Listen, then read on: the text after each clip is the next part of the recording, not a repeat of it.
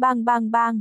Phấn sắc tinh trần ở một quyền của hồ lô tiểu kim cương trực tiếp đều nổ lên, một đoàn hồng nhạt mây trôi phun bắn đi ra, một chút tản ra. Trong lòng Lý Vân Tiêu kinh hoàng một chút, kinh hô. Không tốt. Hắn thuấn di một cái đi tới, nơi mi tâm một cổ thần lực minh mông tinh tản ra, hướng tới bụng của hồ lô tiểu kim cương bắn xuyên qua, muốn nó trực tiếp thuấn di đi. Nhưng đã quá muộn, phấn sắc tinh trần nổ lên đoàn mây trôi một chút đã đem hồ lô tiểu kim cương quấn lấy, trực tiếp đã tiêu thất ở tại chỗ. Sắc mặt của Lý Vân Tiêu đại biến, vạn phần chấn giận lên. Đoàn phấn sắc vân khí kia cùng với trên biển rộng phấn sắc tinh trần công năng không gì khác biệt, có thể đem người trực tiếp mạn không mục đích truyền tống, hồ lô tiểu kim cương hiển nhiên đã bị đưa đi. Bang bang bang bang. Bởi vì Lý Vân Tiêu thoáng chút tâm thần thất thủ, cách đó không xa cửu kiếm kiếm đổ mất đi khống chế của hắn, trong nháy mắt bị nhuận vũ nắm lấy cơ hội, mạnh mẽ hóa long phá vỡ. Giống. Một con hắc long trực tiếp từ trong kiếm đổ lao ra, lăng không bao quát xuống tới, trong mắt tựa hồ hàm chứa một tia châm biếm, bay thẳng rơi vào phía sau nhuận tông, lúc này mới hóa ra hình người. Chín thanh bắc thiên hàn tinh kiếm đều bị đánh bay, rất xa cắm nghiêng ở cả vùng đất, thân kiếm không ngừng rung động. Lý Vân Tiêu đã bất chấp chỗ này, sắc mặt trở nên dị thường khó xem, nhìn chằm chằm nhuận tông lạnh giọng nói. Khôi lỗi của ta đâu? Nhuận tông mặt không đổi sắc, lặng lẽ nói. Người đã lý giải phấn sắc tinh trần, nên minh bạch công năng của nó, truyền tống là mang tính ngẫu nhiên không mục đích gì, ta làm sao có thể biết nó đi đâu. Loại tình huống này Lý Vân Tiêu cũng biết, nhưng chỉ là ôm một chút hy vọng chất vấn xuống. Hồ lô tiểu kim cương là bán thú bán khí, cũng là vật hắn luyện hóa, chỉ cần ở phụ cận tất nhiên có thể cảm ứng được, nhưng bây giờ trong lòng lại không hề cảm ứng, hiển nhiên đã bị truyền tống đến không biết nơi nào. Gương mặt của Lý Vân Tiêu âm muốn nhỏ ra nước đây, trong tròng mắt lóe ra sát khí bén nhọn, lạnh giọng nói. Đã như vậy, hai người các ngươi sẽ vĩnh viễn lưu lại ở trên hòn đảo này đi. Hắn cực kỳ giận dữ, xa xa chín thanh bắc thiên hàn tinh kiếm nhất thời đã bị cảm ứng, đều bay đi, trên không trung thành hàng tản ra, phi chém xuống. Trong tay bên trong thiên quang kiếm hạp lần thứ hai bay ra mấy đạo kiếm quang, đồng dạng là từng cái gạt ra, trước sau kích chiếu xuống tới. Sắc mặt của nhuận vũ đại biến, hắn mới vừa rồi bị vây ở trong cửu kiếm, tự nhiên minh bạch kiếm trận này lợi hại, huống hồ hiện tại thoáng cái đã bay ra hơn 20 thanh, càng làm cho hắn tâm kinh đảm hàn. Nhưng vừa nhìn tự huynh trưởng mình ở bên cạnh, nhất thời bình tĩnh xuống tới, cười lạnh nói. Nếu biết nhị ca ta nắm trong tay phấn sắc tinh trần, cũng đã đứng ở bất bại chi địa, bất luận vạn vật gì đều có thể trực tiếp truyền tống rời đi, người dựa vào cái gì lưu lại chúng ta. Gương mặt Lý Vân Tiêu âm trầm, quát dẹp đường. Chê cười cho rằng nắm trong tay một chút không gian khả năng sẽ thiên hạ vô địch sao. Huống hồ phấn sắc tinh trần cũng chỉ là đạo cụ của hắn mà thôi, nói thế nào nắm trong tay. Hai tay của Lý Vân Tiêu nhanh chóng bấm tay niệm thần chú đứng lên, 24 thanh bắc thiên hàn tinh kiếm trên không trung bày trận, thoáng cái phụt ra vạn đạo ngân sắc kiếm khí, trên không trung rậm rạp đan vào một chỗ, cấu thành lưới kiếm kinh khủng hạ xuống. Lấy đi hồ lô tiểu kim cương, hắn đối với hai người đã nổi lên tâm tư phải giết. Kỳ thực nhuận tông cũng là oan uổng, nếu không có băng sát tâm diễm kinh khủng như vậy, hắn cũng sẽ không thoáng cái đã đem lá bài tẩy của mình bày ra. Nói trắng ra là, hắn cũng không muốn. Lưới kiếm gai mắt đan vào ngân quang, nơi đi qua không gian trực tiếp bị chia cắt thành mảnh nhỏ, vạn vật không còn. Hai gã vương tử đều là sắc mặt đại biến, một cổ khí thức tử vong cực độ kinh khủng sông lên đầu. Nhuận tông nắm long đầu cốt trong suốt, lớn tiếng quát dẹp đường. Phấn sắc kết giới. Trong hốc mắt của long đầu cốt nhất thời phun bắn ra đại lượng phấn sắc tinh trần, hóa ra một đạo vòng xoáy ở quanh thân tản ra, chỉ là xoay tròn một cái, vô số tinh trần thật giống như trong nháy mắt bị đóng băng lại, ngưng tụ thành phấn sắc tinh bích thông thấu. Vèo vèo vèo vèo. Vô số rậm rạp chẳng chịt võng kiếm hạ xuống, trong nháy mắt đem tinh bích bao bọc vào trong đó, từng đạo kinh khủng kiếm khi bắn vào bên trong tinh bích, dĩ nhiên không thấy hình bóng. Tỉ mỉ nhìn lại, ở tầng ngoài phấn sắc tinh bích có một đạo ánh sáng mông lung thật mỏng, toàn bộ kiếm khi bắn vào bên trong đều trực tiếp truyền tống rớt, không thể tổn thương tinh bích mảy may. Ha ha ha, bản vương mới vừa nói cái gì tới. Nhuận vũ cười như điên, trên mặt một mảnh dữ tợn. Vừa rồi thiếu chút nữa chết ở trong tay Lý Vân Tiêu, bây giờ nhìn hắn không thể tránh được, nội tâm miễn bản có bao nhiêu thống khoái. Vù! Đột nhiên một đạo ngân sắc kiếm quang dĩ nhiên xuyên thấu không gian, trực tiếp bắn tiến đến. Suy! Nhuận vũ sơ suất một chút, kiếm mang kia sát qua gương mặt của hắn bắn đến, lưu lại một đạo vết máu nhợt nhạt. Bắc Hải hai người đều là tâm thần đại chấn, lộ ra thần sắc cực độ hoảng sợ và không thể tin nổi. Phiến tinh trần này biến thành không gian kết giới cường đại bao nhiêu, bọn họ hết sức rõ ràng, trừ phi có chính mình phá giới chi lực, bằng không căn bản khó có thể giải khai.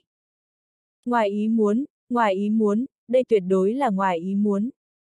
Trong mắt của nhuận vũ lóe lên cực độ kinh khủng, có chút bối rối nói. Phấn sắc tinh bích đem toàn bộ kiếm khí tùy ý truyền tống, có một hai đạo truyền đưa vào cũng lại không quá bình thường. Nhuận tông còn lại là vẻ mặt âm trầm, mí mắt không ngừng mà nhảy lên, tuy rằng lời giải thích này hợp tình hợp lý, nhưng hắn luôn cảm thấy trong lòng căng thẳng hoảng hốt. Vù, vù, hắn vừa mới nói xong, lại có lưỡng đạo bắn tiến đến, đem bên trong tinh bích không gian trực tiếp cắt ra một cái khe màu đen. Ực ực, nhuận vũ chật vật nuốt xuống một chút, vừa định lại nói ngoài ý muốn, lại là ba đạo kiếm quang vù vù vù chiếu vào, dán thân thể hắn mà qua. Nhuận tông đồng dạng là trong mắt kinh hãi dị thường, hắn so với bất luận kẻ nào đều rõ ràng uy lực một chiêu này của bản thân, như vậy liên tiếp hai ba lần có kiếm khí phá bích mà vào, đã không phải là xác suất có thể giải thích rồi. Giải thích duy nhất đó là, đối phương kiếm trận này có khả năng phá giới. Sở dĩ chỉ có mấy đạo bắn vào, đó là bởi vì kiếm trận này uy lực vẫn không có thể phát huy được, bằng không sớm đã thành công đem phấn sắc kết giới của hắn triệt để đánh đổ. Nhuận Vũ cũng hoàn toàn ngậm miệng, trên mặt ngoại trừ vẻ sợ hãi ra, chính là một mảnh tái nhợt. Tuy rằng linh tinh vài điểm mấy đạo kiếm khí này đối với bọn họ không chút nào ảnh hưởng, nhưng thực lực của Lý Vân Tiêu cũng sâu đậm rung động bọn họ. Hai người liếc mắt nhìn nhau, đều là lộ ra vẻ khiếp sợ và hoài nghi tới. Thần Mộc Thế Gia được xưng là nhân tộc nhị lưu thế lực, vừa mới lộ ra liên thủ chi trận hoàn mỹ không sức mẻ, nếu không có nhuận tông âm thầm xuất thủ, sợ rằng hiện tại cũng vẫn chưa thể phá giải. Mà lúc này tùy tiện xuất hiện một thiếu niên không hiểu, càng xuất thủ đã đưa bọn họ hoàn toàn áp chế. Lẽ nào nhân tộc thực lực, đã kinh khủng đến loại trình độ này, trực tiếp quăng hải tộc bọn họ mấy con phố. Nhuận Tông mạnh mẽ đem loại tâm tình tiêu cực này bài trừ đi, trong lòng liên tục thầm nghĩ, tuyệt không khả năng, năm xưa hải hoàng đại nhân thống lĩnh tứ hải, đại quân ép lên thánh vực, đối phương ngay cả cái giám cũng không dám phóng. Nếu nhân tộc thật có bực cường hãn này, hải tộc ta đâu còn có thể an cư tứ hải. Trong này nhất định có chỗ nào không đúng. Suy nghĩ cẩn thận điểm ấy, sau đó nhuận tông nhất thời trầm trụ khí, tuy rằng thỉnh thoảng có kiếm quang phá bích mà vào, nhưng căn bản không làm nên chuyện gì. Lý Vân Tiêu cũng là nhìn thấu điểm ấy, sắc mặt trầm xuống, lạnh giọng nói. Thật sự đã cho ta không phá hết tinh bích này sao? Trong tay hắn cái hộp kiếm vừa chuyển, mặt trên ngân quang lưu động, nhất thời khắp bầu trời kiếm khí thoáng cái tản ra, 24 thanh bắc thiên hàn tinh kiếm đều bay trở về. Sau đó cái hộp kiếm ở trong tay lần thứ hai vừa chuyển, đã biến mất.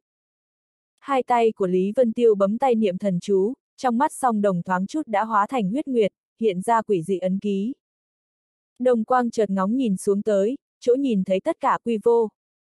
Trong lòng của nhuận tông bỗng nhiên run lên, một loại cảm giác cực kỳ không ổn xông lên đầu, mặc dù nói không rõ vì sao, hơn nữa hắn cũng tuyệt không tin đối phương có năng lực phá vỡ phân sắc tinh bích, nhưng cái loại cảm giác này chính là muốn đại họa lâm đầu rồi. Đột nhiên một đạo thanh âm bén nhọn truyền đến, chấn quát dẹp đường. Người phương nào, dám giết người của tông phái ta, đáng chết. Đạo tiếng quát chói tai kia như là kiếm quang, ở trên trường thiên chấn động mà đến, thoáng qua liền tới. Trong lòng Lý Vân Tiêu bỗng nhiên chấn động, lộ ra vẻ giật mình. Con người của hắn chợt co rút lại co rụt lại, bất quá là trong sát na do dự, sau đó liền thu lại Nguyệt Đồng, lạnh như băng nhìn hai vị Bắc Hải vương tử một cái, thân ảnh trực tiếp tiêu thất ở trên trời. Nhuận Tông và Nhuận Vũ nhất thời cảm thấy buông lỏng, cái loại cảm giác sợ hãi đại họa lâm đầu thoáng cái tiêu tán vô hình, hai người đều là sắc mặt trắng bệch, lộ ra vẻ nghĩ mà sợ. Lúc này trên bầu trời một trận hoàng động, đạo tiếng quát chói tai kia chủ nhân trực tiếp xuất hiện ở trên trời cao, quần áo áo bảo cho, thần sắc nghiêm nghị, hai tròng mắt như kiếm quang chớp động, hung hăng nhìn gần xuống tới, lộ ra hơi lạnh thấu xương. Hai gã vương tử ở dưới đạo mâu quang này, đều là cả người run lên, hình như từ trong ra ngoài, toàn bộ đều bị đối phương xem thấu. Hai người đều là xanh cả mặt, tâm tình thoáng cái rơi rụng xuống thung lũng, thậm chí ngay cả khiếp sợ và kinh hãi đều quên mất, thế nào tùy tùy tiện tiện ra tới một vài người, đều là tồn tại làm bọn hắn ngưỡng vọng. Ánh mắt của người nọ ở chung quanh nhìn quét một chút, khẽ cau mày, lúc này mới lạnh giọng nói. Trước đó chín người, là các ngươi giết. Hai người đều là lặng lẽ không nói, thành thật trả lời nói, phỏng chừng sau một khắc chính là đại sát chiêu xuống, còn không bằng quyết đoán ngậm miệng giả ngu. Hừm, các ngươi đã không muốn trả lời, vậy cũng không còn giá trị mạng sống nữa, đi tìm chết đi. Trên mặt người kia hiện lên một đạo sát khí, lăng không một ngón tay, nhất thời một thanh vô hình kiếm ở trên trời cao bay ra, trong nháy mắt chém xuống tới. Hai người cũng là cực kỳ kinh hãi, trong tròng mắt của nhuận tông tuôn ra vẻ giận dữ, vương giả kiêu ngạo để hắn cảm thấy dị thường xấu hổ và giận dữ, bỗng nhiên nắm chặt long đầu cốt, phấn sắc kết giới lần thứ hai ngưng tụ ra tới. Phanh! Vô hình kiếm kia trực tiếp chém ở trên phấn sắc tinh bích, chấn khởi một đạo bạch sắc kiếm quang. Thân kiếm cũng không có bị truyền tống đi, nhưng trực tiếp bị cản lại. Gì? Trên bầu trời người nọ lộ ra vẻ kinh ngạc, vùng xung quanh lông mày khe khẽ nhíu một chút, tựa hồ nghĩ có chút không thể tin nổi. Đây là vật gì vậy, có thể thiếp được một kiếm này của ta? Nhuận tông nội tâm một trận buồn khổ, lời kia tựa hồ như là châm chọc vậy, kích thích tôn nghiêm của hắn, luôn luôn là đạm mạc chấn định hắn cũng cuồng nộ lên, quát. Đừng vội coi khinh người. Cánh tay của hắn đang nắm long đầu cốt buông ra, nhẹ nhàng vỗ xuống, long đầu cốt kia nhất thời vòng quanh bên người lượn vòng đứng lên. Sau đó bắt ra một đạo quyết ấn, lần thứ hai hướng phía hư không tìm tòi, lại là một long đầu cốt di động hiện ở trong tay hắn, sau đó liên tiếp lộ ra mọi nơi, nhất thời bốn cái long đầu cốt hầu như trong suốt, trên không trung cô lỗ lỗ xoay tròn. Chỉ bất quá trong từng cái long đầu cốt khiêu động quang mang hoàn toàn khác nhau, bao vây quanh thân nhuận tông lượn vòng. Ánh mắt của nhuận vũ lộ ra vẻ kinh hãi, tựa hồ cực kỳ sợ hãi một chiêu này, dưới chân không khỏi lùi lại mấy bước, đồng thời hóa thành hình thái bán long, cảnh giác phòng ngự đứng lên. Ừ, quả nhiên có điểm môn đạo, khó trách chính phản cửu cung điên đảo trận của bọn hắn đều ngăn cản không được các ngươi, có cái ngoan chiêu gì cứ thi triển ra đi, để bản tọa nhìn một cái các ngươi hai con run đất này đến cùng có năng lực gì. Người nọ khinh miệt cười một tiếng, trên mặt lộ ra vẻ khinh thường, nhưng con ngươi lại nhìn chằm chằm bốn cái long đầu cốt, lóe ra tinh mang. Trong lòng của nhuận tông chấn động, lập tức minh bạch người này đã nhìn thấu thân phận của bọn họ, lập tức cũng không có gì lại băn khoăn nữa, điên cuồng thúc giục trong tay bốn cái long đầu cốt. Ngoại trừ trước đó phun ra lam sắc và phấn sắc ánh sáng nói, còn có ngân sắc và lục sắc hai loại, bốn cái xương sọ đều đang kịch liệt run rẩy, tựa hồ thoáng cái khống chế bốn cái, để nhuận tông dị thường cật lực, sắc mặt càng ngày càng tái nhợt. Ha ha, phong viễn tiên sinh muốn xem hải tộc tuyệt kỹ của ta mà nói, không bằng để bản tọa tới biểu thị một chút. Một tiếng cuồng thiếu vang lên, toàn bộ bầu trời lập tức nổ vang đứng lên, như là mưa gió chờ tới, sắc trời lập tức biến chuyển. Sau đó một đạo sấm chớp rền vang, lôi điện nảy ra, một hỏa cầu lớn màu đỏ chẳng biết lúc nào xuất hiện ở trên trời cao, giống như là lưu tinh rơi xuống. Hỏa cầu như là ở trên biển rộng thượng vậy, theo gió vượt sóng, khắp bầu trời lôi điện lóe ra, có vẻ càng cường đại hơn, một cổ lực lượng kinh khủng từ trong hỏa cầu tuôn ra, trực tiếp đem phong viễn tiên sinh tập trung, tựa hồ muốn khuynh lực một kích. Sắc mặt của phong viễn tiên sinh trầm xuống, trong mắt hiện lên một tia kinh hãi. Là ngươi. Trong giọng nói lộ ra cực độ khiếp sợ và hoài nghi. Ha ha xem ra tiên sinh còn chưa quên mất cố nhân A. Hỏa cầu lớn trên không trung cuốn vài cái, gần đập vào đại địa, thoáng chút đem thế rơi ngừng lại, chợt hiển hóa ra một đạo thân ảnh khôi ngô, chậm rãi rơi vào địa. Trong hai tròng mắt của người này đồng thời xuất hiện lôi hỏa nhị sắc, một cái sấm chớp rền vang, một cái xí hỏa nhảy lên, phảng phất như hai thế giới giống nhau, trên mặt mang vẻ lạnh lùng, yêu dị phi thường. Hai người nhuận tông và nhuận vũ đồng thời lộ ra vẻ đại hỉ, người này nếu xuất hiện, tất nhiên sẽ cứu bọn họ. Gương mặt của phong viễn tiên sinh kịch liệt co quắp một chút, âm trầm không gì sánh được, cắn răng nghiến lợi nói. Lôi hổ hỏa báo. Ha ha. Lôi hổ hỏa báo cười như điên nói.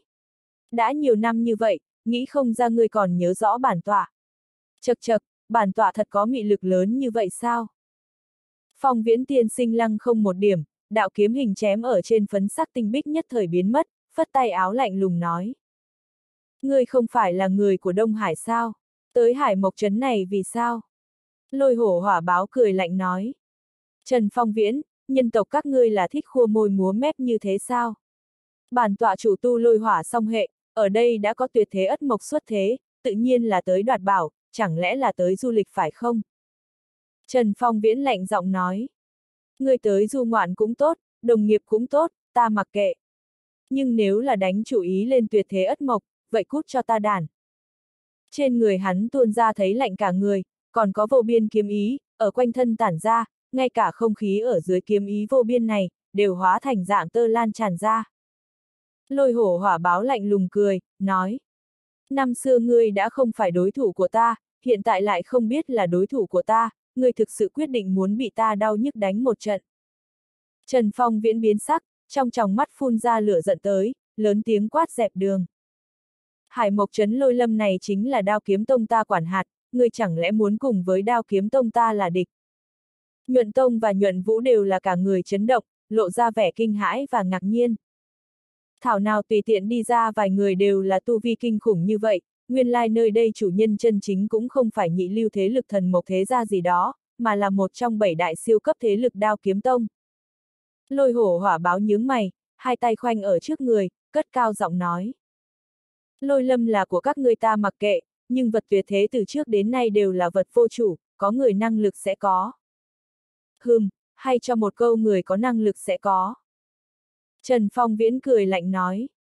Ngươi nếu không mau cút đi, ta lập tức đưa tin quay về tông môn, tự có cường giả ở trên ta lập tức chạy đến, đến lúc đó ngươi chính là còn muốn chạy cũng đi không xong rồi.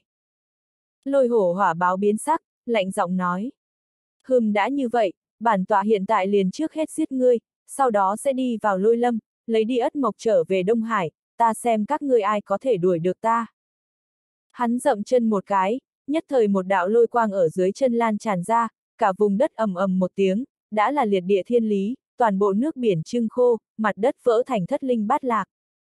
Trần Phong viễn sắc mặt đại biến, quát lên. Giỏi cho một tên ngoan cố, ta lại muốn biết một chút về những năm gần đây ngươi rốt cuộc tiến bộ bao lớn, nơi đây tới gần lôi lâm thông đạo, muốn chiến liền đi theo ta.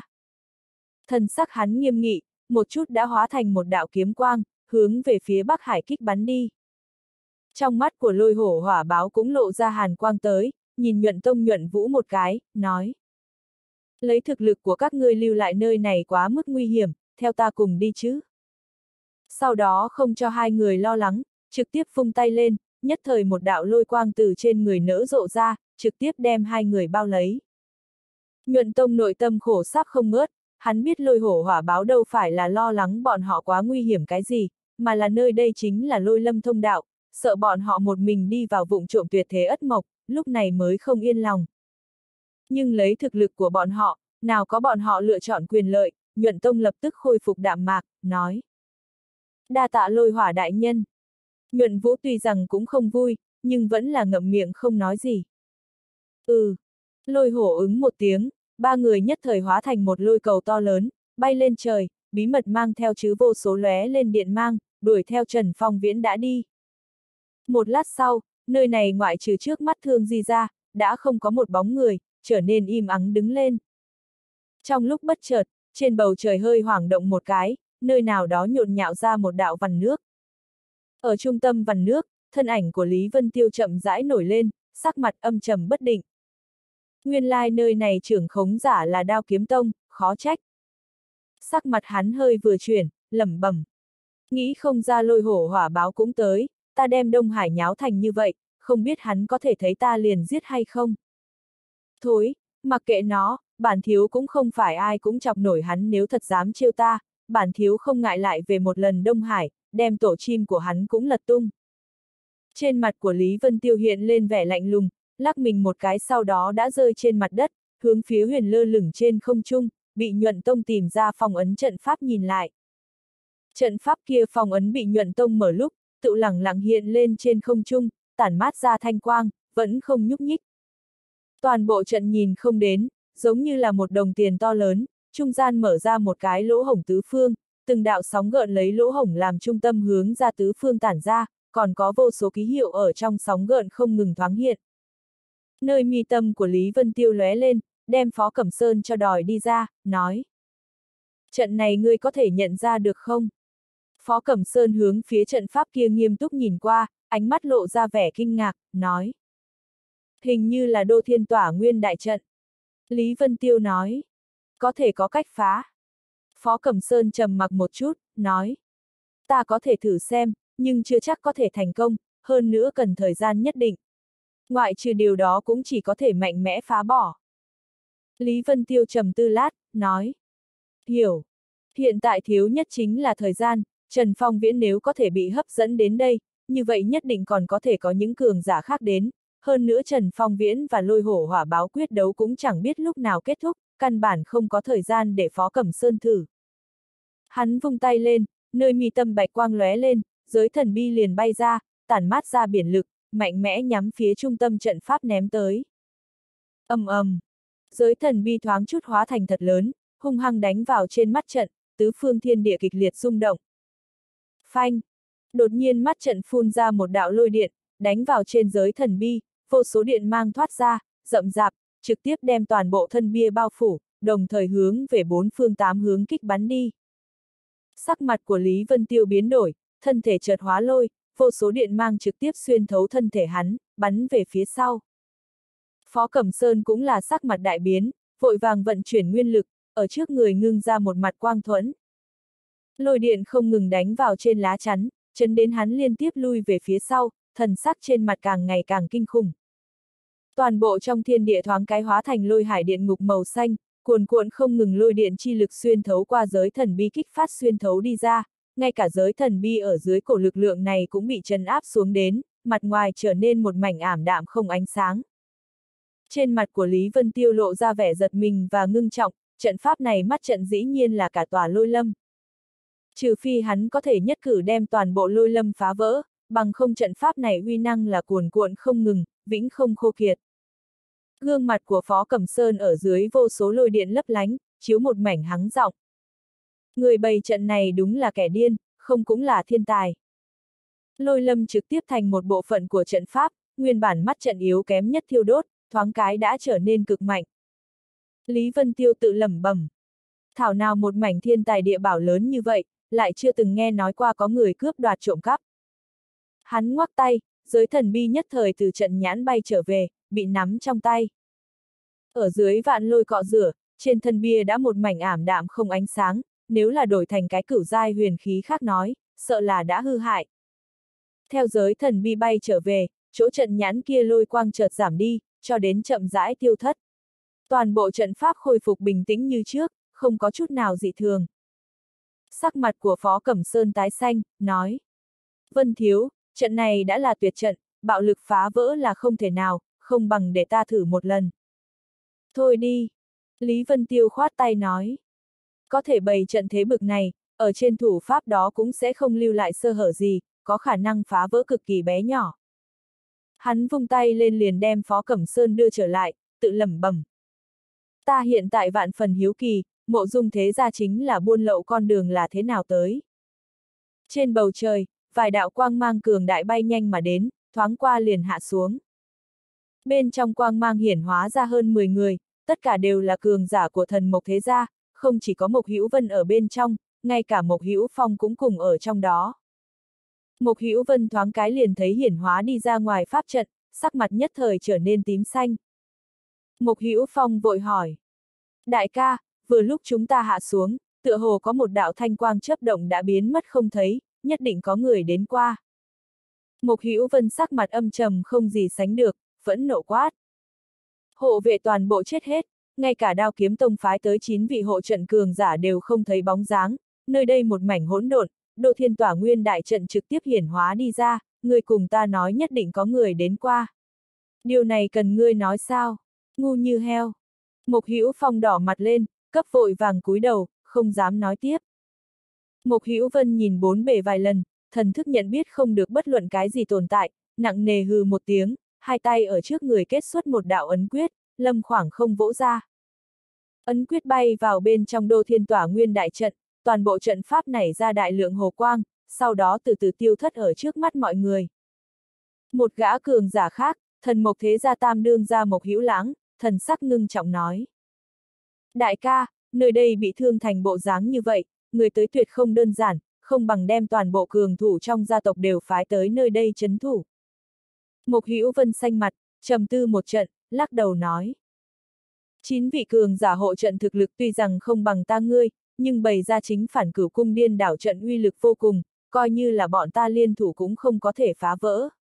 Lá chắn cường đại như vậy đều bị người đánh tan, cho dù thần mộc thế gia dốc hết toàn bộ, cũng đỡ không được người tới. Mộc hữu lãng sửng sốt một chút, nói. Vậy làm sao bây giờ? Hừm, coi như không có việc gì phát sinh, chờ bước tiếp theo chỉ thị. Sắc mặt của Mộc Hữu Vân chậm rãi nới lỏng, nói.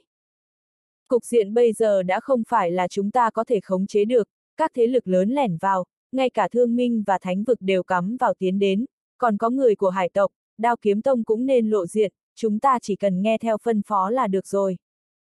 Trong mắt của Mộc Hữu lãng lóe lên một đạo tinh mang, vui vẻ nói. Đại ca, ta nghĩ việc này chưa chắc không phải một cơ hội, hay là chúng ta có thể mượn ngoại lực đến đối kháng đao kiếm tông, từ nay về sau thoát khỏi bọn họ ràng buộc cũng nói không chừng. Sắc mặt của Mộc Hữu Vân đại biến, phẫn nộ quát. Đầu heo đừng vội nói bậy. Mộc Hữu Lãng không hài lòng nói. Vì sao không thể nói? Lẽ nào trong lòng đại ca sẽ không có suy nghĩ gì sao? Mộc Hữu Phong cũng là sắc mặt tái xanh, cướp lời nói. Tam đệ, người thực sự là hồ đồ tuy rằng hàng năm đại bộ phận lợi nhuận đều bị đao kiếm tông cầm, thế nhưng dưới đại thụ thật thừa lương, chúng ta nhiều ít cũng có thể uống được chút canh. Nếu là không có đao kiếm tông cây đại thụ này che chở, sợ là canh đều uống không được. Mộc Hữu Lãng không phục nói. Nhưng hải mộc trấn này vốn chính là căn cơ sở tại của mộc gia chúng ta, đời đời kiếp kiếp đều là ta mộc gia toàn bộ, vì sao phải bị người đoạt chiếm. Mộc Hữu Vân nhìn hắn một cái, lạnh nhạt nói. Ngươi nói những lời này nói rất hay. Vì sao? Chính bởi vì người ta tùy tiện phái cá nhân tới, có thể diệt ngươi cả nhà này, thực lực bao lớn, có được bấy nhiêu tài nguyên, không có thực lực liền câm miệng cho ta. Trên mặt Mộc Hữu Lãng một mảnh âm trầm, trong tròng mắt đều tuôn ra lửa giận. Mộc Hữu Phong than thở. Chỉ hy vọng chuyện lần này không nên ảnh hưởng đến lợi ích lâu dài của chúng ta sau này thì tốt rồi, bằng không chúng ta nơi phát ra chủ yếu lợi ích liền chặt đứt, dựa vào bên trong định thiên thành con đường sinh ý này, sợ rằng khó mà lại duy trì vị trí trước ba nữa. Con người của Mộc Hữu Vân hơi co lại, lo lắng nói. Trong loạn dễ bại, trong loạn cũng dễ thắng, có lẽ sẽ là kỳ ngộ của thần Mộc Thế gia chúng ta nắm trong tay định thiên thành cũng nói không chừng. Tất cả mọi người đều biến sắc, lộ ra một chút vẻ hưng phấn. Mộc Hữu Lãng nói. Đại ca, nơi đây lẽ nào chúng ta đã không quản, để nó không hề phòng thủ khoảng không tại đây. Mục Hữu Vân nói, Đô Thiên Tỏa Nguyên đại trận này đó là phòng ngự mạnh nhất, đương kim thiên hạ người có thể phá được trận này lác đác không có mấy, nếu thật có cường giả như vậy đến, chúng ta phái nhiều người hơn nữa cũng chỉ là bọ ngựa đấu xe, làm điều thừa. Đi thôi. Mục Hữu Vân đạm nhiên một tiếng, thần mộc thế ra mọi người nhất thời hóa thành một đạo quang mang, trực tiếp tiêu thất ở tại chỗ. Trên bầu trời đột nhiên hiện ra một đạo hồ quang, chậm rãi thay đổi lớn, hóa ra thân ảnh của Lý Vân Tiêu, đứng yên ở trên trời cao trầm tư một chút, cũng hóa thành một đạo quang mang rời đi. Ngày mai, chính ngọ. Thần Mộc Thế gia phủ đệ, nghiễm khai phương pháp, hội tứ phương hào kiệt. Trong phủ một mảnh không khí nghiêm nghị, ở trên đất trống phương viên mười mấy trượng, không ngừng quang mang lóe ra xuống. Người tới đều là hướng phía Mộc gia ba huynh đệ chào hỏi, vô cùng nhiệt tình, một bộ dáng sinh tử chi giao. Bắt chuyện qua đi, liền một bên tự mình tìm một cái ghế ngồi xuống, sau đó liền sắc mặt băng lãnh, nhìn bốn phía đứng lên. Mộc gia ba huynh đệ cũng minh bạch, khách sáo chỉ là công phu mặt ngoài, tất cả mọi người là vì lợi ích thiết thân tới. Linh lôi quả được mùa thu hoạch lớn đang nhận được nguy cơ trước đó chưa từng có, không chỉ có là thế lực khắp nơi rót vào tiến đến, lấy lực lượng của thần mộc thế gia căn bản bất lực. Hơn nữa hải tộc cũng hoành nhúng một tay, thế cục càng ngày càng phức tạp. Sở dĩ thần mộc thế gia trực tiếp quảng phát cáo thiếp, triệu tập toàn bộ thế lực đến đây, đang hiệp định việc phân phối linh lôi quả, đồng thời cũng nhằm vào hải tộc, có ý liên thủ xua đuổi dị tộc. Lần này thịnh hội nếu là có vắng họp không có tới, vậy thì cùng với việc phân phối linh lôi quả triệt để vô duyên. Do đó thế lực khắp nơi, tất cả lớn nhỏ, đều phái người đến đây. Còn có một chút Vũ Hoàng Vũ Tông thực lực đại biểu, cũng rất xa trốn ở góc phòng, mặc dù lên không được mặt bàn, nhưng là đại biểu cho một phương thế lực. Một đạo quang mang từ bầu trời hạ xuống, hiển hóa ra một gã thanh niên nam tử mi thanh mục tú, chính là mộ dung hằng vũ. Ánh mắt của hắn ở đây bên trong đảo qua, tựa hồ không biết người nào, chỉ là cùng Mộc Hữu Vân hơi gật đầu một cái, tự mình ở bên cạnh tìm một chiếc ghế ngồi xuống. Sự xuất hiện của hắn dẫn tới không ít người chú ý, đều nghị luận suy đoán. Mộc Hữu Phong hơi cúi người đến, ở bên tai một gã lão giả nói nhỏ, tựa hồ đang giải thích mộ dung hằng vũ lai lịch. Lão giả kia chính là Giang Tu chân, sắc mặt hơi đổi một chút, không khỏi quan sát thêm mộ dung hằng vũ vài lần. Giang Tu chân vốn là muốn trực tiếp từ định thiên thành trở về, lại đột nhiên nhận được vạn bảo lâu tổng bộ mệnh lệnh, yêu cầu tận khả năng tranh mua thêm linh lôi quả, lúc này mới đi vòng đang tới hải mộc trấn. Mà Đào Hồng và Như Nhi, vẫn như cũ cẩn thận hầu ở hai bên, trên mặt cười kiều mị. Chán ghét thì chán ghét, nhưng ở dưới lợi ích và quyền lợi, vẫn phải là cố gắng vui cười, cẩn thận hầu hạ lấy lòng. Đột nhiên một đạo quang mang hạ xuống, xuất hiện một nam một nữ, nam rộng rãi mặt nặng di, uy phong lấm lấm, nữ thân khoác hồng y, nếu như mây tía. Hái người khí chất trên người thoáng cái hấp dẫn đông đảo chú ý, nguyên bản tiếng động lớn gây nơi sân thoáng cái trở nên an tĩnh lại, ánh mắt mọi người đều hội tụ qua đó. Mục Hữu Vân cười tự thân nghênh đón, nói. Nguyên lai là Long Gia Kỳ Quỷ và Phi Nghê hai vị thiếu chủ, đến hàn xá, khiến thần mộc thế ra vẻ vang cho kẻ hèn này. Mọi người đều lộ ra vẻ giật mình, toàn bộ ngưng mắt nhìn sang rồi. Thiên lĩnh Long Gia thân là bảy đại siêu cấp thế lực, hơn nữa còn là một thế lực kỳ lạ nhất trong bảy đại siêu cấp thế lực. Bởi vì hắn bên trong truyền thừa cũng không phải là phụ truyền tử, sư truyền đồ, mà là từng đời chân linh huyết mạch người chủ tụ tập nơi. Ở Long Gia chia làm nội môn và ngoại môn, nếu nói nội môn không thể nghi ngờ là người tự mình thức tỉnh chân linh huyết mạch. Về phần ngoại môn, cũng không phải là người nào cũng đều có thể đi vào, phải là chân linh huyết mạch hậu đại, như vậy mới có thể ở bên trong ngoại môn có võ giả xuất hiện huyết mạch thức tỉnh. Cho dù ngươi là Long Gia gia chủ, nếu hậu nhân của ngươi không có thức tỉnh huyết mạch, cũng sẽ bị lập tức đưa ra ngoại môn. Hơn nữa người của Long Gia cực ít ở trên đại lục đi lại, do đó thế nhân đối với bọn họ hiểu được cũng không nhiều, có thể nói là ngoại trừ phệ hồn tông ra, là một phái thần bí nhất. Kỳ quỷ cười nói, Hữu Vân Đại Nhân có lời mời, há lại dám không đến. Hắn vừa nói như vậy, xem như cho đủ thần mộc thế ra mặt mũi. Trên mặt mộc Hữu Vân cười nở hoa, tự mình đón chào, nắm tay của hai người đi vào trong, trong miệng không ngừng nói rằng. Tới tới, hai vị xin mời ngồi. Thần Mộc Thế Gia dựa vào tài nguyên linh lôi quả, đích xác kết giao không ít siêu cấp thế lực, Mộc Hữu Vân và Long gia hai vị thiếu chủ thân mật, khiến các thế lực khác đều đặc biệt đỏ mắt. Trên tràng nhất thời các loại thanh âm vang lên lần nữa, đều là một ít như là ngưỡng mộ đã lâu Long gia thiếu chủ uy danh, quả nhiên là nhân trung Long Phượng, câu lên một lượt tiền bộ gần như. Kỳ quỷ xoay chuyển ánh mắt, thoáng cái đã rơi vào trên người của mộ dung hằng vũ, lạnh lùng nói.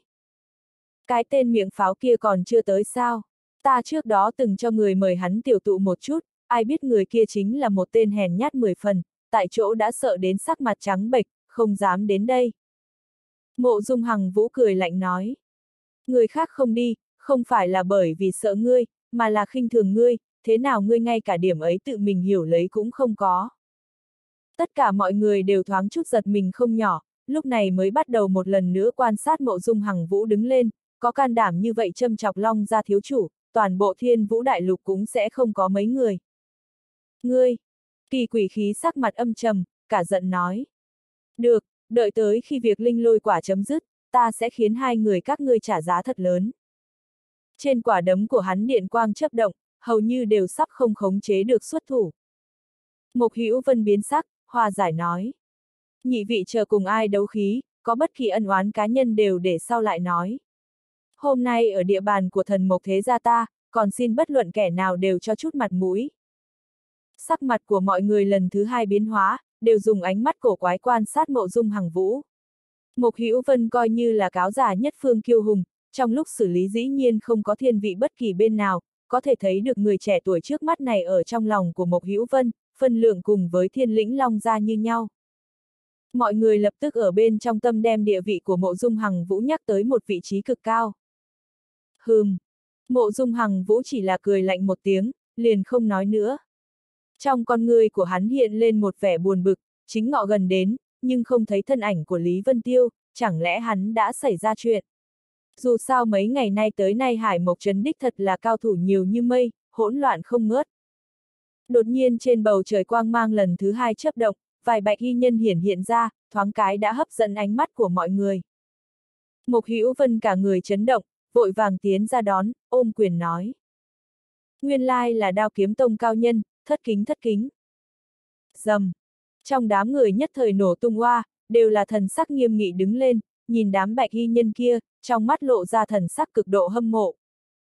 Long ra hai người và mộ dung hằng vũ cũng là ghé mắt mà nhìn, trong mắt tinh quang chớp động liên tục.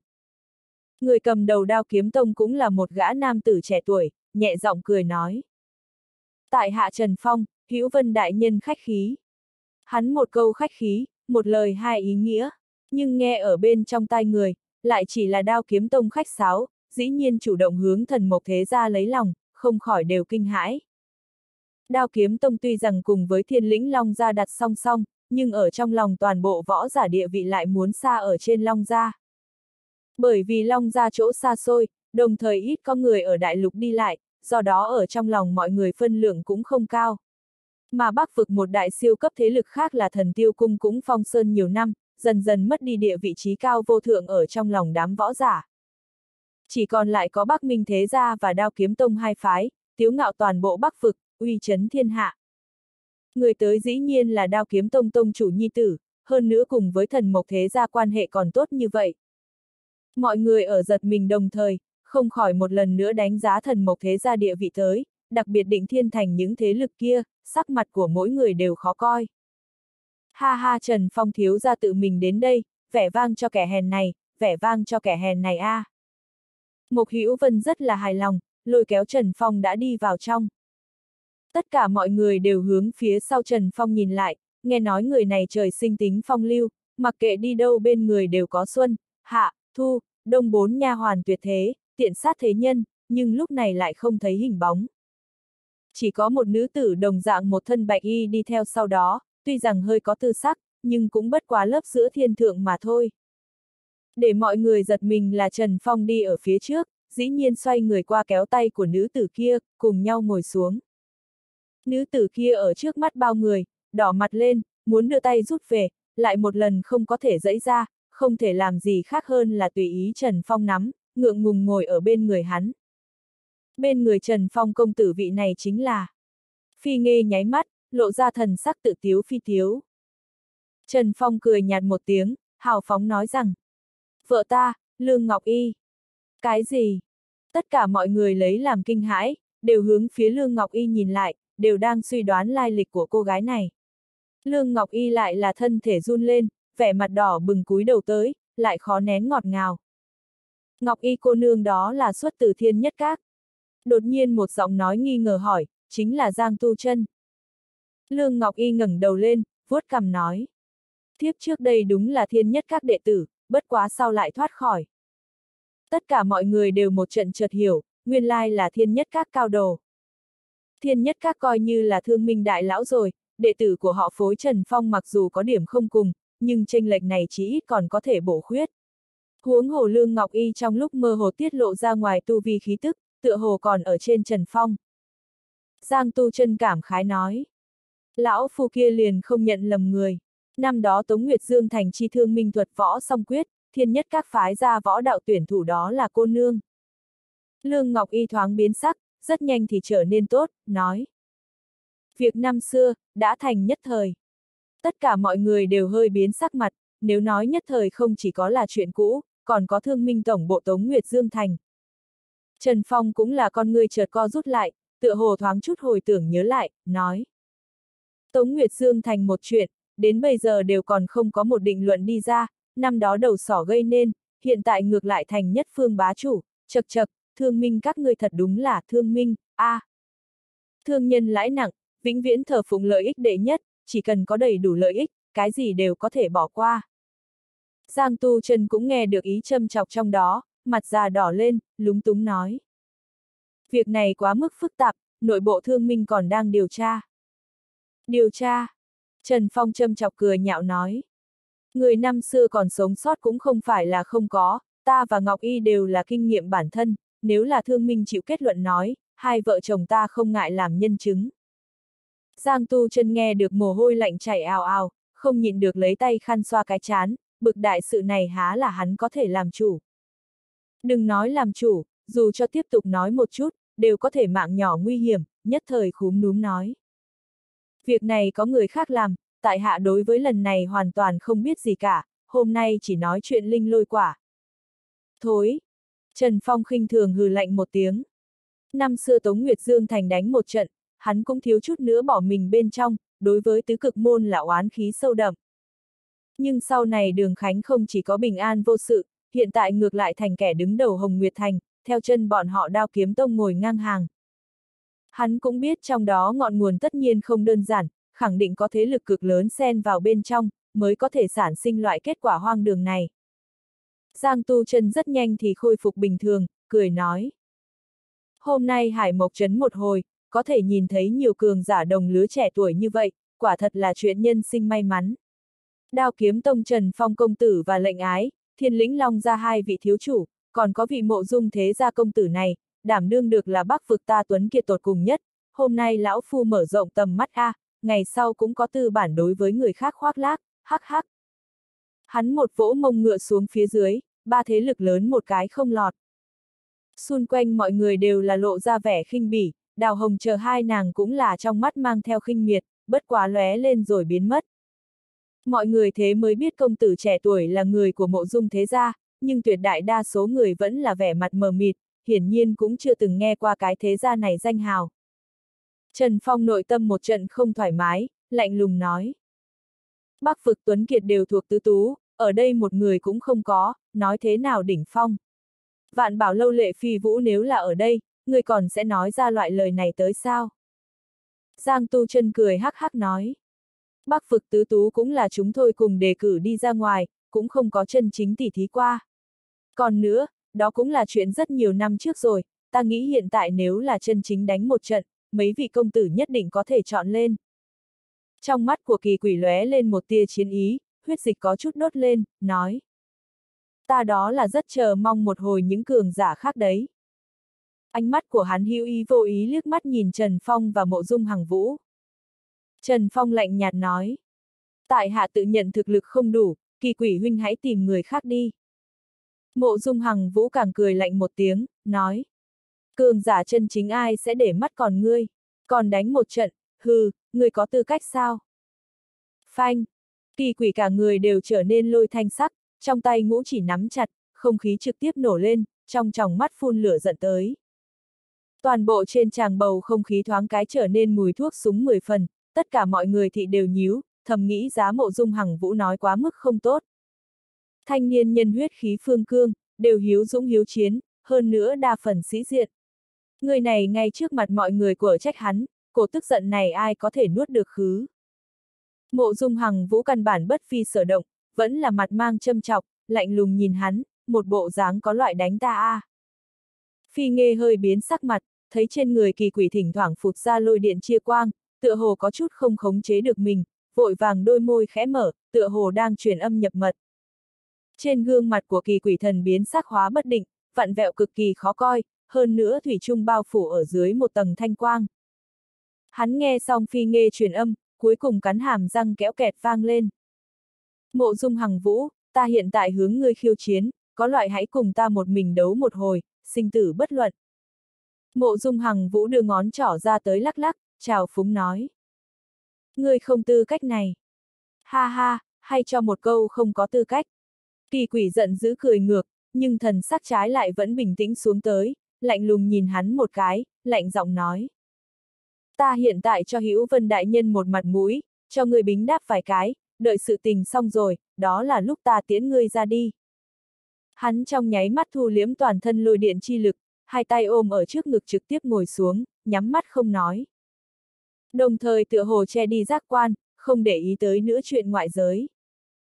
Mục Hữu Vân thở dài, như vậy cũng tốt, miễn cho hai người nháo loạn tới thu không được chàng. Hắn có chút trách cứ nhìn mộ dung hằng vũ một cái, như vậy thật giống như đang nói hoàn toàn không để cho ta mặt mũi. Mộ dung hằng vũ ha hả cười, cũng không lên tiếng nữa, bầu không khí thoáng chút có vẻ lúng túng. Lúc này mọi người đối với mộ dung thế gia càng thêm tò mò, các loại nhẹ giọng nói nhỏ, thoáng cái đã truyền ra. Giang Tu chân cũng nghiêm chỉnh, dù sao cũng là bởi vì lời của hắn dựng lên, đi ra hòa giải nói. Chư vị đều là bắc vực võ đạo người nổi bật, nhớ năm đó thánh vực triệu tập thiên hạ hào kiệt tiến hành võ quyết bài danh, đánh cho long trời lở đất, lúc này mới ra đời thập đại phong hào vũ đế, trở thành một đoạn giai thoại, kẻ khác vô hạn hướng về. Chính là vài năm sau, phong vân bảng sẽ lần thứ hai khởi động, đến lúc đó mấy vị công tử tiểu thư, nhất định có thể đại phóng tia sáng kỳ dị, lưu danh thiên cổ. Mọi người đều là tâm thần dùng mình, nhớ tới đoạn chuyện cũ này, không khỏi lộ ra vẻ hướng tới. Mộc Hữu Vân vuốt râu cười nói. Chính là mấy vị công tử tiểu thư có thể đến thần mộc thế gia ta, chính là cho Mộc Hữu Vân ta thiên đại mặt mũi. Phi Nghê thu liếm vẻ hướng về, lại cười nói. Thế nào người của hải tộc còn chưa tới, chẳng lẽ là thấy hào kiệt quần tụ, do đó sợ rồi. Giang Tu chân cười to nói. Ha ha, tất nhiên như vậy. Hắn tiếp tục vuốt mông ngựa nói. Bảy đại siêu cấp thế lực tới thứ hai, còn có mộ dung thế gia, có thể nói tam đại ngang ngược hội tụ, nếu ta là người của hải tộc, cũng sẽ sợ đến không dám tới, ha ha. Mọi người cũng theo cười ha hả, tuy rằng Giang Tu chân thái độ làm người chơ chẽn, nhưng là đều cảm thấy có lý. Đùng! Trong lúc bất chợt, không trung không hiểu hiện ra một đạo lôi quang tới, bên trong nảy ra một đạo thanh sắc hồ quang, trên không trung nhún nhảy một chút. 3. Đạo hồ quang kia trên không trung lóe lên, như là cái tát vả ở trên mặt của Giang Tu chân, thanh thúy hữu lực. Giang Tu chân đau kêu thảm một tiếng, cấp vội vàng che mặt, cả giận nói. Ai, ai dám đánh lén lão phu? Đạo điện mang tuy nhỏ, nhưng uy lực 10 phần, toàn bộ cái đầu của Giang Tu chân đều cháy đen một mảnh, trên mặt đen xì xì, chảy ra tảng lớn máu tới. Không trung truyền đến một đạo thanh âm lạnh băng. Các người bảy đại siêu cấp thế lực tới hai cái, còn có mộ dung thế gia, chúng ta đã sợ đến không dám đi ra, vẫn là núp trong bóng tối thật là tốt. Mọi người vừa nghe, đều là sắc mặt bỗng nhiên đại biến, toàn trường nhất thời yên lặng lại, tất cả mọi người đều cảnh giác vạn phần. Giang Tu chân lập tức biết là người phương nào, sợ đến run run một chút, vội vàng ngậm miệng thối lui đến trong đám người, bụng mặt không dám lên tiếng nữa, chỉ có thể tự nhận không may. Sắc mặt của Mộc Hữu Vân ngưng trọng, trầm giọng nói. Hải tộc bằng hữu nếu đã tới, cũng không cần lại níu níu niết niết, ra đi. Hừm, các người miệng pháo lợi hại như vậy, chúng ta làm sao dám đi ra. Ha ha, đúng thế. Nhiều nhân vật muốn lưu danh thiên cổ đại tại đây như vậy, chật chật, chúng ta vẫn là trở lại triệu tập đại quân trở lại đi. Tất cả mọi người đều sắc mặt đại biến, đông vực vừa dừng lại chiến tranh không bao lâu, tuy là thủ vững thành trì, không để hải tộc chiếm được nửa điểm tiện nghi, nhưng cũng chết thương thảm trọng. Tuy rằng trong lời của đối phương vui đùa và uy hiếp ý tứ hàm xúc quá nhiều, nhưng cũng không khỏi không phòng, huống hồ nơi đây rất nhiều cường giả đều dựa vào gần biển biên thế lực, một ngày đánh nhau đó là đứng mũi chịu sào. Mộc Hữu Vân trầm giọng nói.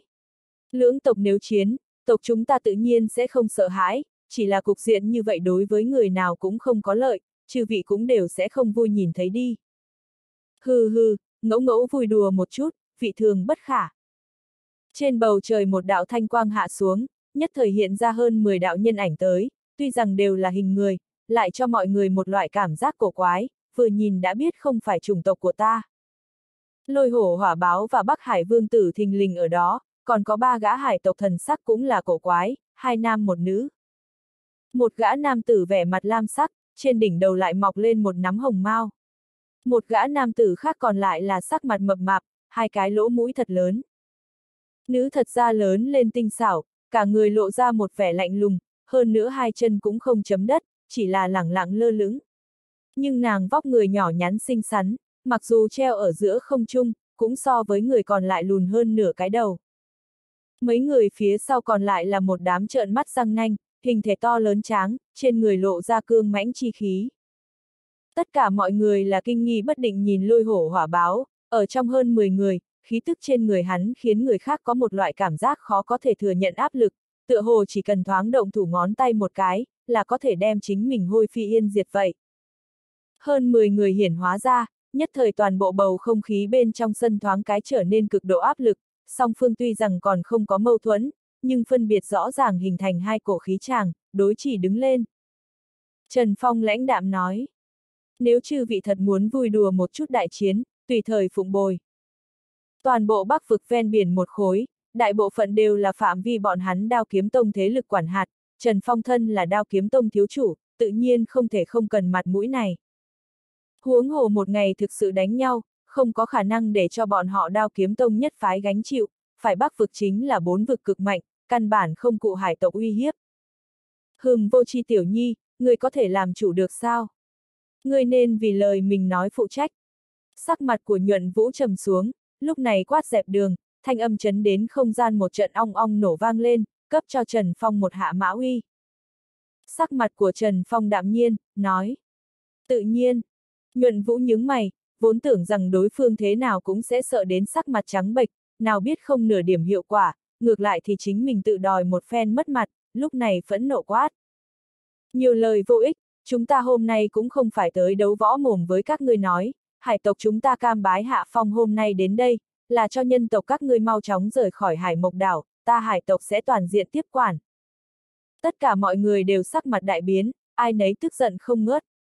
Hải mộc trấn thời đại có người ở lại, đã mấy nghìn năm rồi, hiện tại tùy tiện chạy tới vài người cho các ngươi cút đi, cho dù ai cũng là lửa giận ngút trời. Ha ha, dựa vào cái gì? Mục Hữu Vân giận dữ cười hỏi ngược lại, nói. Các ngươi đây là minh mục trương đảm khi dễ người. Nhuận Vũ cười lạnh một tiếng, nói. Trấn này vốn là hải mộc đảo, vốn là từ trong Bắc Hải phiêu lưu tới được, cho tới nay đều là vật của Bắc Hải ta, bị các ngươi nhân tộc mạnh mẽ chiếm cứ mấy nghìn năm, rốt cuộc là ai khi dễ người nào. Mọi người đều là một trận oán giận, các loại nghị luận và tiếng mắng chửi không ngừng, tâm tình càng ngày càng kích động, phần lớn là hô lớn cút về các loại. Trên mặt của nhuận vũ hiện lên vẻ đắc ý, nói. Cũng giống như so với nhà ngươi nuôi một con chó, có một ngày chạy đến nhà hàng xóm ở lại mấy ngày, con chó này lẽ nào sẽ không phải là của ngươi, mà là thành của nhà hàng xóm, thử hỏi ngươi sẽ có cảm nghĩ thế nào. Mọi người nhất thời ách ngữ, cái thí dụ này quá mức hình tượng, chỉ một cái tử vô pháp phản bác, đều là hai mặt nhìn nhau. Ha ha, đang ngồi các y quan thắng tuyết, nếu hiểu đạo lý, vậy nhanh lên mau chóng rời khỏi đi.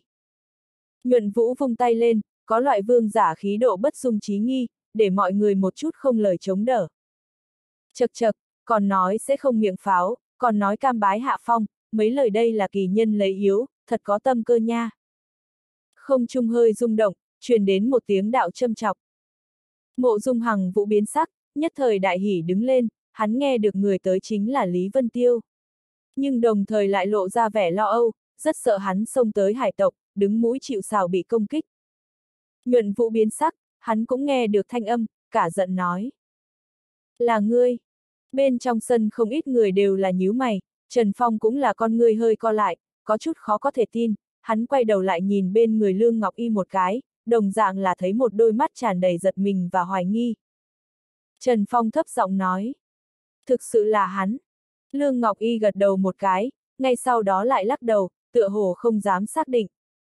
Lôi hổ hỏa báo vẫn luôn là hai mắt nhắm chặt, tựa hồ đối với ngoại sự hờ hứng, lúc này cũng là đột nhiên mở mắt ra, bên trong một con con ngươi xí lửa nhảy lên, hai mắt lôi điện nảy ra, hướng phía trong hư không ngưng mắt nhìn đi, lộ ra giật mình thần sắc tới. Bầu trời không gian chậm rãi nhộn nhạo một chút, thân ảnh của Lý Vân Tiêu hiển hóa ra, sắc mặt ung dung nhìn phía dưới. A! À, đột nhiên có người kinh hô một tiếng đi ra, chính là Giang Tu chân một tay bụng mặt, như là bị người đá một cước vậy, tại chỗ nhảy dựng lên, một chút hoảng hồn. Mục Hữu Phong và hai nàng cũng là kinh hãi không ngớt, nghĩ không ra nơi đây còn có thể nhìn thấy Lý Vân Tiêu. Lôi hổ hỏa báo con người trầm xuống, tuôn ra một cổ sát khí tới, thoáng cái đã lan tràn ra, bên trong sân tất cả mọi người cảm nhận được, đều quá sợ hãi. Cổ sát khí chi lăng liệt này, để toàn bộ người ở tại tràng đều là giận cả tóc gáy, đều là cả người rét run, khiếp sợ vạn phần. Phi Nghê và Kỳ Quỷ cũng là giật mình không thôi, không rõ vì sao Lý Vân Tiêu vừa xuất hiện, là có thể dẫn tới người của hải tộc thất thố như vậy. Đặc biệt lôi hổ hỏa báo nhóm cường giả này, cơ hồ là cửu tinh đỉnh phong tồn tại, đã rất khó bị ngoại sự sở động, lại cũng bị dẫn động. Để cho bọn họ càng thêm giật mình và không hiểu là tiểu tử này không chỉ có dám chính diện xông tới hải tộc, hơn nữa ở dưới sự uy hiếp của lôi hổ hỏa báo hoàn toàn không hãi sợ, vẫn là một bộ dáng không mặn không nhạt, khiến người ta nhìn cũng rất muốn hung hăng đánh một trận. Tiểu tử ngươi thật là can đảm a không sợ trời không sợ đất, càng còn có thể sống đến bây giờ. Khí tức trên người lôi hổ hỏa báo chậm rãi lưu động, sát ý càng ngày càng mạnh. Nhuận tông nhuận vũ đồng thời sắc mặt đại biến, lộ ra thần sắc thập phần giật mình tới, nghĩ không ra lôi hổ hỏa báo và Lý Vân Tiêu dĩ nhiên nhận thức, hơn nữa nhìn hình dạng tựa hồ còn có khúc mắt nào đó. Mấy tên hải tộc khác cũng là thần sắc biến đổi, cảm nhận được từ trên người lôi hổ hỏa báo truyền tới áp lực, nhịn không được hậu lùi lại mấy bước tách ra. Lý Vân Tiêu thần sắc bất biến, chỉ là vùng xung quanh lông mày hơi vung lên, lạnh lùng nói. Mắc mớ gì tới ngươi a? À? Ngươi! Lôi hổ hỏa báo chấn nộ hét lớn một tiếng, trên người khí thức hơi tuôn ra, hình thành một cổ kình phong bá đạo toàn khai, bên người hải tộc bên cạnh đều là tâm thần chấn động, hoảng hốt lần thứ hai thối lui, lộ ra hơn 10 trượng không gian. Đồng thời người của hải tộc trong lòng cũng là kinh nghi bất định, lôi hổ hỏa báo đó là Đông Hải đều biết cường giả, bê cấp hải tộc thống lĩnh. Tu Vi đã sớm bước chân vào cửu tinh đỉnh phong, mặc dù là tứ hải vương tộc thấy hắn, cũng phải tôn sưng một tiếng lôi hỏa đại nhân, trong thiên hạ người nào dám đối với hắn bất kính. Bọn họ nhìn ánh mắt của Lý Vân Tiêu, đều giống như đang nhìn người chết vậy.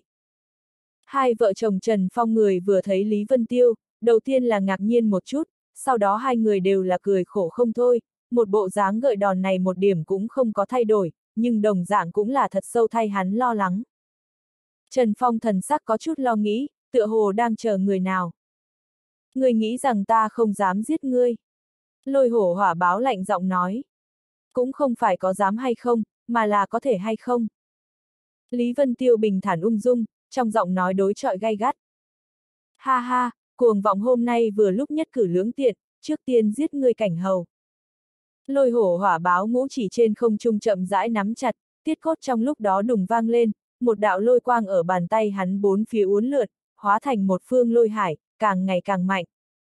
Trên bầu trời cũng lập tức biến sắc, mây đen cuồn cuộn mà đến, toàn bộ bên trong thành thoáng cái đã trở nên hôn ám không gì sánh được, như là ban đêm vậy.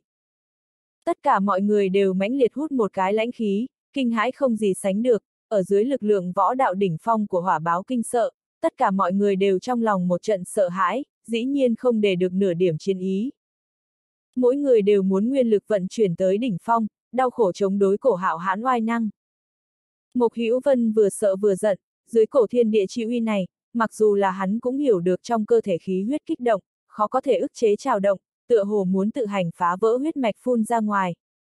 Còn lại những người thực lực yếu kém càng kinh khủng không ngớt, ai nấy lạnh run. Trần Phong sắc mặt trầm xuống, nơi mi tâm tử mang lóe lên, một đạo kiếm khí bắn đi ra, trực tiếp trên không trung hóa thành trường xà du đãng, nối tiếp nhau ở bầu trời của mọi người. Trường xà lè lưỡi, trên người tử mang từng đạo sáng lên. Lương Ngọc Y cũng là bên phải giơ tay lên một cái, một thanh đỏ ngầu lửa kiếm ở trời cao rạch một cái, nhất thời thập nhật cùng thiên, liệt dương thiên lý, ở khắp bầu trời mây đen soi sáng ra một phương trời quang. Mười cái liệt dương như lửa toàn ở màu tím kia bốn phía, hình thành một bức quỷ dị đồ án. Hai người dưới sự liên thủ, dĩ nhiên sản sinh kỳ hiệu, đỉnh phong uy áp chi lực thoáng chút không còn sót lại chút gì, tất cả mọi người đều là lộ vẻ kinh hỉ, đồng thời đối với hai người lộ vẻ cảm kích. Phi Nghê và Mộ Dung Hằng Vũ đều là nhìn trên trời cao thập nhật nhiễu long dị tượng, lộ ra thần sắc ngạc nhiên. Nhưng càng khiến mọi người giật mình là Lý Vân Tiêu ở dưới thiên địa chi uy này, vẫn như cũ mặt không đổi sắc, phảng phất đặt mình trong thế ngoại, không ở dưới phiến bầu trời này. Con người của Phi Nghê co rụt lại, nhìn thân ảnh của Lý Vân Tiêu, hiện lên một tia kinh dị vô cùng nồng đậm. Mọi người tuy rằng không bị uy áp ảnh hưởng, nhưng vẫn là lộ ra khiếp sợ và khủng hoảng, nhóm cường giả này nếu là xuất thủ, nơi đây sợ là trong nháy mắt sẽ hôi phi yên diệt. Hơn nữa một ngày động thủ, cũng liền ý nghĩa lưỡng tộc đàm phán vỡ tan, cuối cùng dựa vũ lực định đoạt, vô cùng có khả năng diễn biến thành mộ tràng lưỡng tộc chi chiến khác. Hừm lôi hỏa cầu hùng, đừng vội kiêu ngạo. Trên bầu trời chợt thoáng hiện một đạo kiếm quang, trong nháy mắt đã đem toàn bộ bầu trời bổ nứt ra, kiếm quang vẫn như cũ không tiêu tan, quang mang bạch sắc một chút chiếu sáng lên, bên trong hóa ra một gã lão giả, chính là Trần Phong Viễn, vẻ mặt lộ ra giận dữ. Trần Phong vui vẻ nói. Tam thúc tổ. Lý Vân Tiêu vừa nhìn Trần Phong Viễn, trong mắt lóe lên tinh mang. Hắn có thể nhận thấy được Trần Phong Viễn tình tự ba động cực lớn, hơn nữa khí tức bất ổn, sợ là hôm qua chi chiến, thua nhiều thắng ít, đồng thời bị thương trong người. Quả nhiên, lôi hổ hỏa báo nhếch miệng cười. Ha ha, lão thất phu, hôm qua hôi đầu thổ kiểm chạy thoát, ta còn tưởng rằng ngươi táng sinh biển rộng đấy, ha ha. Trong giọng nói đắc ý và uy phong không nói ra được. Mọi người đều là cả kinh, không khỏi buồn khổ đứng lên. Thật vất vả xuất hiện một gã cường giả có thể đứng vững cục diện, nguyên lai đã tay người ta hạ phá sản, nhất thời sĩ khí thoáng cái lại ngã xuống. Trần Phong cũng là kinh nghi bất định, tam thúc tổ của hắn thực lực mạnh mẽ, ở toàn bộ đao kiếm tông đều có thể đứng vào trước năm, lại vẫn thất bại cấp đối phương, làm hắn hết sức khó khăn tin tưởng.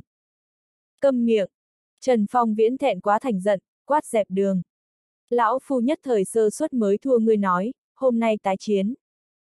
Phía sau hắn kiếm mang màu trắng thoáng cái mở lớn, rất có khí thế phách khai thiên địa. Lôi hổ hỏa báo khóe miệng nhếch lên mỉm cười, ngược lại thì dần dần bình tĩnh lại, nói. Bản tọa không quản xa vạn dặm tới đây, cũng không phải là cho ngươi mà đến, chỉ cần ngươi nguyện ý đem tuyệt thế ất mộc giao ra, ta lập tức trở về Đông Hải. Nhuận tông đám hải tộc nhân đều là sắc mặt đại biến, muốn nói nghi vấn, rồi lại nhìn xuống, chỉ là sắc mặt âm trầm xấu xí. Ha ha, nằm mơ. Trần Phong Viễn phẫn nộ quát. Từ đâu tới, đều cút quay về nơi đó cho ta. Hôm qua đánh một trận hắn bị đánh chết khiếp, trong lòng một ngụm lửa giận khó có thể nuốt xuống, nếu không phải lúc này trọng thương trong người, đã sớm xuất thủ tái chiến. Lôi hổ hỏa báo dáng tươi cười trên mặt, trầm giọng nói. Trần Phong Viễn, người đừng không biết tốt xấu một ngày đấu võ, đối với người nào chưa từng chỗ tốt hôm nay Bắc Hải hai vị vương tử cũng ở chỗ này, một ngày khai chiến nói, thì không phải là đơn giản tỉ thí. Mọi người tất cả giật mình, đều chiêu cái khác hải tộc hy vọng của mọi người đến, cuối cùng khóa được nhuận vũ và nhuận tông, cũng chỉ có hai người này nhìn qua như là vương tộc. Nhuận vũ đắc ý nói. Phân rõ phải trái, chúng ta không sợ. Khai chiến, chúng ta sẽ càng không sợ rồi. Là lý hay binh do các ngươi quyết định. Hắn một bộ dáng rộng lượng khiêm nhượng, ngẩng đầu rộng rãi đứng. Hừ ngươi còn muốn mặt mũi không? Lý Vân Tiêu cười lạnh nói. Ngươi mới vừa nói Hải Mộc Trấn là hồi lâu trước đây Bắc Hải chi đảo hình thành, do đó trấn này đã thuộc về các ngươi. Nhuận Vũ nhướng mày nói. Đương nhiên. Lý Vân Tiêu gật đầu, nói. Tương truyền lúc khai thiên tích địa, thiên viên địa phương, chỉ có một khối thiên vũ đại lục, cũng không tứ hải. Nhưng có viễn cổ đại năng chi sĩ, thần thông khó có thể đánh giá, trực tiếp có bầu trời sụp đổ, đại địa hé, vạn thủy thụ đến, lúc này mới từ từ hình thành tứ hải. Nói như thế, các người toàn bộ hải tộc đều là ngoại lai thế lực, xin chư vị hãy mang theo nước tứ hải từ trên lãnh thổ của chúng ta cút đi. Đây, toàn là lời nói bậy. Nhuận Vũ kinh sợ không ngớt, Lý Vân Tiêu nói cực độ gượng ép, huống hồ khai thiên tích địa việc đúng là thần thoại, căn bản không đủ làm chứng. Mọi người tộc cũng là nghĩ gượng ép liếu, nhưng lúc này nhất trí đối ngoại, đều là cao giọng hô to đứng lên. Nói đúng toàn bộ thiên vũ giới nguyên bản cũng là đại lục, mang theo nước biển của các ngươi cút đi. Trong lúc nhất thời rượt dây và tiếng kêu lạ nổi lên bốn phía, còn có các loại trào phúng, để hải tộc người đều là trợn mắt nhìn. Lý Vân Tiêu cười lạnh nói. Cũng giống như so với trên sân nhà ngươi, đột nhiên đào một cái hồ nước nuôi mấy con cóc, lẽ nào cái hồ nước này sẽ không phải là của nhà ngươi rồi sao? Ha ha, Vân Tiêu huynh nói cực phải. Trần Phong cười ha hả, nói. Hiện tại ta không muốn cái hồ nước này nữa, xin chư vị cóc. Nga, không, chư vị cường giả mang theo nước tứ hải rời khỏi đi. Lý Vân Tiêu lạnh lùng nói. Chỉ cho phép người đem hải mộc trấn đi tìm nguồn gốc, sẽ không cho phép ta đem tứ hải đi tìm nguồn gốc. Hay một đám có giáo hóa, giỏi một đám giảng đạo lý. Nhuận vũ nóng này, nếu là không thể nói rõ hải mộc trấn vốn thuộc về Bắc Hải, như vậy chính mình chuyến này đã đứng không được lập trường, hắn vì thế mới nói rằng. Lúc khai thiên tích địa chuyện đó đều là thần thoại tương truyền, há có khảo chứng. Việc mờ ảo như vậy, nói ra làm sao năng làm cho người tin phục. Mộ dung hằng vũ cũng là cười lạnh nói. Hắc hắc, Hải Mộc Trấn là đảo nhỏ của Bắc Hải ngươi nói đến, lại có cái gì khảo chứng? Làm thế nào có thể để cho bọn ta tín phục? Tên hải tộc nam tử trên đầu có một nắm hồng mau mở miệng nói. Ta có thể chứng minh, Hải Mộc đảo ở mấy ngàn năm trước vẫn luôn là ở dưới quản hạt tộc của ta, mặc dù là chứng cứ, chỉ cần có tâm đi tìm, cũng có thể tìm ra một chút. Tên nữ tử hải tộc hai chân huyền phù cũng là cười lạnh nói. Đảo nhỏ trôi đi không có thể như vậy đơn giản biến thiên, tất nhiên lưu lại đại lượng chứng cứ, huống chi là hải mộc đảo lớn như vậy. Mặc dù là chỗ này vô căn chi thanh thụ, cũng là từ Bắc Hải mà đến. Ở ban đầu trên địa bàn, còn lưu có không ít đồng loại thực vật. Tất cả mọi người đều trong lòng dùng mình, nếu thật bị bọn họ tìm ra chứng cứ tới, vậy coi như hết đường chối cãi rồi. Lý Vân Tiêu cười lạnh nói. Nếu chư vị định liệu trước, đều nghĩ chứng cứ chuẩn xác, mời thu thập lấy ra sau đó mọi người lại cùng nghiên cứu và thảo luận. Do đó việc cấp bách cũng không phải bàn hải mộc trấn thuộc sở hữu của ai, mà là chư vị đi tìm chứng cứ. Yên tâm, chỉ cần có sung túc căn cứ chính xác có người nói rõ, chúng ta tuyệt sẽ không chống chế. Mục Hữu Vân trong mắt sáng ngời, lập tức hiểu Lý Vân Tiêu ý tứ, vuốt râu mà cười, nói. Đúng là như vậy chư vị chỉ cần có thể xuất ra hữu lực căn cứ chính xác cư tới, chúng ta tuyệt không chống chế. Chuyện hôm nay quyết định như thế đi, chư vị hải tộc bằng hữu nếu là muốn lưu thêm mấy người, tại hạ nhất định thịnh tình khoản đãi. Lần này mọi người cũng đều hiểu được, Lý Vân Tiêu đây là kế hoãn binh, trước tiên đem sự tình kéo dài. Chỉ cần ngươi bây giờ không xuất ra chứng cứ, nói cái lông a. Chờ chứng cứ làm cho đều lúc, tuyệt thế ất mộc từ lâu ngang trời xuất thế, với hải tộc các ngươi không có bất cứ quan hệ gì rồi. Coi như là người hải tộc có thể đoạt ở trước ất mộc xuất thế siêu tập đủ chứng cứ, vậy cũng phải để chúng ta tín phục mới được, đến lúc đó lại cùng với các người biện luận một mười ngày nửa tháng, kéo dài tới tất cả lợi ích phân phối hoàn tất, đến lúc đó hải mộc trấn cũng không có nhiều giá trị, chỗ này hải tộc phỏng chừng cũng sẽ không muốn. Vì vậy tất cả mọi người đều là kêu to lên. Đúng vậy, thiên hạ vạn sự vạn vật trốn không thoát một chữ lý, chỉ có các ngươi xuất ra sung túc chứng cứ, chúng ta nhất định sẽ không chống chế.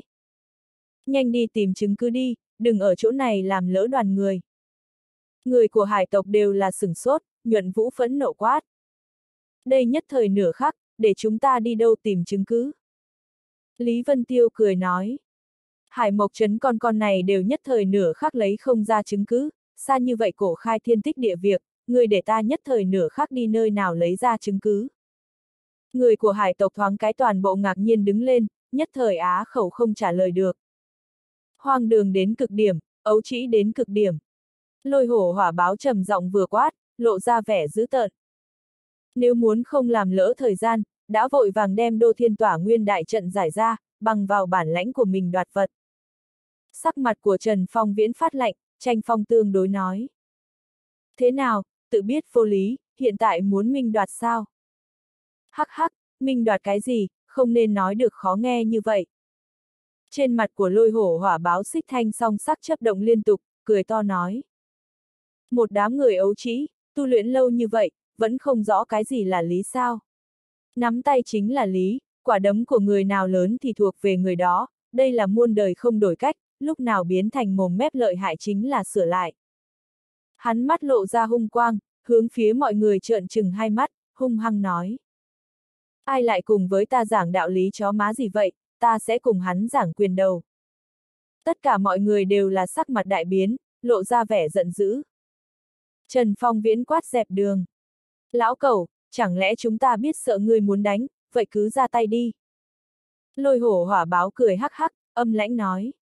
Nếu phong viễn tiên sinh có trí khí như vậy, không bằng liền do ta ngươi đại biểu lưỡng tộc đánh một trận, người thắng lưu lại, người thua cút đi, ý của ngươi thế nào?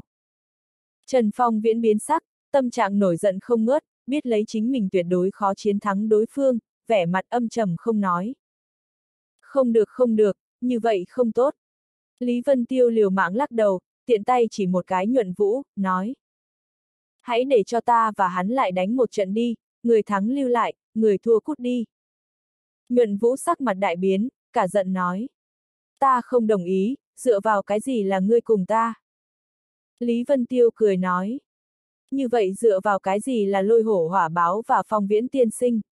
Không bằng để mọi người tới phát biểu ý tứ, ủng hộ ta và ngươi đánh một trận nhấc tay. ủng hộ, tuyệt đối ủng hộ. Trong đám người thoáng cái đã bạo phát, tuy rằng bọn họ cũng không biết thực lực của Lý Vân Tiêu, nhưng nhìn xem nhuận vũ bộ dáng không vui, liền biết chắc hấp dẫn, tất cả đều liều mạng kêu to lên, ai nấy thật cao nhấc tay. Thanh âm ủng hộ một đợt cao hơn một đợt, để nhuận vũ sắc mặt cực kỳ khó coi, hắn xin giúp đỡ dường như nhìn phía lôi hổ hỏa báo. Trong mắt của lôi hổ hỏa báo chấp động hàn quang, nhìn chằm chằm Lý Vân Tiêu, lạnh lùng nói. Ngươi đã không đồng ý võ quyết, vậy phải làm thế nào cho phải? Nói chung đừng cùng với ta múa mép khua môi nữa, bằng không ta là người thứ nhất giết ngươi. Lý Vân Tiêu trầm tư một chút, nói. Nếu muốn võ quyết định thắng bại, phải mở rộng tham dự. Để công bằng, các người tổng cộng 16 người, vậy tiến hành 16 cuộc tỉ thí đi, nếu như 8 so với 8 bằng nhau, thì là chúng ta thua. Mọi người một chút đưa mắt hướng phía phía sau hải tộc 10 tên hộ vệ nhìn lại, tuy rằng đều cũng có tu vi vũ đế cấp bậc, nhưng cũng chỉ là đê giai vũ đế mà thôi, chỉ cần đánh thắng 10 trận như vậy đủ rồi.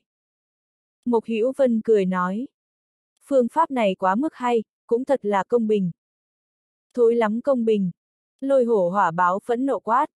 Nếu so với cũng là ba trận, hoặc là năm trận. Hắn mặc dù mặt ngoài thô bạo không kềm chế được, nóng nảy khiêu như sấm, nhưng ánh mắt ở trong nhân tộc đảo qua, nội tâm trên cơ bản có đếm. Tất cả mọi người đều một chút khẩn trương, đàm phán rốt cuộc từ bắt đầu khắp bầu trời loạn kéo đi lên quỹ đạo, bắt đầu đưa ra song phương đều có thể đủ tiếp nhận điều kiện. Mục Hữu Vân tuy là chủ nhân nơi đây, nhưng người nắm quyền chân chính vẫn là đao kiếm tông, ánh mắt của hắn hướng tới Trần Phong Viễn nhìn lại. Lôi hổ hỏa báo vẻ mặt hung hữu thành túc hình dạng, bản thân của hắn là tất thắng không thể nghi ngờ, về phần mặt khác mấy trận, ở trong những người trước mắt này, có thể chiến thắng mấy người bên cạnh hắn cũng hầu như không có. Còn nữa, lấy hắn thực lực cửu tinh đỉnh phong, trong thiên hạ nào có cái quy củ gì có thể chân chính ràng buộc được hắn. Coi như là vạn nhất bất hạnh, thực sự thất bại, chỉ cần hắn lật mặt một cái, mạnh mẽ đoạt tuyệt thế ất mộc, lại ai có thể ngăn cản.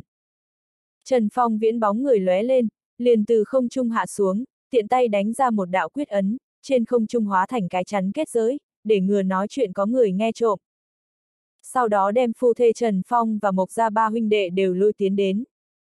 Trần Phong viễn nói, như vậy võ quyết, các ngươi cảm thấy thế nào? Mộc Hữu Vân ôm quyền nói. Phong viễn đại nhân, ta xem được không? Lôi hổ hỏa báo này thực lực thông thiên, nếu để cho hắn khởi sướng cuồng tới, sợ là cả hải mộc trấn đều phải rơi vào tay giặc, thậm chí lan đến lôi lâm, đem toàn bộ vô căn chi thanh thụ bị phá hủy. Trần Phong viễn giọng căm hận nói. Đây cũng chính là ta lo lắng võ quyết định là ba trận hay là năm trận. Mục Hữu Vân trầm tư nói. Chỉ cần phong viễn đại nhân đánh bại lôi hổ hỏa báo, như vậy thì bằng các thắng một hồi. Chúng ta phương này thực lực mạnh nhất có thể coi là Trần Phong công tử, mộ dung hằng vũ và long gia nhị vị thiếu chủ nữa, không biết Trần Phong công tử có nắm chắc hay không. Trần Phong khẽ cười một tiếng, nói. Ta cũng không nắm chắc, nhưng có vị kia ở đây, trận thứ ba tất thắng không thể nghi ngờ. Mục Hữu Vân và Trần Phong viễn tất cả giật mình, nói. Vị kia. Trần Phong lộ ra vẻ cổ quái tới, nói. Hữu Vân đại nhân thế nào đem vị đệ nhất nhân trong đám hậu bối thiên hạ quên mất? Lẽ nào ngươi không biết thân phận của hắn? Trần Phong viễn biến sắc, lộ ra vẻ kinh ngạc. Mục Hữu Vân cũng là trên mặt lấy làm kinh ngạc, cả kinh nói. Đệ nhất nhân trong nhân tài mới xuất hiện, Lý Vân Tiêu. Hắn là Lý Vân Tiêu. Mục Hữu Phong cũng là sắc mặt đại biến, cả kinh nói. Hắn, hắn dĩ nhiên là Lý Vân Tiêu. Trần Phong kinh ngạc nói. Thế nào, mấy vị đại nhân dĩ nhiên không biết. Mục Hữu Vân cười khổ nói. Hắn tự báo tính danh là Lý Phi Dương, ai có thể nghĩ tới đúng là người này. Khó trách hắn làm việc lớn lối ương ngạnh như thế, không thèm để ý chút nào cùng với Long gia hai vị thiếu chủ trở mặt, nhưng thật ra cùng trong truyền thuyết như nhau. Trần Phong cười nói. Long gia hai người cùng hắn trở mặt, hơn phân nửa là phải xui xẻo. Trần Phong viễn lộ ra vẻ hoài nghi, nói. Người đối với hắn có nắm chắc như vậy, ta thấy hắn bất quá thất tình vũ đế mà thôi, mặc dù có chút thần thông, có thể nhảy qua nhất giai chiến bát tinh đã thập phần nghịch thiên. Còn đối với mới có mấy người thực lực ta cũng nhìn không thấu, khó bảo toàn không có cửu tinh vũ đế. Trần Phong nghiêm mặt nói. Tam thúc tổ, nếu là Lý Vân Tiêu còn không thắng được, bên ta sẽ không người thứ hai có khả thắng. Trần Phong Viễn có chút không thể quyết đoán, nói. Mục Hữu Vân, người xem coi thế nào. Mục Hữu Vân cũng là trầm tư bất định, dù sao việc này quan hệ quá lớn, hắn đột nhiên nhướng mày, nhìn một bên Mục Hữu Phong thần thái mở mịt, hai mặt đỏ bừng, chưa phát giác ra nói. Nhị đệ, ngươi làm sao vậy? Mục Hữu Phong thở dài, đem việc trong định thiên thành tường tận nói một lần, mấy người nghe được trợn mắt há hốc mồm. Hoang đường hồ đồ. Mục Hữu Vân khiển trách. Thân là thần mộc thế gia nhị đương gia, làm việc dĩ nhiên thiếu ổn trọng như thế, ánh mắt dĩ nhiên kém như vậy, thật để cho ta thất vọng cực độ. Khuôn mặt của Mộc Hữu Phong nghẹn đến đỏ bừng, muốn nói điều gì, nhưng vẫn là nhịn xuống, thở thật dài một cái. Mộc Hữu Lãng thấp giọng nói. Việc này cũng không có thể tận trách nhị ca, đều là Giang Tu chân gây lên, nhị ca đều chỉ là vì lợi ích của gia tộc, tận lực nịnh bợ Giang Tu chân mà thôi. Mộc Hữu Vân phẫn nộ quát. Ngươi còn dám thay hắn nói. Không nói đến sát tinh tàn sát hết định thiên thành thành chủ một nhà là người phương nào, trước mắt tên Lý Vân Tiêu này chính là một sát tinh không hơn không kém, may mà nhân ra không cùng với chúng ta tính toán, bằng không thần mộc thế gia đã tai vạ đến nơi rồi. Mộc Hữu Phong cũng là sắc mặt cực kỳ khó coi, nhớ tới đế giả nghịch thiên thần thông và thủ đoạn tàn nhẫn, không khỏi một trận sợ lên.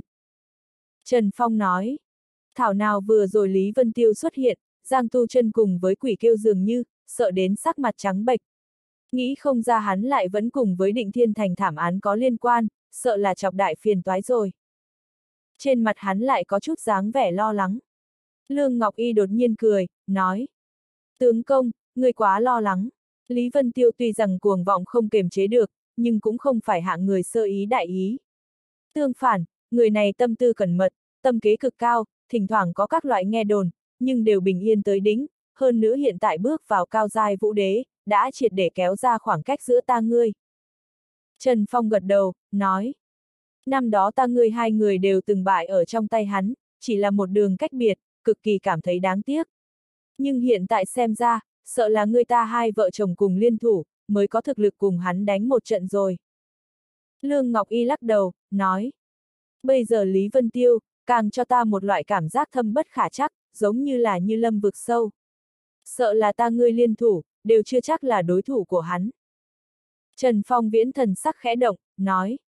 Người này thật có lợi hại như vậy.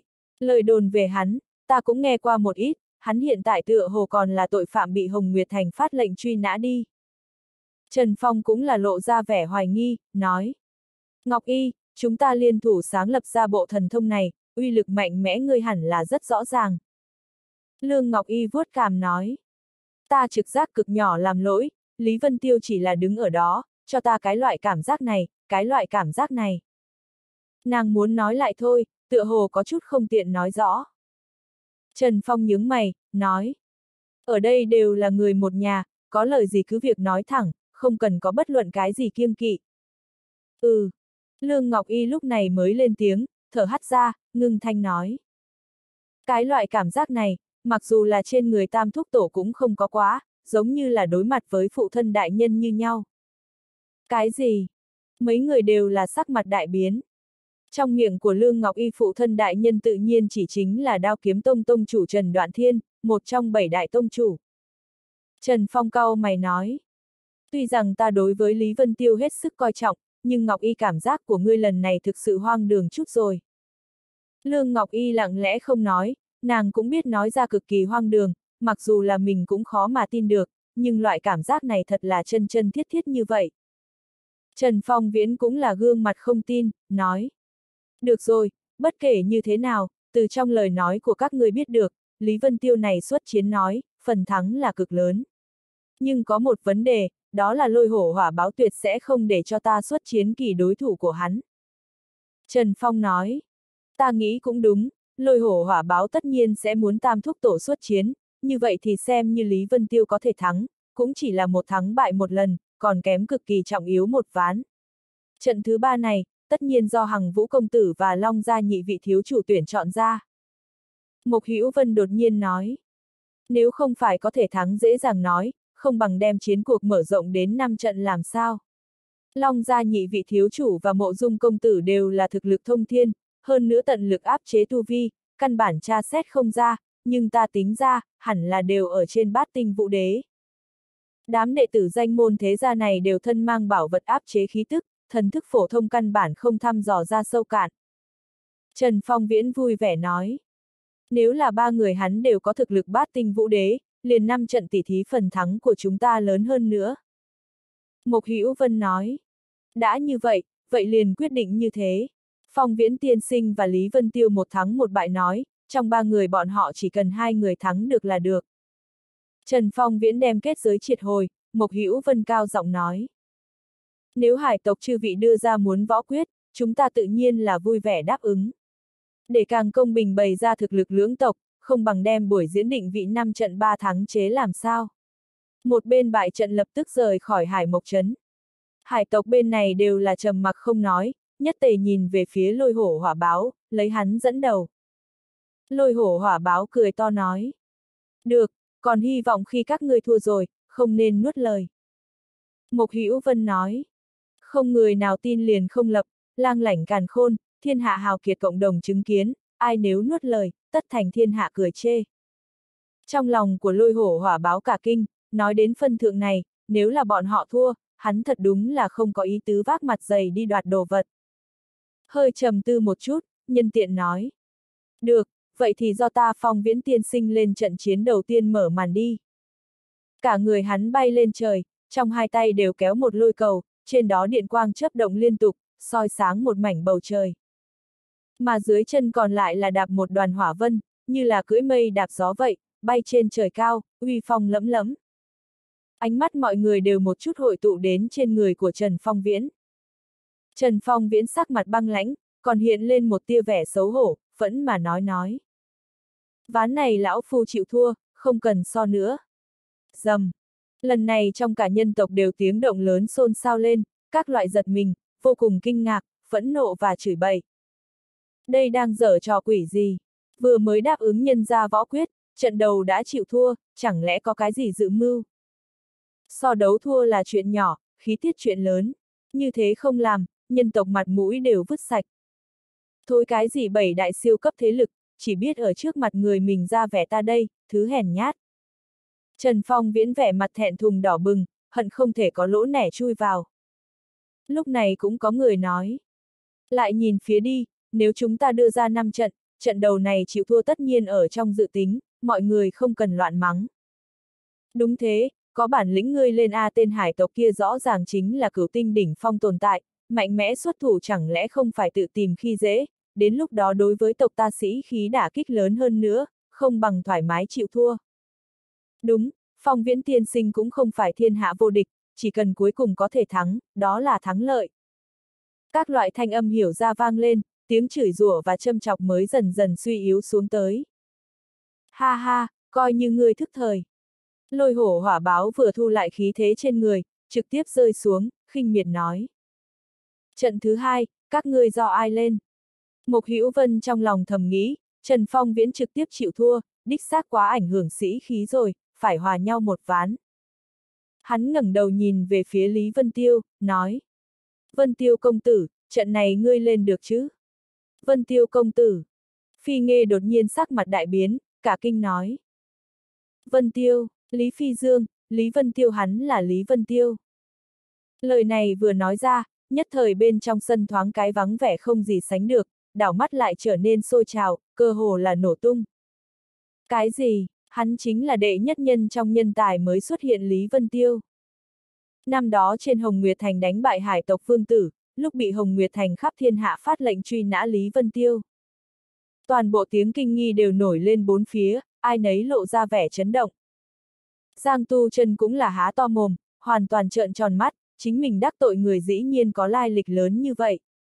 Đệ nhất nhân trong nhân tài mới xuất hiện, chỉ cần bất quá tảo yêu chiết rơi xuống nói, tương lai tất là tuyệt thế vũ đế danh chấn thiên hạ hoặc giả một phương bá chủ, hắn ngay cả tâm khóc chết đều có rồi. Đào hồng càng cả kinh hoàng sợ không ngớt, nhớ tới định thiên thành bên trong tử quán, chàng diện chính mình thả ra nguyên lực đem đối phương dọa đi, vừa thẹn lại sợ. Mộ dung hằng vũ và kỳ quỷ cũng là ngốc trệ một chút, phân biệt lộ ra biểu tình bất đồng tới. Cái gì, hắn chính là Lý Vân Tiêu giết nhuận tường. Trên mặt của nhuận vũ hiện lên vẻ khiếp sợ, trong mắt một mảnh phức tạp, nhưng càng nhiều hơn chính là phẫn hận, sát ý và không cam lòng. Nhuận Tông cũng là hai tròng mắt băng lạnh, sắc mặt âm trầm không gì sánh được. Bên trong sân không ít người quen, Lý Vân Tiêu sớm biết thân phận khó có thể che giấu, xoay chuyển ánh mắt, nói. Nếu Hữu Vân Đại Nhân điểm ta, tự nhiên nghĩa bất dung từ. Ánh mắt của hắn hướng về hải tộc phương hướng một ngưng, nói. Ai tới? Hải tộc phía trước mấy người, ngoại trừ nhuận tông hai gã vương tử ra, ba người khác đều là một bộ biểu tình muốn đi ra thử. Chậm đã. Đột nhiên một đạo sắc bén có tiếng cắt đứt, kỳ quỷ mặt âm trầm đứng dậy, lạnh lùng nói. Trận thứ hai liên quan trọng đại, ta không cho phép người không giải thích được lên sân khấu. Sắc mặt của Mộc Hữu Vân trầm xuống, không khách khí quát dẹp đường.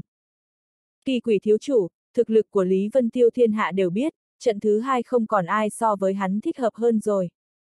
Kỳ quỷ cười lạnh nói. Thiên hạ đều biết, bất quá chỉ là giết một gã hải tộc vương tử mà thôi, nếu là ta không nhìn lầm, thực lực của hắn tối đa cũng liền thất tinh vũ đế mà thôi. Mộc Hữu Vân nói. Tu vi cố nhiên trọng yếu, nhưng nhảy qua giai thủ thắng ví dụ thực tế cũng quá nhiều. Kỳ quỷ châm chọc nói. Ha ha, nhảy qua giai thủ thắng. Vậy cũng là một ít lâu la tầng dưới chót bằng vào một ít công pháp thần thông, vẫn là có thể giải bước mấy sao thậm chí một đại cảnh giới. Nhưng đến cao giai vũ đế rồi, ai có thấy nhảy qua giai thắng lợi. Hữu Vân đại nhân, ta cũng không phải là cố ý giữ chân hắn, mà là giá trận thứ hai tỷ thí quan hệ quá mức trọng đại, một ngày thất bại, chúng ta tình cảnh sẽ dị thường bị động rồi. Hừm. Trần Phong nặng nề hừ một tiếng, lạnh lùng nói. Ta nghĩ Lý Vân Tiêu xuất chiến, một chút vấn đề cũng không có. Kỳ quỷ quát dẹp đường. Nếu là thua, trách nhiệm này ngươi tới gánh vác sao? Trần Phong sắc mặt đại biến, đang muốn đứng dậy cải cọ, lại bị Lương Ngọc Y kéo lại, khe khẽ lắc đầu, ý bảo hắn lãnh tính. Lúc này mới hung hăng trợn mắt nhìn kỳ quỷ một cái, ngồi trở lại ghế gập thượng, lạnh lùng nói. Kỳ quỷ huynh nghĩ ai thích hợp lên trận thứ hai này đây? Kỳ quỷ ngạo nghễ ưỡn ngực nói. Ta và Phi Nghê, đều là thí sinh tốt nhất. Trong lúc nhất thời toàn trường đều là trầm mặc, dù sao kỳ quỷ nói đúng, trận thứ hai quá trọng yếu. Lý Vân Tiêu tuy rằng nổi danh cực lớn, nhưng người nào cũng một chân chính gặp qua thực lực của hắn, cũng chỉ là nghe nói đánh bại một gã Bắc Hải vương tử, bị tiền Hồng Nguyệt Thành thành chủ khen không dứt miệng, tình huống thật sự rốt cuộc thế nào, cũng không người biết. Mà kỳ quỷ và phi nghe thân phận, thiên lĩnh long gia thiếu chủ, chính là chứng minh thực lực tốt nhất. Trần Phong Viễn chậm rãi mở miệng nói. Nếu kỳ quỷ thiếu chủ có tự tin như vậy, tất nhiên là cực tốt. Hơn nữa trong năm trận, cũng là đem nhị vị tính cả đi vào, hiện tại trước thời gian một hồi cũng cũng không lo ngại. Trận chiến này liền do kỳ quỷ thiếu chủ lên sân khấu đi. Kỳ quỷ cười nhạt một tiếng, nói. Tất không có nhục sứ mệnh. Hắn khinh miệt nhìn Lý Vân Tiêu một cái, liền ngẩng đầu đi ra phía trước. Phi nghe ở một bên một tiếng vị cổ họng, chỉ là nhìn chằm chằm Lý Vân Tiêu, trong mắt tinh mang chấp động không ngớt. Lý Vân Tiêu cũng đã nhận ra, không khỏi vùng xung quanh lông mày dương lên, nói. Phi nghe thiếu chủ ở trước mặt mọi người nhìn ta như vậy, như vậy thực sự khỏe. Phi nghe đỏ mặt lên, giận dữ chừng mắt nhìn hắn một cái, đôi môi khẽ mở, nói. Ngươi chính là Lý Vân Tiêu, thực sự là quá tốt bất quá, bớt đi ta khắp thiên hạ tìm ngươi. Lý Vân Tiêu kỳ quái nói. Tìm ta, ta với ngươi trước nhận thức sao? Phi nghe khóe miệng dương lên, khẽ cười nói.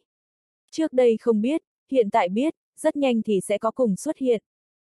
Ánh mắt của Lý Vân Tiêu khẽ ngưng, tựa hồ đoán được tâm tư của đối phương, không khỏi cười lạnh một tiếng, không thèm nhắc tới. Hai người nói chuyện với nhau để tất cả mọi người nghĩ mạc danh kỳ diệu, nhưng rất nhanh trọng điểm còn là rời đến trên người kỳ quỷ, dù sao trận chiến này quan hệ mặt mũi nhân tộc, càng trọng yếu hơn là quan hệ ở đây tất cả mọi người lợi ích.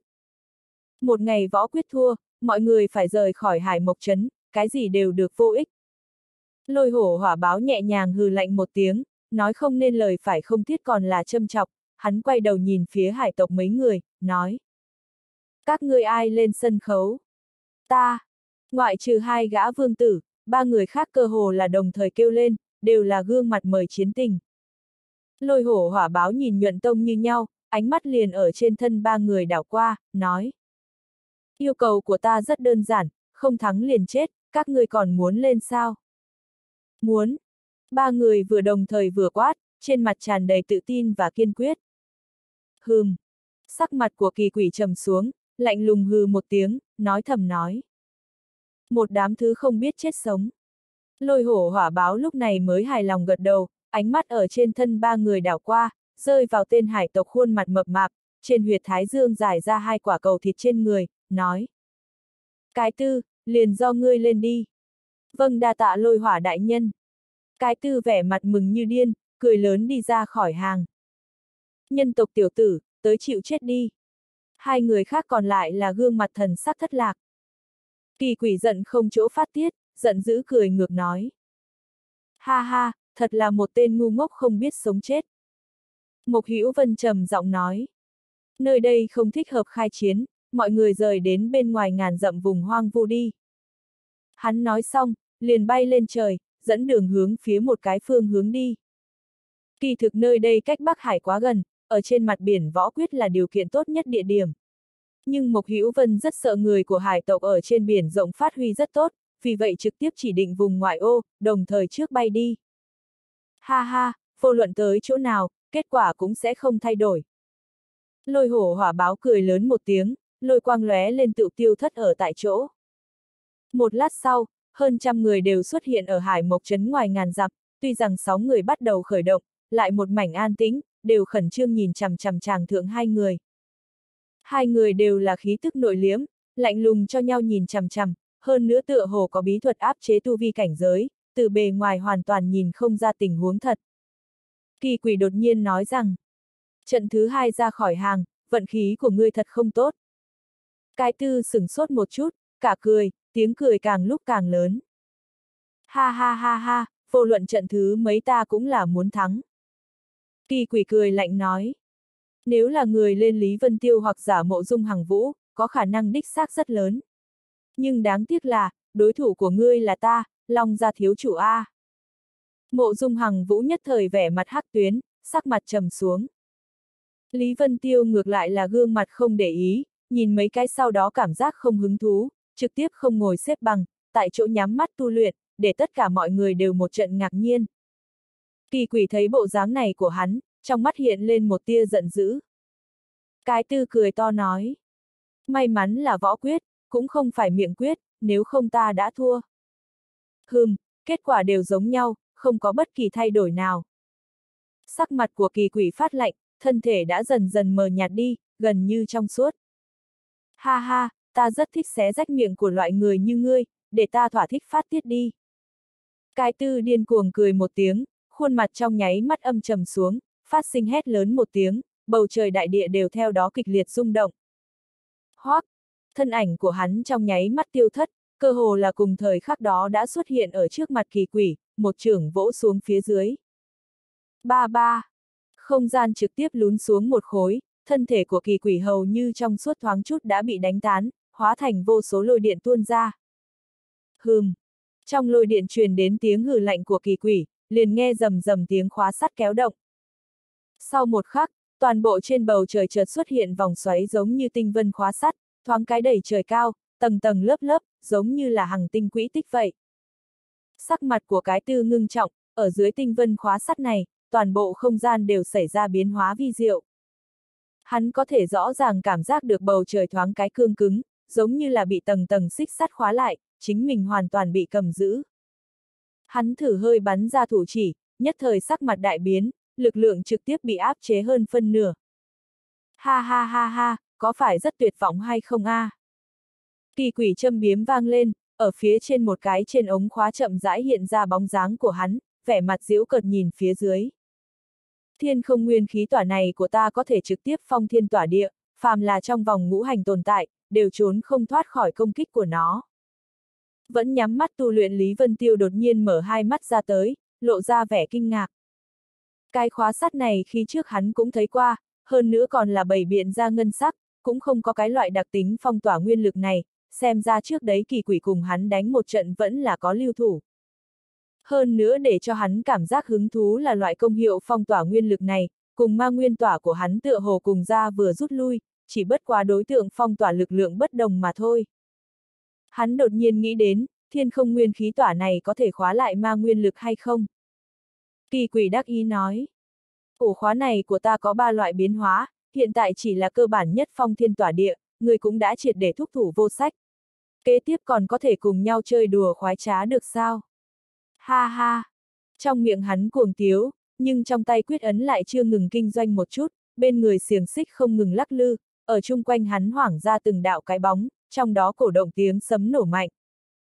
Chỉ thấy bên người kỳ quỷ ngân mang lóe lên, tinh vân xiềng xích nhộn nhạo một chút, đã hóa ra vạn đạo ngân quang, toàn bộ thế giới thoáng cái đã biến thành ngân sắc. Không chỉ có như vậy, toàn bộ tinh đoàn hình như đột nhiên phân giải ra, hóa thành vô số mũi tên nhọn, như là hạt mưa bay vụt xuống tới. Cái tư biến sắc, trong miệng giống giận không ngớt, thân thể ở dưới nguyên lực bắt đầu khởi động hơi chấn động, khuôn mặt không ngừng mà vặn vẹo, hướng ra phía ngoài mở ra, xấu xí đến cực điểm. Trên đỉnh đầu một rúm hồng mau càng thoáng chút giống như hoa nở rộ, hình như cây mẫu đơn, cả người hoàn toàn biến thân thành hình thái nửa yêu. ầm, um, ngũ chỉ của hắn hướng phía không trung nắm chặt, trong tay một đạo thiểm điện màu xanh nhạt nổi lên, lôi kéo xuống như là thủy màng mở ra, hóa thành một mặt lá chắn điện. Bang bang bang bang, vạn mũi tên chiếu xuống, không ngừng mà đánh vào trên lá chắn điện, kích khởi từng đạo điện mang nổ bắn ra, toàn bộ bầu trời đều là một mảnh lôi điện hải dương. Cái tư cả người cuồn cuộn nổi lên thân thể khổng lồ, trốn ở sau lá chắn điện, trên mặt lộ vẻ giận dữ. Hừm, vô dụng. Ánh mắt của kỳ quỷ ngưng tụ, hừ lạnh một tiếng. Khắp bầu trời ngân sắc xiềng xích không ngừng trên dưới hoảng động, ngân quang chậm rãi hóa thành kim sắc, từng vòng cuốn rơi xuống, bốn phía đều là cái bóng của kim sắc xiềng xích, hoa cả mắt. Bong bong. Đột nhiên một đạo thanh âm thanh thúy vang lên, cái tư bỗng nhiên trợn to hai mắt, hoảng sợ phát hiện mình càng trong lúc vô tình đã bị trói lại. A! À, phía dưới truyền đến tiếng kinh hô, đa phần là nhân tộc, trong giọng nói mang theo mừng rỡ kích động. Lý Vân Tiêu cũng là con người co rút lại, ngay cả hắn cũng không có phát giác xiềng xích là như thế nào trói chặt đối phương. Không gian thần thông sao, thảo nào có thể trói buộc vạn vật. Tranh! Cái tư mạnh mẽ quấy người một cái, chấn đến kim tỏa loảng xoảng vang lên, trái lại càng thêm trói chặt vài phần, trực tiếp bóp tiến trong thịt của hắn. Một vòng kim sắc xiềng xích cuốn quanh ở cánh tay hắn, không ngừng đi phía trước bao bọc đến, rốt cục đem tạo ra điện lá chắn thủ trưởng trói lại, toàn bộ điện mang thoáng chút tiêu thất. Khóe miệng của kỳ quỷ nhếch lên nụ cười chiến thắng tới. Ha ha, thiên không nguyên khí tỏa ta là không có khả năng dẫy thoát ra, người trái lại chịu chết đi. Bốn phía một chút hiện ra vạn đạo ngân sắc tiễn mang, xuyên qua kích bắn xuống. Sắc mặt của cái tư ngưng trọng, nhưng không có một vẻ bối rối, chỉ là tĩnh táo nói. Đích xác có chút mánh khóe, nếu như đổi thành những người khác nói, vẫn là thực sự thất bại cũng nói không chừng. Cái gì? Con người của kỳ quỷ ngưng lại, tựa hồ đã nhận ra công kích sẽ không thuận lợi. Trên đỉnh đầu cái tư rúm tóc hồng mọc lên như hoa mẫu đơn thoáng cái giải tản ra tới, ầm ầm một tiếng, một cổ lực lượng kinh khủng phủ xuống. Tóc hồng này tựa hồ toàn bộ sống lại, từng sợi như là độc xà vậy trên bầu trời lan tràn, đều hướng phía ngân tiễn cuốn đến. Ngân tiễn nhiều hơn nữa, cũng không có nhiều bằng tóc của hắn, số lớn tóc dài màu đỏ sông hướng thiên không, tựa như thiên nữ tán hoa tản ra. Khắp bầu trời cũng không nhìn thấy kim sắc xiềng xích và ngân sắc tiễn mang nữa, có chỉ là một mảnh tóc hồng, như là tầng tầng hà vân. Hai người toàn bộ đều mất tung ảnh, toàn bộ bị nhốt ở mây tía trong. Mọi người thấy tóc bay đầy trời, chỉ cảm thấy trong dạ dày một trận cuồn cuộn muốn ói, nhưng càng nhiều là khiếp sợ và kinh hoàng. Con người của phi nghe chợt co rút lại, lộ ra vẻ lo âu. Suy! Trên bầu trời đột nhiên hiện lên một đạo thanh sắc lôi quang, toàn bộ màu đỏ phát hải một chút bị bổ ra cái khe. Thân ảnh của kỳ quỷ vọt ra, trong tay nắm một thanh sấm sét chi nhận, vẻ mặt giận giữ hai tay của chém xuống. Lôi nguyên nhận. ầm ầm. Bầu trời truyền đến một đạo tiếng sấm, một tia điện quang hạ xuống, trực tiếp bắn vào trong đạo lôi nhận kia, cùng nhau chém vào biển tóc. Suy lạp. Vô số tóc dài màu đỏ toái thành bụi phấn, thật lớn thành đoàn biển tóc màu đỏ thoáng chút vỡ ra được, bên trong bắn ra vạn đạo lôi quang, dường như xuân tảm phá dũng. Ở trong biển tóc toái tấn, dần hiện ra từng đạo kim quang, trên bầu trời xiềng xích tái hiện trạng thái ốc vân, chỉ bất quá mặt trên vạn đạo điện mang chớp động ra, đánh văng ra toàn bộ tóc. Khuôn mặt của cái tư đại tăng, trên đầu tóc hồng vừa thu lại, lần thứ hai hóa thành dạng mẫu đơn đắp ở trên đầu. Uống! Hắn mở lớn hai tròng mắt trong lúc bất chợt trở nên lam sắc một mảnh, hơn nữa càng ngày càng sáng, đùng chớp động sấm sét. Hét lớn một tiếng, lưỡng đạo mâu quang trực tiếp kích bắn đi. Vèo! Lam sắc lôi quang đánh bại không gian, dị thường sắc bén. Cái tư sau khi bắn ra hai đạo lôi quang, cả người thoáng cái đã mất đi tinh thần, ngay cả da đều trở nên ảm đạm không ánh sáng, đỉnh đầu cây mẫu đơn hóa dạng cũng thoáng cái bớt tiên diễm. Sắc mặt của kỳ quỷ trầm xuống, tay trái bấm tay niệm thần chú, khắp bầu trời kim sắc xiềng xích thoáng cái xoắn thành tinh vân đồ án, ở tiền phương của hắn tầng tầng phô bày ra. Trên vòng xoáy xiềng xích, là vô số thanh sắc sấm sét chớp động, như là một cái lôi điện chi hải. Bang bang! Lưỡng đạo lam sắc điện quang nhảy vào trong lôi điện chi hải, không ngừng vang dội xiềng xích, ở trên trời cao ảo ảo hoảng động. Tinh vân lôi hải dĩ nhiên không cản được lưỡng đạo lam sắc lôi quang, trên ống khóa không ngừng bị chấn ra kim mang tới, bắn về phía bát phương. Sắc mặt của kỳ quỷ trầm xuống, lộ ra vẻ mặt, tay phải hướng lên trời cao một chảo, lôi điện chi nhận màu xanh nắm trong tay, đi phía trước phương chém tới. Thình thịch, lôi nhận chém ở trên lam sắc chi quang kia, trực tiếp giãn nứt, đầy quân văn, ở dưới ánh mắt hoảng sợ của hắn, phanh một tiếng nổ tung nứt ra tới, hóa thành vô số điểm thanh quang. Cái gì? Kỳ quỷ nội tâm nhấc lên cơn sóng gió động trời, hoảng sợ quát to một tiếng. Phanh! Lam sắc lôi quang đục lỗ lôi nhận, sau đó đánh vào trên người hắn, mạnh mẽ toát ra một đóa lam sắc lôi hoa diễm lệ, coi như khói lửa ở trên không trung nở rộ. Phía dưới nhân tộc đều là há to mồm, trong mắt lộ ra vẻ lấy làm kinh ngạc. Thua sao? Trong lòng mọi người đều là hiện ra dấu chấm hỏi tới, sắc mặt trở nên cực kỳ khó coi, nếu là trận này thua, hầu như rất khó lật bàn. Giống. Đột nhiên bầu trời đại địa run rẩy kịch liệt, một đạo thanh âm cuồng bạo vô cùng ở trên trời đánh văng ra, toàn bộ không gian đều bị áp xúc vặn vẹo.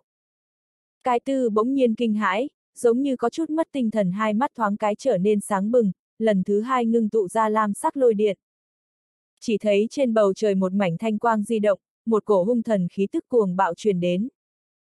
Ở bên trong thanh ảnh kia, kỳ quỷ khuôn mặt dị thường dữ tợn, ánh mắt hung bạo hoàn toàn đã không giống như là nhân loại. Mà ở phía sau hắn, một đạo hư ảnh to lớn chậm rãi ngưng tụ, chiếm nửa bên bầu trời. Trong hư ảnh thấy không rõ dáng dấp, chỉ biết là thị một con viễn cổ mãnh thú bức ảnh, sẽ liên lạc lại đáo kỳ quỷ thân phận, tất cả mọi người minh bạch, đó là thượng cổ chân linh chiếu hình. Lực lượng còn sót lại ở trong huyết mạch lưu chuyển ngàn vạn năm, cuối cùng có một ngày bộc phát ra khí thức ẩn chứa trong đó. Trừng! Chân linh vẫn lôi hư ảnh thoáng cái dương đôi mắt, lâm không quan sát xuống tới. Tất cả mọi người đều toàn thân run lên, đôi mắt kia thật giống như nhìn chằm chằm mỗi người, đến từ đáy lòng sợ hãi lan tràn bắt đầu, không ít người hai chân như nhũn ra, liều mạng vận chuyển nguyên lực chống lại. Phi nghê cũng là lộ ra vẻ mặt, chân linh biến thân là chiêu cuối cùng của mỗi một võ giả có được chân linh huyết mạch, thế nhưng căn cứ tu vi cùng với huyết mạch tự thân mạnh yếu khác nhau, trình độ biến thân cũng không giống nhau. Nàng đối với lực lượng của kỳ quỷ là có tường tận hiểu rõ, thời khắc này trình độ biến thân đã vượt ra khỏi phạm vi kỳ quỷ có thể khống chế, nhìn cặp mắt hung bạo kia của hắn, tựa hồ đã mất đi ý thức, tùy ý hung bạo chi khí trong huyết mạch chân linh khống chế. Lý Vân Tiêu cũng là con người hơi co lại, lẳng lặng nhìn tất cả biến hóa.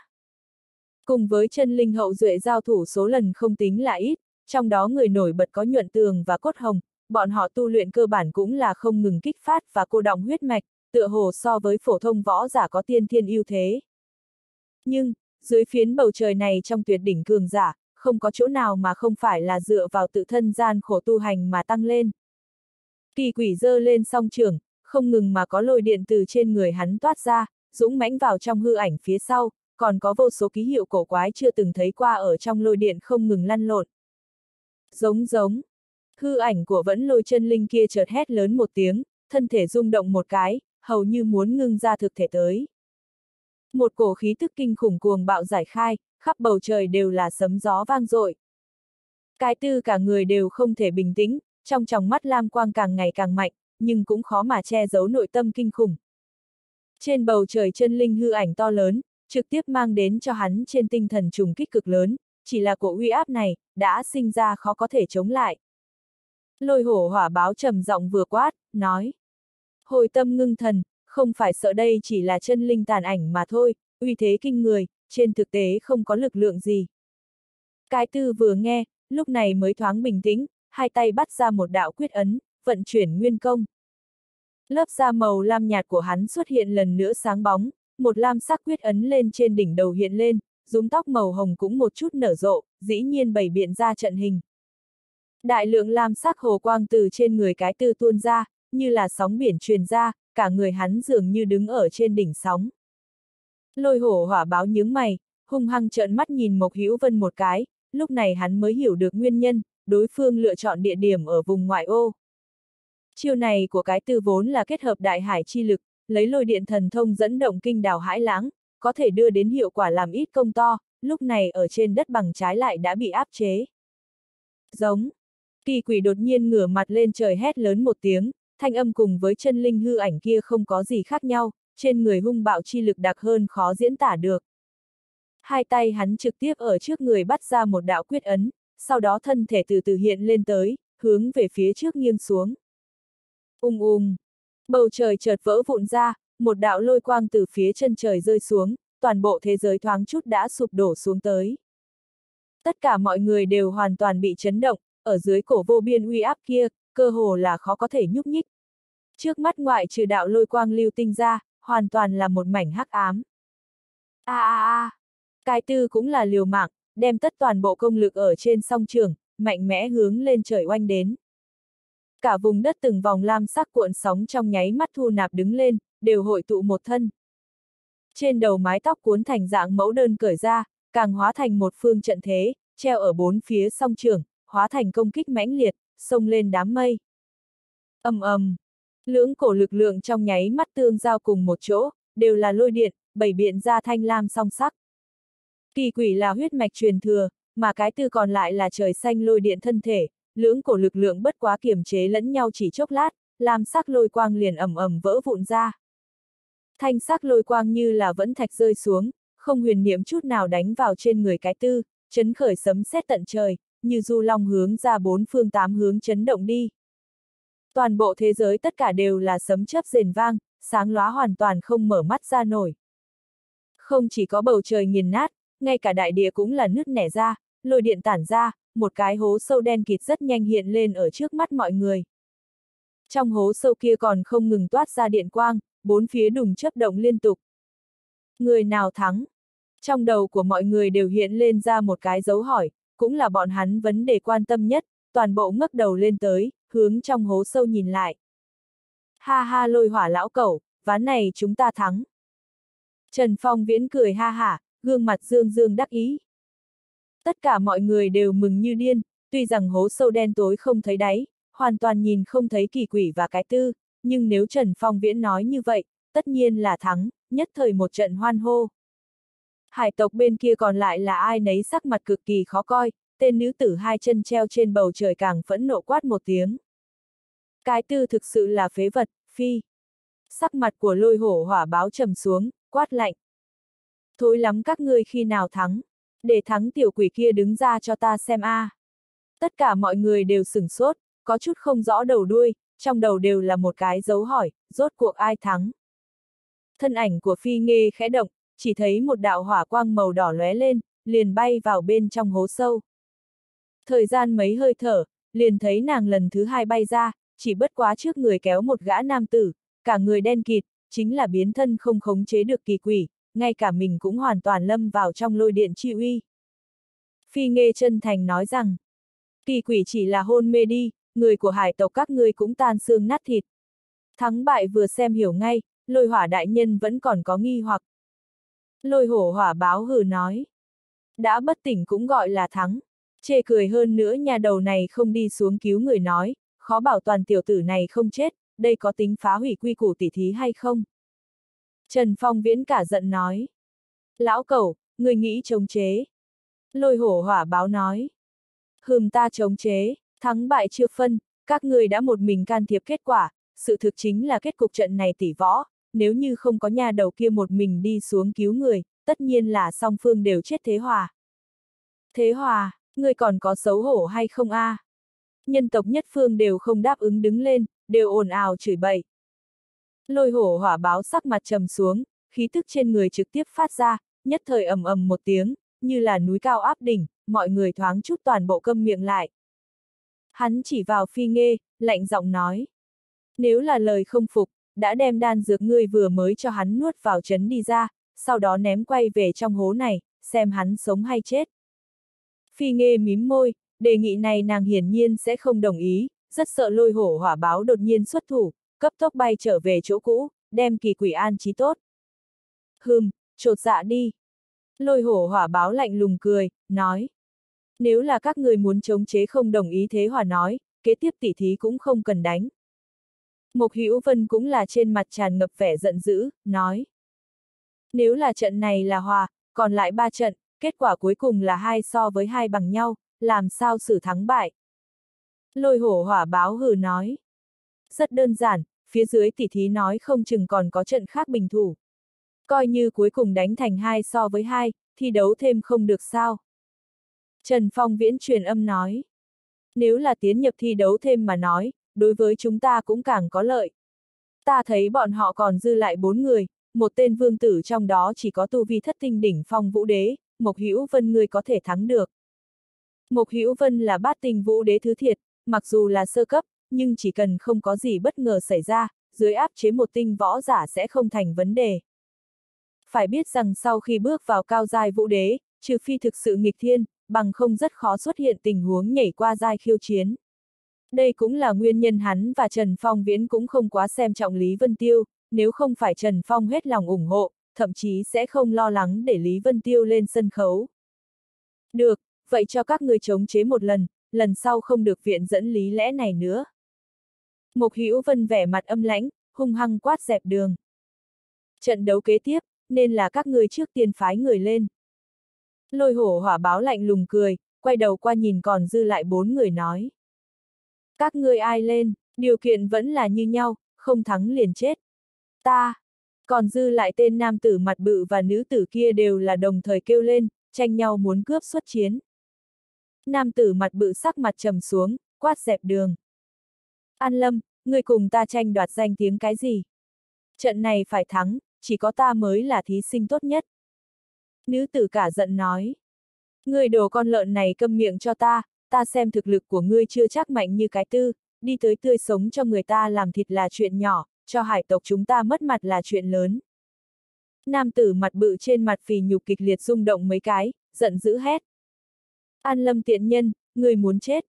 Hắn lúc này một quyền không có dấu hiệu nào đánh tới. ầm ầm, quyền phá hư không, toàn bộ quyền ảnh ở bốn phía không ngừng chấn động ra. Thân ảnh của An Lâm ở dưới một quyền của hắn trực tiếp bị đánh nghiền nát, nhưng đúng là tàn ảnh. Cái gì? Nam tử mặt bự trong lòng cả kinh, bỗng nhiên cảm thấy một cổ nguy hiểm phủ xuống, nhất thời chảy ra mồ hôi lạnh. Dừng tay! Lôi hổ hỏa báo vừa quát, trong con người điện quang lóe lên, một đạo hồ quang trực tiếp kích bắn ra, phanh một chút trên không trung nổ lên. Một đạo thủy kính từ quang mang nhô lên cao nghiền nát xuống, thân ảnh của An Lâm nổi lên, chỉ là trên mặt vẫn như cũ tràn đầy sát ý, lạnh như băng nhìn chằm chằm nam tử mặt bự. Lôi hổ hỏa báo quát dẹp đường. Tất cả yên lặng cho ta, ai lộn xộn nữa một chút, ta để hắn đời này đều không nhúc nhích được. Hắn giáo huấn mắng xong, ánh mắt chuyển hướng nhuận tông, khá có thầm ý nói. Vương tử điện hạ, người không dự định xuất thủ sao? Nhuận tông sắc mặt bình tĩnh, lắc đầu nói. Ta không thích đánh một trận không nắm chắc. Hừ hừ, trận đấu kế tiếp nếu muốn thắng, ta xem người nắm chặt xem như lớn nhất, hà tất khiêm tốn vậy. Trong đôi mắt của lôi hổ hỏa báo hiện lên tinh mang, thẳng nhìn chằm chằm nhuận tông, tựa hồ muốn đem hắn triệt để xem thấu. Nhuận tông ngẩng đầu hướng phía xa xa nhìn lại, nơi nào đứng yên chứ một người, phong khinh vân đạm, hắn con người hơi co lại, nói. Ta sợ ta lên đài, đối thủ là người nọ, ta không có nắm chắc có thể thắng hắn. An Lâm và nam tử mặt bự đều là gương mặt vẻ cổ quái, hướng phía xa xa người nọ nhìn lại, chính là Lý Vân Tiêu. Mấy người nói chuyện cũng không có tận lực che giấu, nhân tộc bên này cũng nghe được rõ ràng, toàn bộ đưa ánh mắt về phía Lý Vân Tiêu, lộ ra thần tình nghi ngờ tới. Trước đó kiến thức kỳ quỷ xuất thủ đánh một trận, cái loại lực lượng kinh thiên động địa này đã thâm nhập nhân tâm, đại biểu chính là thực lực đỉnh phong trong thế hệ trẻ, ai cũng sẽ không cho là Lý Vân Tiêu có thể mạnh hơn kỳ quỷ, do đó nghe nhuận tông nói ra, đều là lộ ra các loại biểu tình, có trầm tư, có hoài nghi, cũng có không tiết. Lôi hổ hỏa báo gật đầu nói. Ừ, người kia xác thực rất vướng tay chân, nhưng nếu là ngươi lên sàn, thắng bại hẳn là ở tỷ lệ 5 năm. Nhuận Tông bình tĩnh nói. xác suất thắng này quá thấp. Lôi hổ hỏa báo nói. Được rồi, ta cũng không bắt buộc. Hắn ngẩng đầu lên, tiện tay chỉ an lâm một cái, nói. Trận này liền do ngươi lên đi, chỉ được thắng không được bại. An lâm đại hỉ, vội hỏi. Hắc hắc, tuyệt sẽ không có hạ cuộc tỉ thí nữa rồi. Nàng đắc ý chừng mắt với nam tử mặt bự một cái, liền bay ra ngoài. Chỉ cần trận này thắng, bọn họ hải tộc đó là hai thắng một hòa, kế tiếp hoàn toàn không cần so. Ánh mắt của An Lâm ở nhân tộc trung vừa chuyển, cuối cùng rơi vào trên người của Lý Vân Tiêu, ngoắc ngón tay, khinh miệt cười nói. Tiểu tử, nghe nói người rất lợi hại, có dám cùng với ta đánh một trận. Sắc mặt của lôi hổ hỏa báo trầm xuống, đầy mặt đều là vẻ giận dữ, hắn nghĩ không ra An Lâm vừa lên khứ dĩ nhiên chủ động tìm Lý Vân Tiêu khiêu khích. Người khác có thể không biết thực lực của Lý Vân Tiêu, nhưng hắn mới từ Đông Hải đến đây, cũng biết đến rất rõ ràng, loại hành vi này hoàn toàn là tự mình muốn chết. Kỳ thực An Lâm cũng là bị bọn họ đối thoại kích thích, nội tâm cực độ không phục, lúc này mới muốn biểu diễn lực lượng của chính mình. Lôi hổ hỏa báo nghĩ lại một chút, ván này nếu là Lý Vân Tiêu xuất thủ cũng lại thua, như vậy kế tiếp lại không người có thể chống lại nhuận tông, bọn họ chỉ cần lại thắng một hồi có thể bảo đảm bất bại. Nghĩ đến chỗ đó cũng liền không lên tiếng. Ánh mắt của mọi người đều tụ tập ở trên người của Lý Vân Tiêu, hắn nói. Ngươi thực sự quyết định khiêu chiến ta. An Lâm ngạo nghễ nói. Đương nhiên, nhân tộc có thể làm cho nhuận tông đại nhân đều kiêng kỵ, An Lâm ta rất nghĩ một lát. Ta còn nghe nói một ít tin đồn về ngươi ở Đông Hải, tuy rằng khuyết đại cực kỳ lợi hại, nhưng là cũng đủ nói rõ ngươi là một đối thủ có phân lượng. An lâm ta dưới tay không giết loại rác rưởi vô danh. Khuôn mặt của lôi hổ hỏa báo co quắp một chút, trong tròng mắt một mảnh vẻ lo lắng. Đông Hải vương tộc bị móc xuống tổ chim, hắn thân là Đông Hải cường giả đứng đầu, cũng là bộ mặt không ánh sáng. Hiện tại bên ngoài đối với chuyện này có nhiều lời đồn, nhưng người không tin chiếm đa số, nhưng theo thời gian chuyển rời, chậm rãi đều sẽ bị thế nhân biết được, nếu không thể giết chết Lý Vân Tiêu, sỉ nhục này vĩnh viễn không thể rửa sạch. Vẻ lo lắng trong tròng mắt của lôi hổ hỏa báo hiện lên một đạo sát khí nồng đậm vô cùng, nhưng vừa chuyển rồi biến mất. Trong lòng hắn đột nhiên chấn động, ánh mắt hơi vừa chuyển. Chỉ thấy nhuận tông đang kinh ngạc nhìn hắn, tựa hồ phát hiện trong lòng hắn đăm chiêu, thấp giọng nói. Nghe đồn là thật. Sắc mặt của lôi hổ hỏa báo trầm xuống, nặng nề hừ một tiếng. Trong lòng của nhuận tông chấn động mãnh liệt, nhấc lên cơn sóng gió động trời, luôn luôn sắc mặt lạnh nhạt hắn cũng trong nháy mắt trở nên tái nhợt. Đối với nghe đồn hắn cũng là bán tín bán nghi, tuy không có ngay mặt bác bỏ, nhưng nội tâm vẫn là lấy không tin chiếm đa số, lúc này thái độ của lôi hổ hỏa báo hiển nhiên là thầm chấp nhận. Đông Hải vương tộc bị người móc xuống tổ chim. Đây, nhuận tông cả người đều triệt để lăng loạn. Lôi hổ hỏa báo cau mày nói. Trong đó quá trình rất phức tạp, tiểu tử này thực lực xác thực rất mạnh, nhưng không có khoa trương giống như người nghĩ vậy, không cần khẩn trương. Việc cấp bách đó là bắt võ quyết, đạt được tuyệt thế ất mộc. Sau đó, trong mắt của hắn lóe lên nồng nặc sát khí, lạnh như băng truyền âm nói. Sau đó tiểu tử kia ta sẽ đích thân đưa hắn bầm thây vạn đoạn. Nhuận tông tái nhợt nghiêm mặt, gật đầu, nội tâm mới hơi chút bình tĩnh lại. Nhân tộc bên kia, Lý Vân Tiêu thu liếm toàn thân khí tức, trực tiếp từ không trung hạ xuống, nói. Như ngươi mong muốn. Hắn một bước đi ra, hướng giữa sân đi. Tất cả mọi người đều nín thở ngưng thần, đại khí không dám xuyến một chút, nghe đồn vị đệ nhất nhân trong nhân tài mới xuất hiện mạnh mẽ như thế nào, mỗi người đều kiếng chân mà đợi. An Lâm mỉm cười, nói. Không sai, rất có cao thủ khí chàng, sẽ không biết thực lực của ngươi có thể phù hợp thanh danh của ngươi hay không. Khóe miệng của Lý Vân Tiêu dương lên, nói. Ngươi thử xem đã hiểu rồi. Hắn tuyệt không lo lắng võ quyết nhân tộc thất bại, mình là ổn thắng không thể nghi ngờ. Lúc nếu người nào thua một hồi, hắn lập tức gọi tân thần đi ra đánh một hồi cuối cùng, cuối cùng không đông đảo cũng có thể đánh vào thêm chàng thi đấu. Tốt, Ta thích cùng cường giả đánh, càng thích cùng với cường giả tự tin giống như ngươi đánh. An Lâm lè lưỡi tới, đói khát liếm môi một cái, cả người nhất thời trở nên hoảng hốt, thoáng cái đã biến mất ở trước mắt. Suy! Sau một khắc, đột nhiên một thanh hắc sắc dao găm trực tiếp từ trong hầu Lý Vân Tiêu cắm đi ra, tiên huyết vẩy ra. Trong tròng mắt của Lý Vân Tiêu lộ ra kinh khủng và vẻ tuyệt vọng, hai tay không ngừng trên không trung bãi động, sau đó che hầu, phát sinh tiếng gầm nhỏ thống khổ, nhưng vẫn như cũ đỡ không được ồ ồ toát ra bọt máu. A! À, tất cả mọi người đều là há to mồm, không tự chủ được a một tiếng, triệt để ngây dại ra đó. Vốn cho rằng tất nhiên sẽ là một trận đánh kinh thiên động địa, cứ như vậy thoáng chút đã kết thúc. Mộ dung hằng vũ trong mắt đều rớt đi ra, hoàn toàn không thể tin được trước mắt thấy được, hắn xoa nhẹ hai mắt nhìn lại lần nữa, đích thật là chân thực như vậy, đích thật là chân chân thiết thiết Lý Vân Tiêu bị giết rồi. Phu thê Trần Phong cũng là vẻ mặt ngạc nhiên, ngây ngốc tại nơi đó. Ha ha! Đột nhiên một người bật cười lên, Giang Tu chân nhìn không được cười như điên nói. Ha ha, cái gì đệ nhất nhân trong nhân tài mới xuất hiện, quá đậu ép rồi ha ha. Hắn đang ôm bụng, cười đến mức khom lưng. Tựa hồ tiếng cười của hắn càng lớn, càng có thể bị xua tan nhu nhược trước đó mang tới cảm giác nhục nhã. Hừ đúng là một phế vật như vậy, may là ta không lên sân khấu, bằng không hoàn toàn không có hứng thú. Hải tộc mặt bự đầy thịt kia khinh thường châm chọc đứng lên. Lôi hổ hỏa báo sửng sốt một chút, trước mắt chàng cảnh này là chân thực như vậy, nhưng hắn luôn cảm thấy không thích hợp, hơn nữa cái loại cảm giác không đúng này càng ngày càng mạnh, mãnh liệt để hắn có chút nóng nảy đứng lên. Lý Vân Tiêu hai tay bưng hầu, trong mắt bắt đầu trắng dã, dần dần mất đi sinh cơ.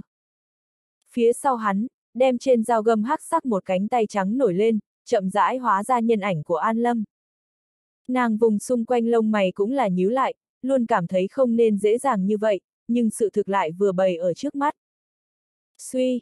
Nàng từ từ đem trùy thủ rút ra, rút thập phần thong thả, trên yết hầu của Lý Vân Tiêu máu phát ra tiếng xè xè, tiêu bắn đi ra, như là hát thấp giọng bài ca phúng điếu. An Lâm chậm rãi nhắm mắt lại, trên mặt lộ ra thần tình hưởng thụ, theo phong lạc giọng thấp giọng hừ vài cái.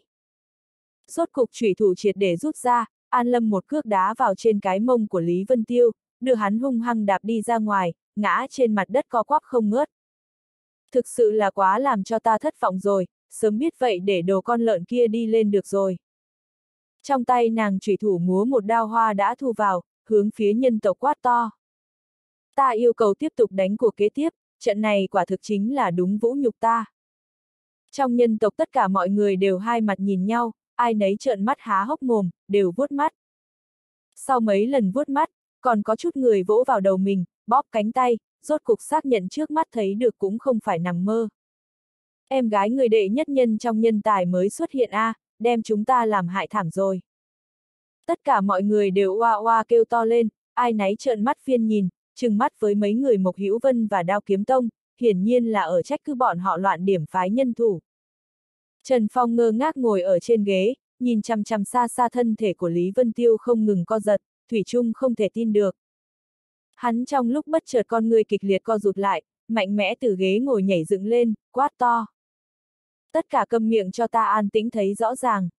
Trong hai tròng mắt của hắn lộ ra vẻ khó có thể tin cùng hoảng sợ, toàn bộ sắc mặt đều trắng bệch đứng lên, hoàn toàn không thể tin được trước mắt thấy được. A, à, Phi Nghê cũng là đột nhiên kinh hô một tiếng, che miệng kinh hãi, lộ ra vẻ cực độ hoảng sợ. Trong nháy mắt, toàn bộ bên trong sân trở nên lặng ngắt như tờ, mọi người tất cả đều ngây ra như phóng. A, à, hải tộc bên kia, nhuận vũ và nam tử mặt bự cũng là cả người run lên, lộ ra vẻ hoảng sợ tới. Làm sao có thể, điều này sao có thể? Trần Phong viễn hoảng sợ lẩm bẩm. Thậm chí ngay cả ta cũng lừa gạt, tất cả mọi người đều bị lừa gạt loại huyễn thuật pháp này. Loại trình độ này, trên chàng hai người quyết đấu, trước đó chỗ An Lâm đứng thẳng, đã biến thành Lý Vân Tiêu, vẫn là gương mặt phong khinh vân đạm, thần sắc thản nhiên, tựa hồ chẳng bao giờ di động qua mảy may. Mà xa xa trên mặt đất thân thể không ngừng co quắp giấy ruộng, lại thành An Lâm.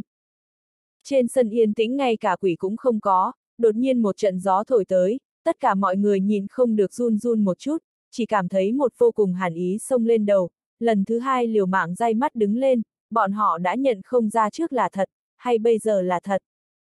Giang tu chân càng há to mồm, đủ để nhét vào một quả dưa chuột tiến vào, trong mắt không chỉ có lồi ra giống như đèn lồng, hầu như muốn cổ nổ lên. Hắn liều mạng đấm đầu của mình, muốn từ trong ảo giác tỉnh lại, nhưng ngoại trừ đau nhức ra, toàn bộ thế giới không có bất kỳ biến hóa nào. Sao, thế nào, làm sao có thể? An Lâm quỳ dạp trên mặt đất, không ngừng dùng rằng đứng lên, hai tay bưng hầu, trong mắt lộ vẻ kinh hãi. Lý Vân Tiêu lạnh nhạt nói. Sống ở trong ảo giác cũng không phải rất tốt sao.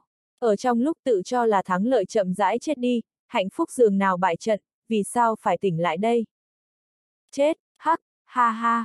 An Lâm đột nhiên nở nụ cười, mỗi cười một chút, trong hầu đều sẽ trào ra máu, nhưng nàng vẫn như cũ cười không ngừng, đột nhiên hỏi nói. Ngươi tin tưởng trên đời này có thân bất tử sao? Lý Vân Tiêu nhướng mày, trong ánh mắt lộ ra vẻ lạnh lẽo, nói. Thân bất tử. Hắn đột nhiên thần sắc khẽ động, cả kinh nói.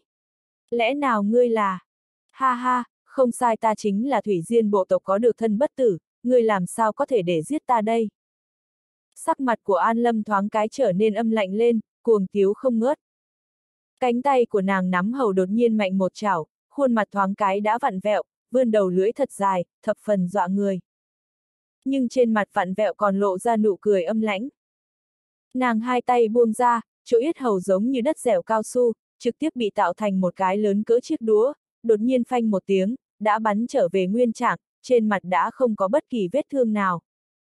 Ha ha ha trên người ta bất luận thương thế nào, đều có thể ở trong nháy mắt phục hồi như cũ, mặc cho ngươi có thiên đại bản lĩnh cũng không có khả năng để giết ta, ha ha. An Lâm một trận đắc ý cười ha hả, trong ánh mắt tinh mang càng ngày càng lạnh. Nhân đều là sắc mặt đại biến, ai nấy khuôn mặt đều xanh biếc lên, kẻ này đều đánh không chết, như vậy còn đánh như thế nào?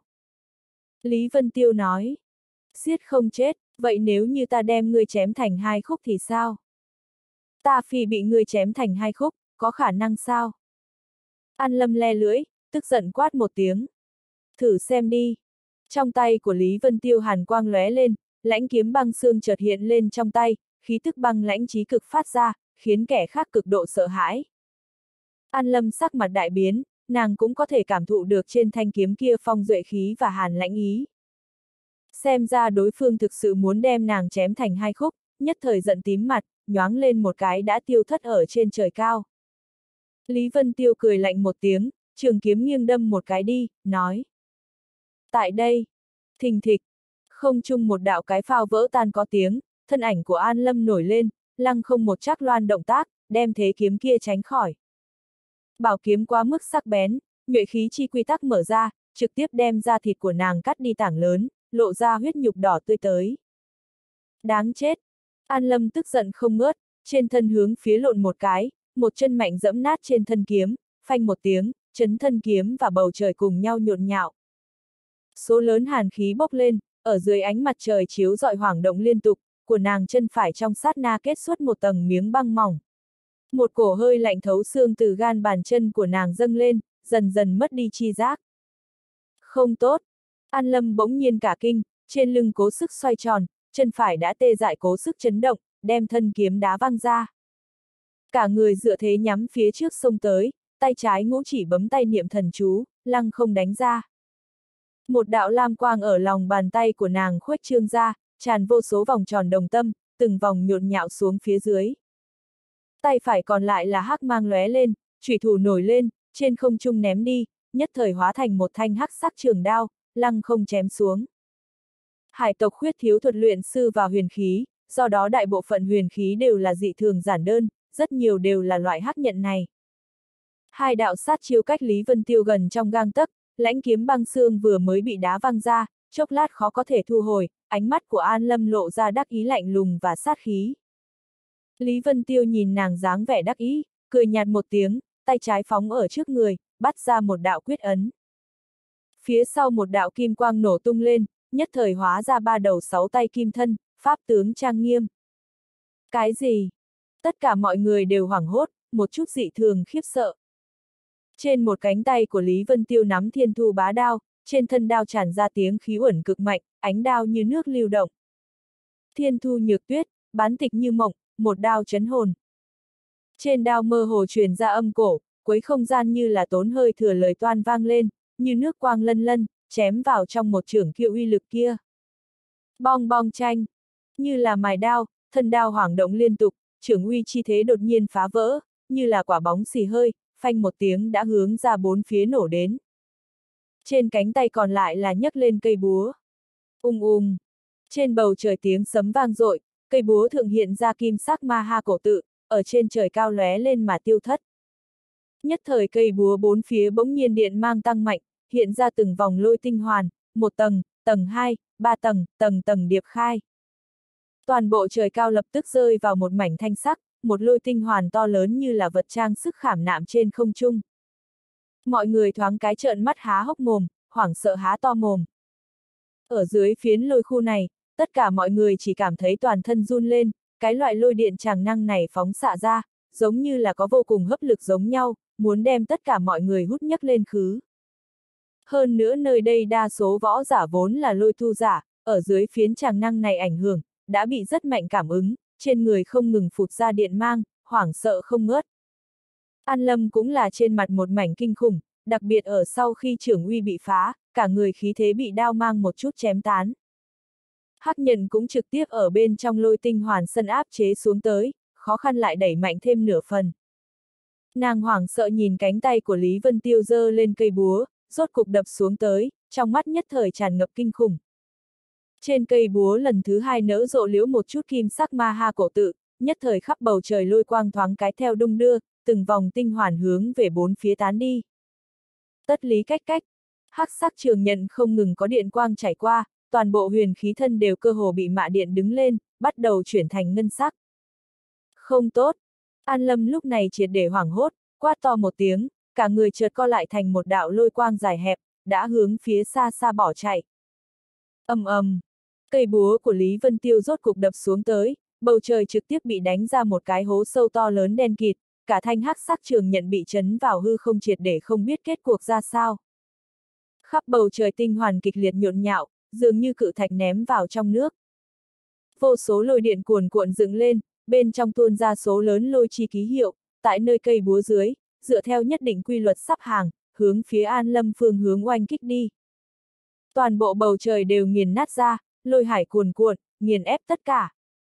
Lôi độn thuật vốn là trên đời này nhanh nhất độn thuật một trong, nhưng ở khắp bầu trời đều là to lớn lôi điện chẳng hạ, An Lâm biến thành chi điện mang đã bị cực lớn vu nhiễu, mấy hơi thở dưới tải trốn ra trăm trượng xa, còn không bằng ngự không phi hành. Ung ung.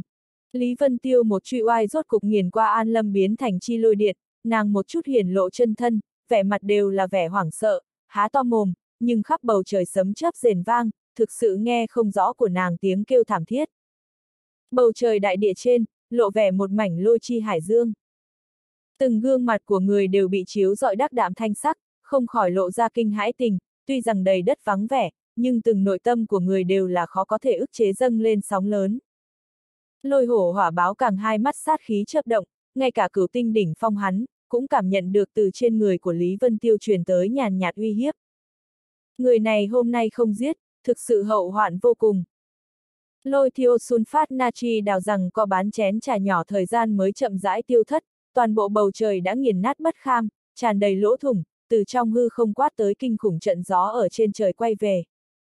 An Lâm đã triệt để trở nên một mảnh cháy đen, ngoại trừ trong tròng mắt còn chớp động sợ hãi ngoại, cả người đều ra bên ngoài hơi nước, rốt cục vừa. Vừa tài liễu xuống phía dưới. Phanh! Nàng trực lăng lăng ngã trên mặt đất, như là nướng chín tiểu động vật, không nhúc nhích.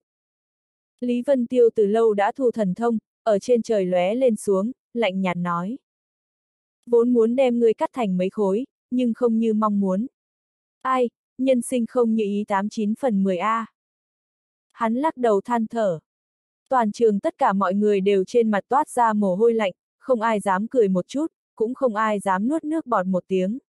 Hoàn toàn còn yên lặng lúc trước sấm sét một cơn lốc, thật lâu chưa tỉnh hồn lại. Ba, ba ba. Mục Hữu Vân là người thứ nhất vỗ tay lên, cười nói. Đặc sắc, đặc sắc đệ nhất nhân trong nhân tài mới xuất hiện, hoàn toàn xứng đáng. Hắn tuy là mỉm cười tán thưởng, nhưng trong mắt vẻ sợ hãi vẫn chưa tan hết, khuôn mặt có chút ngây dại ra chất phác. Trong hai mắt của Phi Nghê lóe lên tia sáng kỳ dị, nhưng đồng dạng sinh ra một tia ngưng trọng khó diễn tả được. Khanh khách khanh khách, đột nhiên truyền đến thanh âm hàm răng run lên, Giang Tu chân đã sợ đến không được, cả người run rẩy lợi hại. Ánh mắt của mọi người đầu tới, hắn cấp mang che miệng, muốn giảm thiểu sợ hãi, nhưng vô luận thế nào đều ức chế không được hai hàng hàm răng run. Cuối cùng trực tiếp bắt tay vói vào trong miệng, giá mới không có liễu chiến nha thanh, nhưng này phó hình dạng, đã sợ đến rồi cực hạn. Mục Hữu Phong nội tâm cực độ khinh thường, thầm nghĩ người này hèn yếu như vậy, đảo là như thế nào lăn lộn đến rồi vạn bảo lâu nhất phương nghi trượng, chỉ sợ cũng quyến rũ thúc ngựa hạng người. Trần Phong Viễn lúc này cũng mới hồi phục tinh thần lại, quan sát lần nữa Lý Vân Tiêu một phen, lúc này mới vuốt râu cười to nói. Lôi hỏa lão cẩu, trận này làm sao? Cô gái nhỏ kia bây giờ còn nướng chín nằm trên đất, chúng ta cũng không động hiện trường, chớ đến lúc đó lại vô sỉ nói là thế hòa. Hừm. Sắc mặt của lôi hổ hỏa báo dị thường xấu xí, nói. Trận này các ngươi thắng cuộc, kế tiếp, nhuận tông ngươi lên. Hiện tại Lý Vân Tiêu đã xuất thủ qua, lấy hắn quan sát, nhuận tông thành phủ chi thâm, thực lực chi hùng hậu, ở đây sợ là hiếm có địch thủ. Nhuận tông thần sắc khẽ động, dị thường kiêng kỵ nhìn Lý Vân Tiêu một cái, lúc này mới chậm rãi đi lên. Con người của Mộc Hữu Vân ngưng lại, hướng hai bên vừa nhìn, nói. Bên ta cường giả vẫn có thể xuất thủ, liền chỉ còn hằng vũ công tử và phi nghe thiếu chủ, không biết nhị vị ai lên. Ánh mắt của phi nghe lưu chuyển, chân thành nói rằng. Liền do ta đến đây đi. Nàng dương lên nghe thường vũ y khoác lên người, trên người nhộn nhạo lên sóng nhiệt bày ra, cả người đi về phía trước đến. Trên đường đi qua, đều hóa thành cháy đen. Con người của Lý Vân Tiêu hơi co lại, cổ khí tức đập vào mặt, đích thật là phượng hoàng huyết mạch. Phi nghe từ bên người Lý Vân Tiêu đi qua, ánh mắt tựa hồ khó có thể phát giác liếc mắt nhìn hắn. Không tốt đó là... Đột nhiên lôi hổ hỏa báo mạnh mẽ hét lớn một tiếng, ánh mắt hướng phía xa xa nhìn lại, chỉ thấy bầu trời hải mộc trấn một mảnh thanh quang chớp động, như là tảng lớn thanh sắc đám mây bay tới, càng ngày càng sáng. Lý Vân Tiêu cũng là bỗng nhiên cả kinh, từ trên người phi nghe thu hồi thần niệm, hướng phía xa xa nhìn ra xa đi. Mộc Hữu Vân kinh hô. Tuyệt thế ất mộc tuyệt thế ất mộc muốn xuất thế. Tất cả mọi người là trong lòng chấn động mãnh liệt, xa xa dâng lên thiên địa dị tượng, tuyệt đối là dấu hiệu trước khi dị bảo xuất thế. Thiên địa dị tượng, ha ha đô thiên tỏa nguyên đại trận sợ là đã trói không được dị bảo xuất thế. Lôi hổ hỏa báo điên cuồng cười một tiếng, cả người chợt hóa thành một lôi cầu to lớn, một chút đã phá không đi. Không tốt. Trần Phong viễn sắc mặt đại biến, cực kỳ khó coi, nói. Nhất định là vừa Lý Vân Tiêu kinh thế thần thông, sinh ra thật lớn lôi điện tràng năng, một chút thúc đẩy dị bảo tuyệt thế ất mộc nhất định có thể rơi vào trong tay lão cầu. Thân ảnh của hắn lóe lên, đã hóa thành một thanh thần kiếm, phá không đuổi theo. Lý Vân Tiêu cũng là trước tiên hóa thành lôi quang, thẳng đến hải mộc trấn đi, tốc độ cực nhanh lại có xu thế đuổi theo Trần Phong Viễn. Sau đó là nhuận tông, chỉ là một do dự, cũng hóa ra một cổ cuồng phong bay đi. Phi nghê biến sắc, song trưởng dương lên, nhất thời liệt hỏa kinh thiên từ trên người nàng tuôn ra, xông thẳng lên trời. Bên trong sân tất cả mọi người đều sắc mặt đại biến, chỉ cảm thấy cực nóng khó nhịn, lớp da thoáng cái đã mất đi hơi nước, khô nứt ra. Phi nghe cả người đều dung nhập trong ngọn lửa, lúc này hóa thành một con phượng hoàng, hai cánh mở ra, ngay lập tức ngàn giảm. Còn so đấu cái dám A nhanh đi đoạt tuyệt thế ất mộc, đoạt linh lôi quả A. Không biết ai hô một tiếng, mọi người mới giật mình tỉnh lại, tức giận xông lên, hướng phía hải mộc trấn đi. Trên trăm đạo độn quang tận trời, thế nhưng cự ly trước mấy người đã quá xa. Hải mộc chấn bầu trời, toàn bộ bầu trời đã hóa thành thanh quang, thỉnh thoảng có lôi điện ở trong đó lóe ra nhảy lên, càng có đôi lúc nảy bắn ra một đạo điện mang, chấn trên mặt đất, đánh ra hố sâu. Bên trong chấn người toàn bộ hoảng sợ nhìn trên bầu trời, lâm vào trong sợ hãi cực lớn. Sóng người như là con kiến hướng phía ngoài thành bỏ chạy, hoàn toàn mất đi trật tự. Trên bầu trời một đạo lôi cầu gào thét mà qua, trong nháy mắt hóa thành thân ảnh của lôi hổ hỏa báo, trong mắt đều là vẻ hưng phấn kích động, nhìn phía dưới một mảnh lôi lâm điện hải kia. Lúc này lôi trong rừng rậm rạp chẳng chỉ tất cả đều là thiểm điện, từng tầng khói xanh lôi quang từ bên trong bắn ra, toàn bộ đô thiên tỏa nguyên đại trận tràn ra thất thải chi quang, tựa hồ không chế trụ được năng lượng bên trong. Trên bầu trời lần thứ hai có lưỡng đạo quang mang lóe lên, Lý Vân Tiêu và Trần Phong viễn hầu như đồng thời tới, đều là kinh hãi nhìn phía dưới tất cả. Ha ha, cổ lực lượng này, cổ lôi điện chi lực này, mặc dù là bản tọa, cũng trong lòng yêu thích a. Lôi hổ hỏa báo cười như điên, một con mắt hóa thành sấm chớp rền vang, một con mắt xí hỏa sáng quắc, trên người tản mát ra khí tức dị thường kinh khủng. Lý Vân Tiêu cũng là thần sắc ngưng trọng dị thường, lúc này tất cả lôi năng đều bị áp chế tại hạ phương, nếu là một ngày phá tan trận thế, sẽ là bạo tạc khó có thể tưởng tượng, toàn bộ hải mộc trấn trong khoảnh khắc sẽ tiêu tan thành mây khói. Phong viễn tiên sinh, trận pháp này có thể giả ra hay không? Lý Vân Tiêu lo lắng hỏi. Trần Phong viễn cũng là mặt dầu dỉ, nói. Lúc này lôi lâm tùy thời cũng có thể sẽ bạo tạc, mà thủ pháp giải trừ đô thiên tỏa nguyên đại trận dị thường phức tạp. Hắn nói bóng gió hết sức rõ ràng, đó là giải trừ trận pháp tính nguy hiểm quá lớn. Hôm nay phía dưới lôi điện cuồn cuộn, cổ kinh thiên chi uy đó nếu là thả ra mà nói, sợ rằng ai cũng không chống đỡ được. Thanh lôi như là lượn lờ vân vụ, không ngừng từ bên trong trận pháp cửu thải quang vượng bay ra, tựa như bảo ngọc ở dưới nhật quang soi sáng sinh ra. Kỳ cảnh dị thường huyễn lệ, chiếu rọi bầu trời một mảnh xanh nhạt, như là đồng thoại thế giới, rồi lại như ngày diệt vong phủ xuống. Lẽ nào chỉ có thể ngồi chờ chết rồi? Lý Vân Tiêu nhíu mày, tuy rằng hắn không đành lòng thấy hải mộc trấn hóa thành bụi bay, nhưng hắn cũng không phải thánh nhân gì, để hắn đi mạo hiểm như vậy, cũng sẽ không đồng ý. Trần Phong Viễn rên rỉ nói. Chỉ có thể yên lặng theo dõi kỳ biến thôi. Hắn ngẩng đầu đi phía trước ngóng nhìn đi, nhìn chằm chằm lôi hổ hỏa báo, trong ánh mắt chớp động sát ý. Lôi hổ hỏa báo cũng ngẩng đầu lên nhìn hắn, lạnh lùng nói. Phong viễn lão quỷ, nhìn bộ dáng của ngươi tựa hồ muốn tìm đường chết a. À. Sắc mặt của Trần Phong viễn âm trầm không ngớt, có lôi hổ hỏa báo tại đây, muốn đoạt được tuyệt thế ất mộc quá khó khăn, nhưng mình thực lực hoàn toàn không đủ để xua đuổi hắn. Lôi hỏa lão cẩu đã nói xong dùng võ quyết định thắng bại, lẽ nào ngươi muốn nuốt lời? Ha ha, võ quyết, được, và lại ất mộc xuất thế còn muốn một đoạn thời gian, cứ tiếp tục đi. Lôi hổ hỏa báo hai tay ôm trước ngực, vẻ mặt vẻ châm chọc. Xa xa trên trăm đạo quang mang trước sau mà đến, đều là kinh hãi nhìn phía dưới. Không tốt, không ít người biến sắc, đều hướng xuống dưới bay vào trong thành trì, bắt đầu cứu giúp chuyển vận người nhà và tài vật của mình. Theo đám võ giả này gia nhập, bên trong thành càng hỗn loạn lên, những cường giả kia giận dữ một chút liền ra tay giết người. Sắc mặt của Mộc Hữu Vân trầm xuống, lạnh giọng nói. Nhị đệ tam đệ, hai người ngươi mang đội giữ gìn trật tự, có kẻ tự mở ra thông đạo. Phàm là người làm trái trật tự, phàm là tùy ý giết người, vô luận là người phương nào, cứ chém không tha. Dạ. mục Hữu Phong và mục Hữu Lãng hai người vội vàng lên tiếng trả lời, lĩnh mệnh đi. Trần Phong viễn lạnh lùng nói. Nếu phải tiếp tục, vậy cùng nhau quay về chỗ cũ đi. Lôi hổ hỏa báo cười to nói. Ha ha, quay về chỗ cũ. Không không không, cứ ở đây tốt hơn. Ta nghe nói lúc có thần vật xuất thế, đều là thiên địa dị cảnh, hết sức khó khăn nhìn thấy một lần, ta cũng không muốn bỏ qua.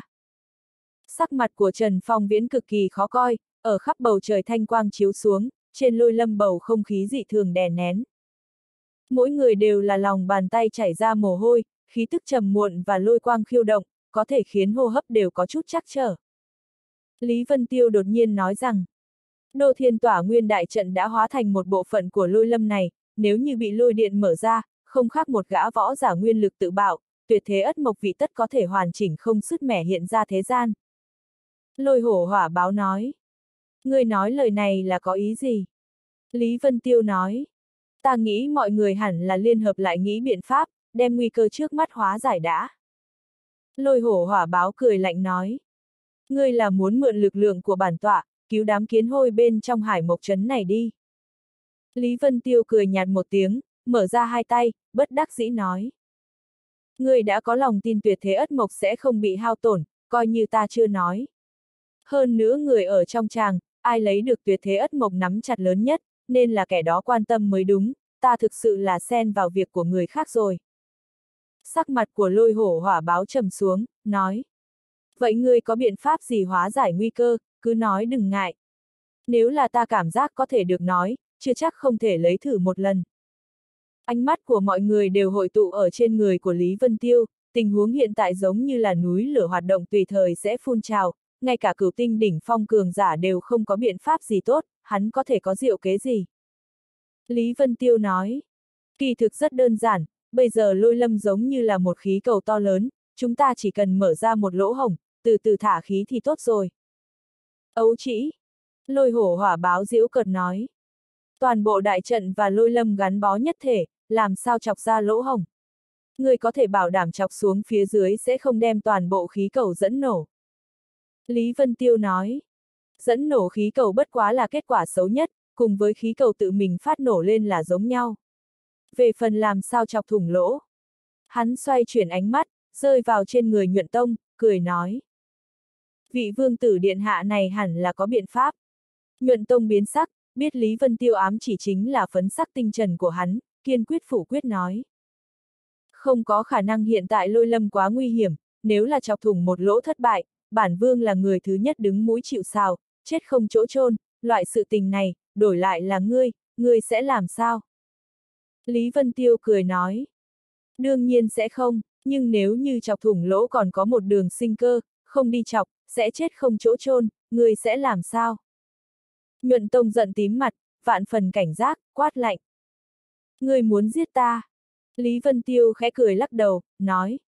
Không không không, ta chỉ là tùy tiện hỏi một chút. Trên mặt hắn tự tiếu phi tiếu nhìn lôi hổ hỏa báo, nói. Lôi hỏa đại nhân ở cửu tinh đỉnh phong sợ rằng đã rất lâu rồi đi, nếu như có thể hấp thu tuyệt thế ất mộc đồng thời luyện hóa, tỷ lệ tiến về phía trước thêm một bước sẽ tăng nhiều không ít. Tất cả mọi người chân mày cao lại, cửu tinh đỉnh phong đi lên trước nữa một bước. Đó là cái cảnh giới gì? Lôi hổ hỏa báo cả người chấn động, tựa hồ bị Lý Vân Tiêu chọc chúng uy hiếp, hắn quay đầu đi, hòa thanh nói. Nhuận Tông Vương tử Điện Hạ, việc này đích xác nguy hiểm một ít, nhưng thù lao cũng là cực kỳ phong phú, đáng giá mạo hiểm thử một lần.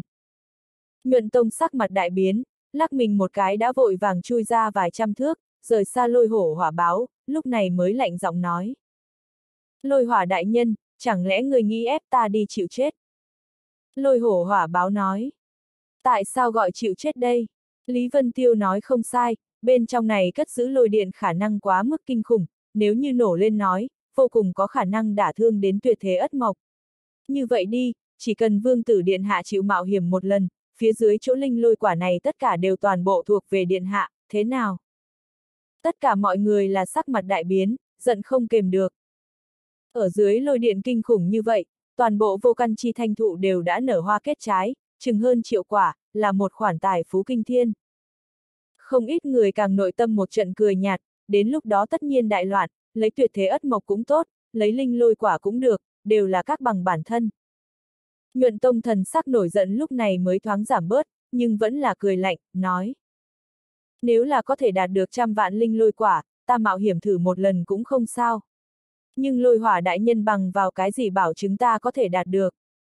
Lôi hổ hỏa báo nghe hắn nguyện ý xuống phía dưới, mừng rỡ không thôi, sau khi nghe vội hỏi.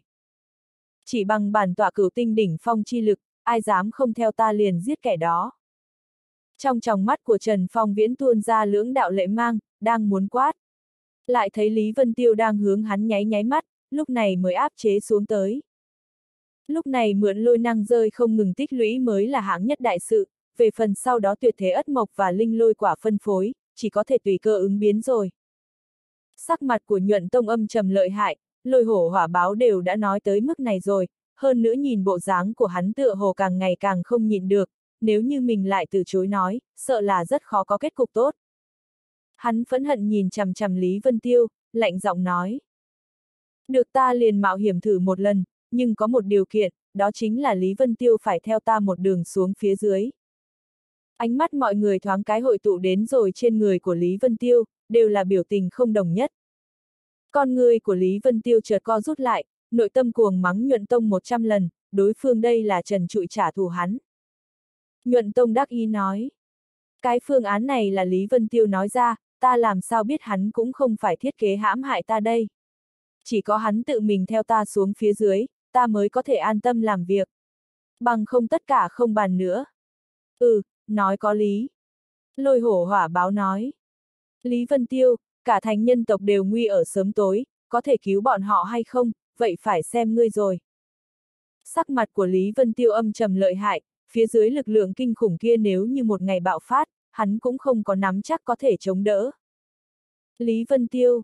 Mộ Dung Hằng Vũ kêu hắn một tiếng, sắc mặt ngưng trọng lắc đầu, ý bảo hắn không nên xuống phía dưới. Nhuận Tông lạnh lùng nói. Lôi hỏa đại nhân, nếu là Lý Vân Tiêu không muốn đi xuống, vậy cũng được. Chỉ cần lôi hỏa đại nhân đem đầu lâu của hắn vặn xuống tới, ta vẫn sẽ nguyện ý đi xuống mạo hiểm.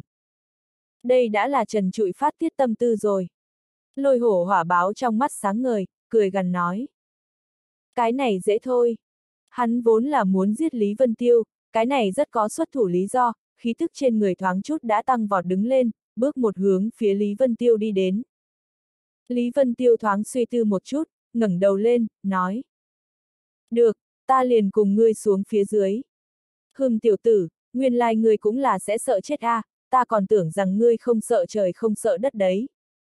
Trong mắt của lôi hổ hỏa báo lóe lên một tia trào phúng châm chọc, trong lòng còn lại là thầm nghĩ một tiếng đáng tiếc. Việc này không nên chậm trễ, đi thôi. Ánh mắt của Lý Vân Tiêu đảo qua hai người, liền hóa thành một đạo quang mang, hướng phía dưới bay đi.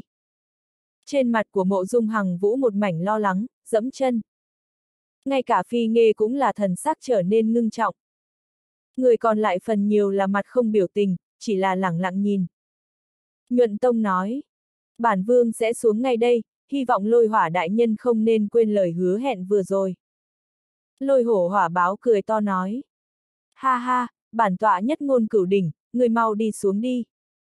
Nhuận Tông gật đầu, liền hóa ra một đạo quang mang, đuổi theo Lý Vân Tiêu đi. Rất nhanh, hai người liền xuất hiện lần nữa ở phía trước đô thiên tỏa nguyên đại trận trận vị. Thời khắc này trận pháp từ lâu đã tự hành hiển lộ ra, chín tầng sáng mờ không ngừng khuếch tán, trong đó còn ẩn chứa điện quang cực mạnh, kích tràn tới. Nhuận Tông lạnh lùng nói. Lý Vân Tiêu, người muốn hại ta, ta há có thể cho ngươi như nguyện. Lý Vân Tiêu nói. Ngươi suy nghĩ nhiều, ta đích xác chỉ là muốn mượn rơi bên trong lôi năng, để tránh khỏi tạo thành thương tổn thật lớn. Về phần ngươi vứt bỏ khôi lỗi của ta, việc giết người ta sẽ kinh nghiệm bản thân làm. Hừm, bớt nói đường hoàng như vậy. Nhuận Tông căn bản không tin, châm chọc nói. Nếu thật có tuyệt thế ất mộc nói, đối với ngươi mà nói bị nổ banh trung quy so với lôi hổ hỏa báo bắt giữ mạnh hơn. Thần sắc hắn khẽ động, nói. Ngươi tuyệt sẽ không còn ảo tưởng mình có thể đạt được đi. Lý Vân Tiêu lạnh nhạt nói. Nếu là tuyệt thế thần vật, trong minh minh sớm có chủ nhân, cưỡng cầu không được. Nhuận Tông sừng sốt, sau đó nặng nề hừ một tiếng, không để ý đến hắn nữa, mà là đưa ánh mắt về phía trận pháp kia, nói. Người nghĩ nổ ra một lỗ thủng, chúng ta bao lớn nắm chặt còn sống. Lý Vân Tiêu cười nói. Bây giờ nghĩ điểm này có ích lợi gì? Tận lực cẩn thận được rồi. Hừm. Nhuận Tông buồn bực tức giận hừ một tiếng, đem hết thảy đều trách tội ở trên người của Lý Vân Tiêu. Lý Vân Tiêu ngưng mắt nhìn trận pháp kia, nói. Đem phấn sắc tinh trần đánh vào cho trận pháp cùng lôi diện mạo rừng dao, tạo thành phá hư chắc là ít nhất. Nhuận Tông nói. Được. Lúc này Lý Vân Tiêu không có khả năng lừa gạt hắn, một cái long đầu cốt bị nắm hắn ở trong tay, trong sát na số lớn phấn sắc trần hôi bay ra, thoáng cái mê người hai mắt. Phấn sắc trần hôi này ở dưới long đầu cốt vừa phun, đều bay về phía trong trận, lóe lên một cái sẽ chui vào bên trong. Trên bầu trời tất cả mọi người thần thức rất mạnh, đem phía dưới tình huống nhìn thấy rõ ràng, đều là lộ ra sắc mặt vui mừng tới. Nhưng đồng thời cũng hai tay siết chặt, cảnh giác tới cực điểm. Nhuận Tông cũng là sắc mặt trắng bệch, liếm môi khô một cái, ngay cả hô hấp đều thay đổi đến bắt đầu cẩn thận. Phấn sắc tinh trần thẩm thấu đến trong trận pháp hậu, như là sôi trào lên vậy, run lẩy bẩy, hình như hạt bụi trong ly nước, làm vô quy tắc vận động. Sắc mặt của nhuận tông thoáng chút ngưng trọng, tay trái ở trước người bắt ra một quyết ấn. Bên trong phấn sắc trần hôi thoáng cái đình chỉ vận chuyển, bắt đầu hướng phía một cái phương hướng ngưng tụ đi. Đại lượng phấn sắc hội tụ vào một chỗ, kết xuất một tinh thể cầu lớn cỡ quyền đầu, phấn hồng mà trong suốt. Lý Vân Tiêu ngắm nhìn tinh cầu kia, ở dưới lôi điện quang mang không ngừng xoay tròn, mặt trên tinh cầu tựa như ảo mộng, khiến người có một loại cảm giác nhìn không chân thực. Ác, phong, lệ, hồng. Trong miệng nhuận tông bắt đầu phun ra đám long ngữ tối nghĩa khó hiểu, mỗi một lần trong tay quyết ấn đều phối hợp biến đổi, sau mấy tiếng rốt cục dừng lại. Nổ! Một chữ cuối cùng cũng rõ ràng phun ra, Lý Vân Tiêu nghe được chân chân thiết thiết. Sau một chữ này phun ra, nhuận tông cả người hóa thành gió xoáy chui ra mười mấy trượng, số lớn phấn sắc trần hôi từ long đầu cốt trong tay phun ra, ngưng kết ra tầng tầng tinh bích, từng cái gạt ra, ở trước người hình thành từng đạo phòng ngự. Phanh! Trong trận pháp phấn sắc tinh thể tiểu cầu quả nhiên một chút bạo liệt, cũng không có sản sinh cái gì đánh vào thị giác, chỉ là phấn sắc đột nhiên tiêu thất, như là không gian sụp đổ rất một khối. Sau đó từng cục mảnh nhỏ hắc sắc từ sụp đổ chỗ bắn khai, mỗi một mảnh vụn cũng không ngừng mở rộng, cắn nuốt tất cả không gian năng lượng. ầm, um, Rốt cục có một mảnh vụn từ bên trong đánh vào trên trận pháp, một góc trận quang nhất thời vùi lấp xuống phía dưới. Lập tức có khối thứ hai, khối thứ ba. Toàn bộ quá trình đều trong phút chốc hoàn thành, Lý Vân Tiêu đã ở giây phút phấn sắc tinh thể cầu biến mất một chút thuấn di ra, đồng thời trên người bay ra đại lượng hắc sắc ma văn, trực tiếp ngưng ra ma thiên khải đắp lên trên người. Trận pháp kia một góc rốt cục vỡ vụn ra, một mảnh đen kịt không gian lan tràn đi ra, nhảy vào thế giới bên ngoài, giật lại hơn 10 thước chiều dài. Sau đó hắc sắc không gian mới chậm rãi co rút lại, cho đến biến mất. Trên bầu trời mọi người đều là trong lòng lột bột một chút, khẩn trương ngưng mắt nhìn. Đô thiên tỏa nguyên đại trận bị mở ra một góc, có thể thấy điện năng kinh khủng bên trong, chốc lát lại có lôi quang phụt ra. Lý Vân Tiêu nắm trong tay lôi quyết, càng có thể cảm nhận được cổ lôi điện chi lực kinh khủng, sắc mặt trở nên cực kỳ khó coi, nói. Đâm ra chỗ hồng nhưng không có lôi năng tiết ra, đây là có chuyện gì? Nhuận Tông đang ở mấy đạo phấn sắc tinh bích, cũng là nhíu mày tới, thập phần không giải thích được. Thật giống như đập lớn vỡ đê, hồng thủy cũng không chảy ra. Lý Vân Tiêu nhìn chằm chằm chỗ hồng nhìn ra ngoài một hồi, trong tay hàn quang lóe lên, nhất thời mấy đạo kiếm khí bắn ra ngoài. Ngươi làm cái gì? Nhuận Tông thất kinh, vừa thở phào nhẹ nhõm, một trái tim lần thứ hai nhấc lên căng thẳng. Vèo vèo. Kiếm quang từng đạo bổ vào trên đô thiên tỏa nguyên đại trận, trực tiếp đem trận quang cắt thành mấy khối. Đại trận không trọn vẹn không hoàn toàn thoáng cái càng tan vỡ xuống tới, cửu sắc thải quang chợt tiêu thất, toàn bộ cửa vào lôi lâm mở rộng ra, đều hiện ra ở trước mắt mọi người. Trên bầu trời này võ giả nguyên bản đi xuống vừa thấy Lý Vân Tiêu xuất thủ, đều là hoảng sợ xoay người, lần thứ hai bay cao lên mấy ngàn thước. Cho đến khi thấy trận pháp triệt để tiêu thất, lôi lâm kinh khủng điện hải nổi lên, lúc này mới chậm rãi bay rơi xuống. Phương viên hơn vạn mẫu trên hải vực một mảnh điện quang chấp động, vô căn chi thanh thụ rậm rạp chẳng chịt đặt song song trong đó. Trên mỗi cái cây đều kết xuất quả thực no đủ, ở dưới lôi quang chập chờn, bộ dáng như là thập phần vui sướng. Mọi người vừa thấy kỳ cảnh kinh khủng như vậy, đều là kinh hãi tột đỉnh. Trên lôi lâm vẫn là cùng lúc trước lôi chi vân vụ bốc hơi ra màu xanh, cũng không có bởi vì mất đi trận pháp không cùng xiềng xích, mà tán đi đi năng lượng gì. Toàn bộ kết quả, toàn bộ vô căn chi thành toàn bộ kết quả. Mục Hữu Vân kinh ngạc nhìn khắp nơi, kinh hãi nói. Ngay cả năm ngoái đã thải loại, trái cây cũng kết xuất quả tới, hơn nữa phẩm chất này. Trần Phong viễn chật vật nuốt xuống một chút, nói. Tất cả đều là cực phẩm quả. Ngoại trừ hải thiên trấn vẫn là hỗn loạn bất kham, nhóm lớn người ra bên ngoài thoát đi, ở trước lôi lâm thông đạo, trên trăm tên võ giả tất cả đều là lặng ngắt như tờ, ai nấy hoảng sợ nhìn lôi năng kinh khủng kia, đầu óc gần như trống rỗng. Mộ dung hằng vũ ngưng thanh nói. Lôi chàng khủng bố như vậy, coi như là chư vị ngồi ở đây, cũng không mấy người dám vào đi thôi. Nhuận tông trầm giọng nói. Mấu chốt là trong lôi lâm này chàng năng quá mạnh mẽ, thần thức căn bản không có tác dụng, hơn vạn mẫu hải vực, làm sao tìm được tuyệt thế ất mộc. Thần sắc của lôi hổ hỏa báo lóe ra bất định. Thần vật xuất thế có dị tượng này là quá bình thường, có lẽ là thời cơ chưa tới. Chỉ cần thời cơ đã đến, dĩ nhiên là sẽ hiện ra ở trước mặt mọi người. Nhuận Vũ cũng là kích động không thôi, nói. Chúng ta ở đây cùng chờ thời cơ như thế. Tuy rằng tuyệt thế ất mộc hắn là không đi trông cậy vào, nhưng hơn trăm vạn cực phẩm linh lôi quả, giá trị to lớn căn bản vô pháp đánh giá.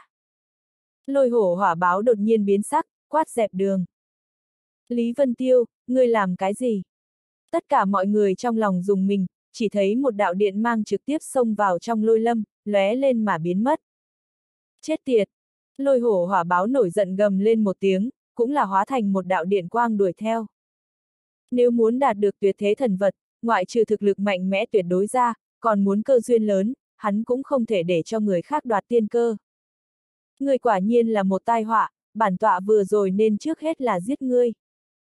Lôi hổ hỏa báo vừa tiến vào trong lôi lâm, nhất thời mất đi hình bóng của Lý Vân Tiêu. Bên trong lôi điện rậm rạp chẳng chịt, thần thức hoàn toàn nhận biết không được bất kỳ vật gì.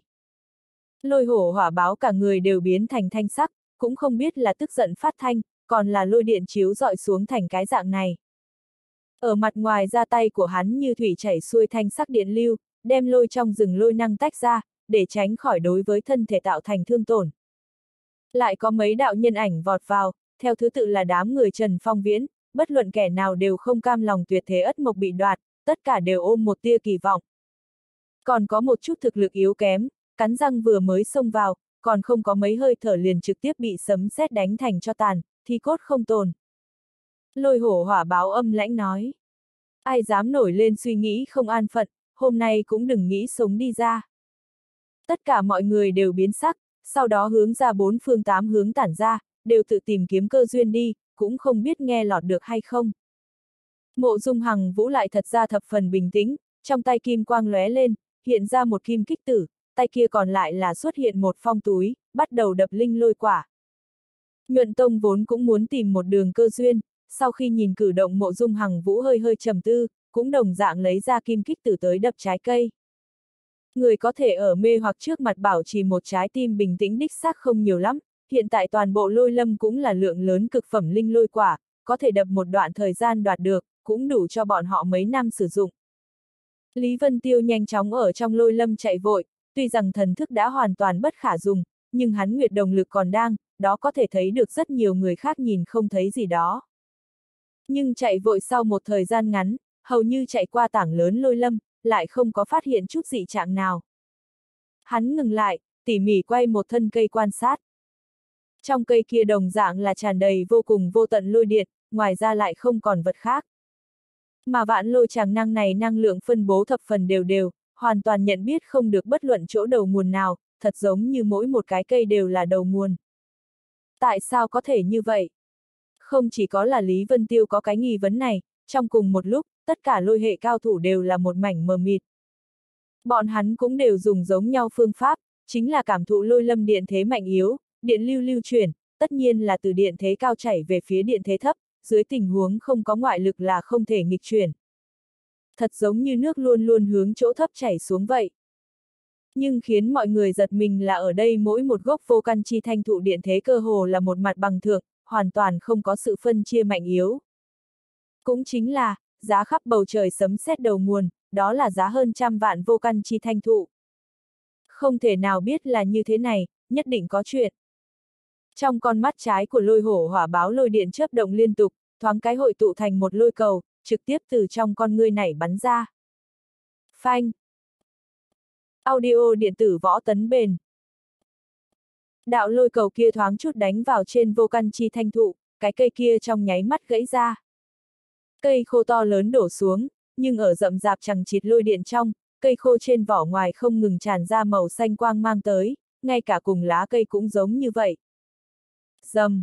Con người của lôi hổ hỏa báo bất chợt co rút lại, kinh hãi há to mồm. Chỉ thấy trong cây khô kia tuôn ra thanh sắc lôi điện năng lượng, thoáng chút đã đem toàn bộ cây khô triệt để phân giải ra, hoàn toàn hóa thành lôi quang, một chút tiêu thất trên không trung. Không chỉ có là cây khô, phía dưới nửa đoạn gốc cây, cũng đồng dạng là phun ra thanh lôi tới, cuối cùng tự hành tan rã, một cái lá không dư thừa, một cây không để lại. Giờ phút này ở trước mặt Lý Vân Tiêu cũng là một gốc vô căn chi thanh thụ bị hủy, trong chốc lát hóa thành bột mịn, toàn bộ đều trở lại thành thanh sắc lôi điện. Không chỉ linh lôi quả toàn bộ đều chín, mà ngay cả vô căn chi thanh thụ cũng hóa thành lôi năng thuần túy, đây rốt cục là chuyện gì xảy ra. Lý Vân Tiêu khiếp sợ dị thường, hắn liên tiếp chém đứt vài gốc thanh thụ, tình huống đều không có gì khác nhau cả. Chẳng lẽ thứ xuất thế ở đây là bổn nguyên nguyên tố ngũ hành chi mộc? Lý Vân Tiêu nghĩ tới một loại khả năng, sắc mặt lập tức đại biến. Vạn vật mọi thứ đều trong ngũ hành, đều là do ngũ hành nguyên tố tương sinh tương khắc diễn hóa thành. Tất cả mọi thứ thấy trên thế gian, đều là do năm loại nguyên tố này gây ra, chỉ có nguyên tố chi lực bổn nguyên nhất mới có thể hóa vạn mẫu lôi lâm thành năng lượng thuần túy như thế này. Lý Vân Tiêu có chút nhắm hai mắt lại, bắt đầu cảm ứng nguyên tố biến hóa ở bốn phía. Tạo nghệ của hắn đối với lôi hệ thần thông cực cao, rất nhanh đã dung nhập bản thân vào trong loại lôi năng thuần túy này, hoàn toàn trở thành một phần tử trong đó.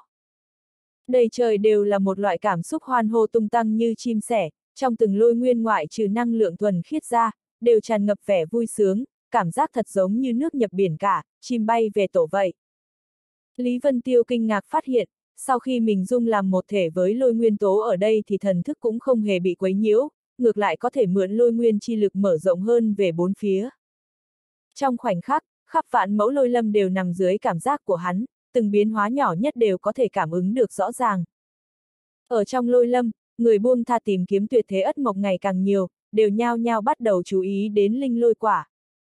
Phi nghê hóa thành một đầu hỏa phượng, bay khắp hơn phân nửa lôi lâm, sau khi không có kết quả gì lại hóa ra chân thân, trầm ngâm sau một lúc, cũng bắt đầu lấy ra một thanh kiếm nhỏ màu vàng kim gõ vào trái cây. Đột nhiên khuôn mặt ba bf trầm xuống, toàn bộ lồng ngực phanh một tiếng hóa thành hỏa diễm xoáy lên, lộ ra một cái lỗ trống rỗng. Một đạo lôi quang lăng lệ ác liệt bỗng nhiên xuất hiện, trực tiếp xuyên thấu cái lỗ trống rỗng kia, bắn về phía xa xa, oanh một tiếng phá hủy đi mảng lớn vô căn chi thanh thụ. Những thanh thụ bị chém đứt cũng đều hóa thành lôi điện, thoáng cái khiến năng lượng bốn phía tăng cường không ít. Phi Nghe lóe lên, một đoàn lửa hồng bay lên trời, quay người bắt đầu cảnh giác, ánh mắt lạnh như băng nhìn chằm chằm vào một mảnh lôi khu nhan sắc ám thanh. Ồ! Trong lôi khu kia truyền đến thanh âm ngạc nhiên, cảm thấy rất giật mình. Sau đó vô số lôi phù chấp động quay cuồng, chậm rãi hóa ra hình thái lôi hổ hỏa báo, vẻ mặt trào phúng nhìn chằm chằm vào phi Nghe. Ta rất ngạc nhiên, nơi này thần thức hoàn toàn không thể dùng, ngươi làm sao phát giác được ta đánh lén thế. Phi nghê sau khi thấy rõ người tới, sắc mặt đại biến, kinh sợ nói. Lôi hỏa đại nhân, cường giả võ đế cửu tinh đỉnh phong vậy mà cũng đi đánh lén sao? Lôi hổ hỏa báo cười hắc hắc, nói.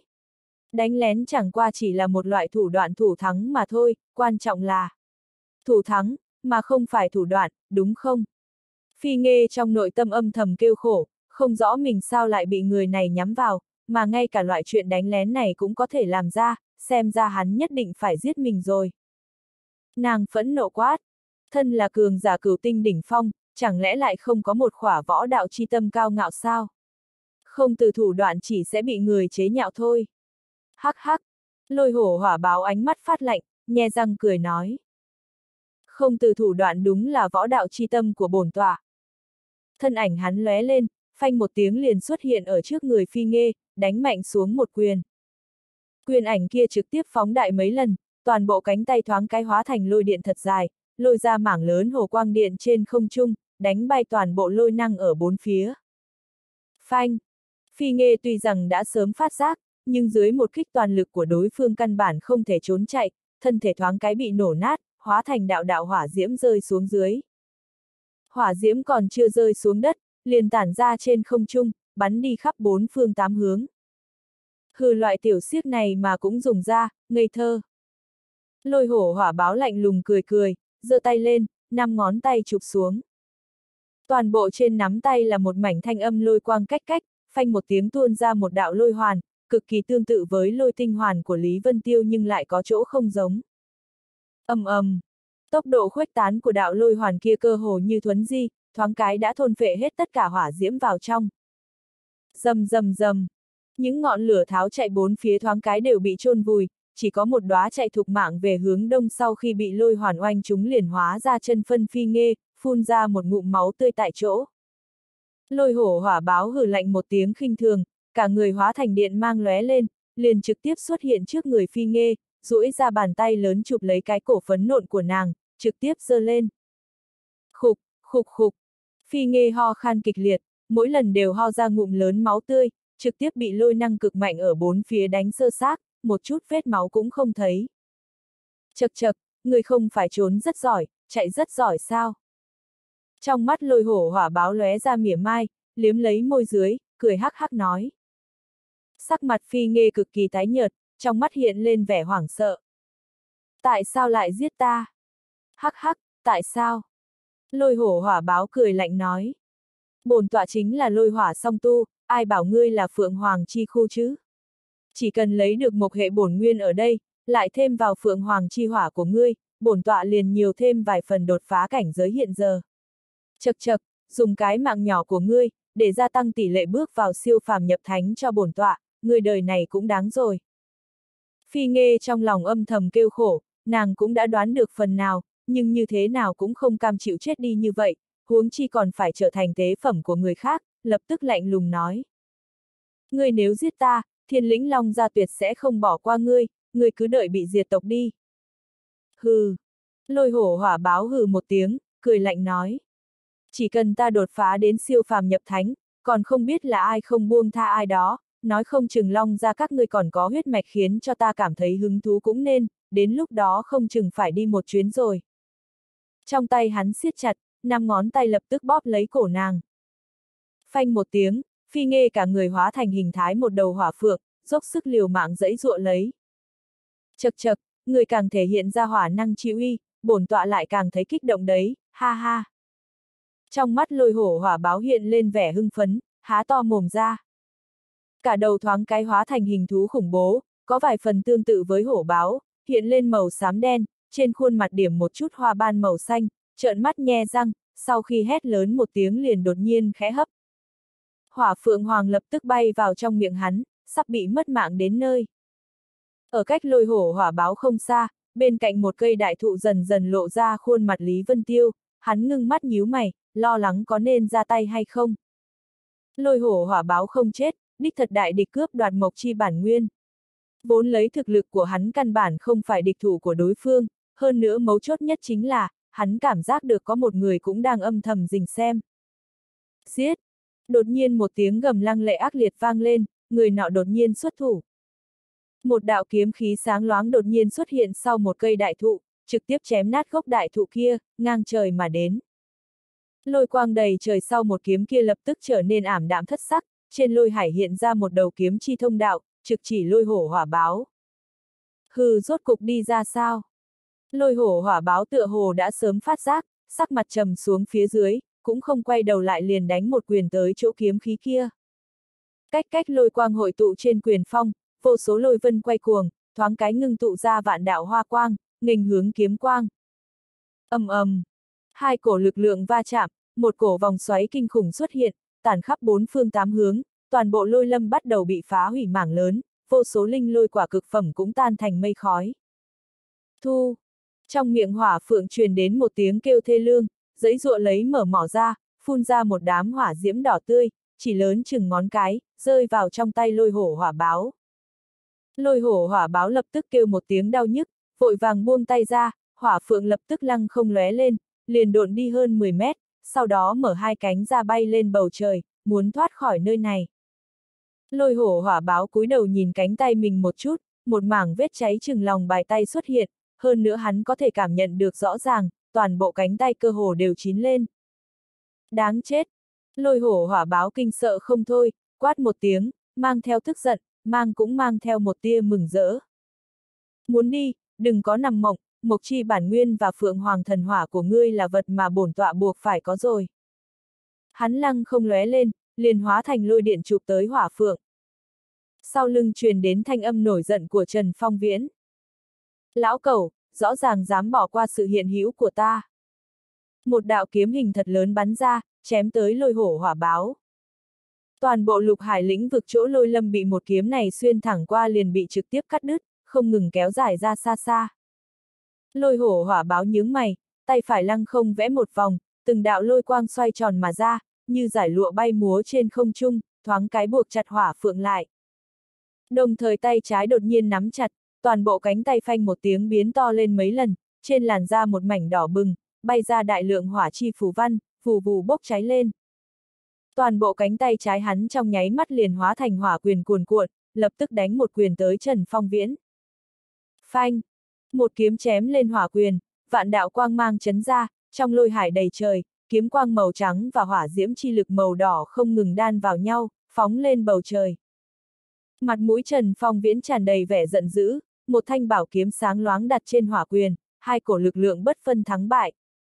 Mà sắc mặt lôi hổ hỏa báo lại trắng bệch, một kiếm vừa rồi đã chấn khiến khí huyết hắn quay cuồng, một ngụm máu tươi thiếu chút nữa đã tuôn ra, bị hắn trực tiếp áp chế xuống. Lôi hổ hỏa báo trợn mắt, hai hàng lông mi quét ngang, xanh hồng song sắc không ngừng lập lòe trên mặt. Lão thất phu người thật muốn chọc ta giết ngươi sao? Trần Phong viễn sắc mặt băng hàn, hung dữ nói. Hắc hắc, giết ta. Ngươi quả thật có năng lực giết ta, nhưng tất nhiên tự tổn tám ngàn, xem ngươi làm sao đoạt tuyệt thế ất mộc, làm sao lấy phượng hoàng chi hỏa. Lôi hổ hỏa báo kinh sợ không thôi, Trần Phong viễn nói rất đúng, mình mặc dù có thể giết hắn nhưng tất nhiên cũng phải trả một cái giá thật lớn. Đột nhiên không gian màu xanh bốn phía tối sầm lại, tất cả lôi điện lập lòe thoáng cái biến chậm lại, một đạo kiếm quang lăng lệ ác liệt đến cực điểm ngang trời mà đến, chém vỡ tất cả lôi điện. Cái gì? Lôi hổ hỏa báo cả kinh, đạo kiếm quang kia rất mạnh, mặc dù không lăng liệt như Trần Phong Viễn, nhưng cũng khiến hắn cảm nhận được một tia nguy hiểm. Hắn hiện giờ một tay vây khốn phi nghê, một tay hóa thành hỏa quyền áp chế lợi kiếm của Trần Phong Viễn, căn bản không hề nhàn rỗi. Trên mặt hắn tuôn ra đại lượng điện mang, toàn bộ đầu giữ tợn uốn về phía sau, trên cổ dâng lên từng vòng lôi điện, vậy mà trực tiếp quay lại 180 độ, toàn bộ khuôn mặt đều rời ra sau, há miệng nhổ ra một đạo thiểm điện. Phanh! Tia chớp đánh lên trên kiếm quang, chấn ra đạo đạo bạch quang, vọt tới bốn phía, mảng lớn cây cối chung quanh đã sớm bị hủy sạch hết rồi. Trong chấn động một đạo nhân ảnh lăng không lóe lên, cơ hồ như thuấn di vọt tới trước người lôi hổ hỏa báo, hai tay phi tốc kết ấn, thoáng cái đã kim quang vạn trượng. Một phương kim ấn vô cùng chói mắt hiển hiện trên không trung, bốn phía còn hiện lên đại lượng lôi quang, các loại phù văn phức tạp pha cùng một chỗ, khó có thể phân biệt. Ta xem ngươi há mồm thế nào. Đạo nhân ảnh kia cười lạnh một tiếng, hai tay đẩy về phía trước, lôi sắc kim ấn bay thẳng đến lồng ngực lôi hổ hỏa báo đè xuống. Nộ nộ, đáng chết. Lôi hổ hỏa báo liên tục gào thét, đầu lâu đã không xoay kịp nữa, lập tức nhấc chân đá lên. Thối thế nhanh như tia chớp, chỉ thấy một đạo điện mang lóe lên đã đá vào trên thân người kia. Thân thể người nọ lập tức liền hóa thành thanh sắc lôi quang, toàn bộ thối ảnh trực tiếp đá vào, lực lượng một cước kia càng xuyên thấu mà qua, hóa thành một đạo thiểm điện bắn lên bầu trời. Mà giờ khắc này đại ấn màu vàng đã vỗ vào lồng ngực hắn. Phanh! Kim ấn lập tức nghiền nát, hóa thành vô số phù văn tuôn gia nhập vào trong cơ thể lôi hổ hỏa báo, lôi quang chung quanh ấn quyết lan tràn trên lồng ngực hắn, như vô số con run nhanh chóng bỏ khắp nơi vậy. Hừ! Lôi hổ hỏa báo kêu rên một tiếng, rốt cục một ngụm máu tươi sông lên cổ họng, trong miệng chợt có vị mặn nhàn nhạt. Hắn nộ quát một tiếng, cả người thu hai tay lại, hỏa quyền chấn khai kiếm thế của Trần Phong Viễn, lúc này mới hóa thành lôi quang độn ra mấy chục thước. Hỏa phượng rốt cục thoát khốn, quanh quẩn trên không trung một vòng, cũng không đào tẩu, ngược lại bay xuống, hóa thành thân hình, cảm kích nói. Cảm ơn ngươi, Lý Vân Tiêu. Trên mặt phi nghe tái nhợt dị thường, trong mắt còn có vẻ sợ hãi nồng đậm. Khách khí. Lý Vân Tiêu ngưng giọng nói, ánh mắt lại thủy chung nhìn chằm chằm vào phía trước, cảnh giác vạn phần. Tuy rằng hắn biến thân lôi điện hóa giải lực lượng một cước của lôi hổ hỏa báo, nhưng vẫn bị ảnh hưởng rất lớn, giờ phút này khí huyết trong cơ thể cũng quay cuồng, nếu không phải thân thể hắn cường hoành thì võ đế thất tinh bình thường dưới một cước kia đã sớm tan thành mây khói rồi. Trần Phong Viễn cũng giật mình đánh giá Lý Vân Tiêu, tựa hồ cực kỳ khó hiểu đối với thực lực của hắn. Dù cho Lý Vân Tiêu trước kia nhẹ nhõm chiến thắng An Lâm, nhưng hắn cũng không cho rằng hắn có thể chống được một cước của võ đế cửu tinh đỉnh phong mà mặt không đổi sắc. Phi Nghê cũng nhìn qua lôi hổ hỏa báo, ý sợ hãi trong mắt chậm rãi biến mất, ngược lại hóa thành lửa giận và hàn ý vô biên, nghiến răng nghiến lợi nói. Lão tặc này thật là đáng chết. Nàng tuy rằng thực lực siêu tuyệt, nhưng thân là tiểu thư Long Gia, cũng chưa từng trải qua chiến đấu sinh tử gì cả, vừa rồi cơ hồ suýt nữa chết, đã sợ tới mức hồn phi phách tán rồi. Giờ phút này ở bên người Trần Phong Viễn và Lý Vân Tiêu, nàng tựa hồ đã tìm được cảm giác an toàn, nên chậm rãi khôi phục lại tâm tình. Lôi hổ hỏa báo thoáng vận khí điều tức, liền lập tức khôi phục như thường, hai mắt nhìn chằm chằm vào Lý Vân Tiêu, tuôn ra hung mang. Quả nhiên là một mối họa, trước kia nên giết chết người trước mới đúng. Lý Vân Tiêu tuy rằng cảnh giác dị thường, nhưng bộ dạng vẫn không thèm để ý, dùng lỗ mũi khẽ nói. Người nói giết liền giết, thật xem mình là thập phương thần cảnh rồi sao? Ha ha, đúng vậy. Trần Phong Viễn thoải mái cười ha hả, nói. Lão Phu hôm nay dù liều cả tính mạng, cũng muốn ngăn cản ngươi, tuyệt thế ất mộc, phượng hoàng chi hỏa, ngươi một cái cũng đừng nghĩ đến. Lôi hổ hỏa báo tức đến sắc mặt tái nhợt, trợn tròn mắt hổ nhìn qua mọi nơi, lộ ra vẻ lo lắng. Mấy người vừa mới giao thủ mấy chiêu, bốn phía đã hiện ra khu vực chân không mấy trăm trượng, tất cả vô căn chi thanh thụ đều bị hủy sạch. Nếu thật sự buông tay đấu võ thì sợ rằng vạn mẫu lôi lâm cũng không chịu nổi một kích. Lão thất phu, có dám lên trên trời quyết thắng thua với ta không? Lôi hổ hỏa báo ánh mắt phát lạnh, cũng là nổi lên ý quyết giết. Chưa trừ diệt trừ chướng ngại Trần Phong Viễn này thì hôm nay chắc chắn sẽ không có kết quả, hắn cực kỳ hối hận trận chiến hôm qua đã không đánh chết đối phương. Trần Phong Viễn trong lòng khẽ nhúc nhích, có chút do dự. Nếu thật sự lên trên trời đánh một trận, ba người bọn họ liên thủ cũng không phải đối thủ lôi hổ hỏa báo, nhưng nếu đấu võ ở đây, hắn cũng không muốn lôi lâm bị hủy hoại chỉ trong chốc lát. Lý Vân Tiêu khẽ nhúc nhích bờ môi, truyền âm nói. Có thể đánh một trận, dùng ứng phó kéo dài làm chủ, chờ đợi tuyệt thế ất mộc xuất thế. Chúng ta nhiều người, chiếm ưu thế chủ động. Trần Phong viện ánh mắt sáng ngời, liền cười lạnh nói với lôi hổ hỏa báo. Tốt, liền như ngươi mong muốn. Ba người liếc mắt nhìn nhau, liền đằng không bay lên. Lôi hổ hỏa báo mặt âm trầm, dưới chân đạp một cái, liền hóa thành lôi cầu phóng lên trời. Liên quan đến Mộc Chi Bản Nguyên và Phượng Hoàng Chi Hỏa, nhất định phải giết mấy người trước mắt này mới được. Phía trên trời cao, kình phong lăng liệt, bốn người đối mặt mà đứng. Trong mắt lôi hổ hỏa báo lóe lên lôi quang, bàn tay lớn chụp vào không trung, liền nắm đạo lôi đình trong tay, đang muốn công kích. Lý Vân Tiêu đột nhiên chặn lại nói. Chậm đã. Lôi hổ hỏa báo lạnh giọng nói. Sao hả, sợ sao? Lý Vân Tiêu cười nói. Không phải sợ, chỉ là người hai tộc chúng ta nhiều thế hệ hữu hảo, cần gì sinh tử tương bác chứ, không bằng ngồi xuống uống chén trà, mọi người từ từ nói chuyện. Trần Phong Viễn và Phi Nghê thiếu chút đã thổ huyết, mặt hai người đều đầy hắc tuyến. Lôi hổ hỏa báo lạnh lùng nói. Loại thủ đoạn kéo dài thời gian trẻ con này, ta sẽ mắc lừa sao? Lý Vân Tiêu cười nói. Có thể kéo chút nào hay chút nấy a? À? Đáng chết. Lôi hổ hỏa báo nộ quát một tiếng, tia chớp trong tay như trường mâu phóng tới Lý Vân Tiêu. Chẳng biết tại sao, hắn thấy khuôn mặt chẳng thèm quan tâm kia của Lý Vân Tiêu liền muốn xé nát đối phương ngay lập tức. Lôi điện trường mâu lóe lên trên không trung, ba một tiếng đục lỗ tầng tầng không gian, thân thể Lý Vân Tiêu run rẩy dưới cổ uy áp kia, sau đó bị đục lỗ, hóa thành đạo đạo quang mang tiêu tán mất.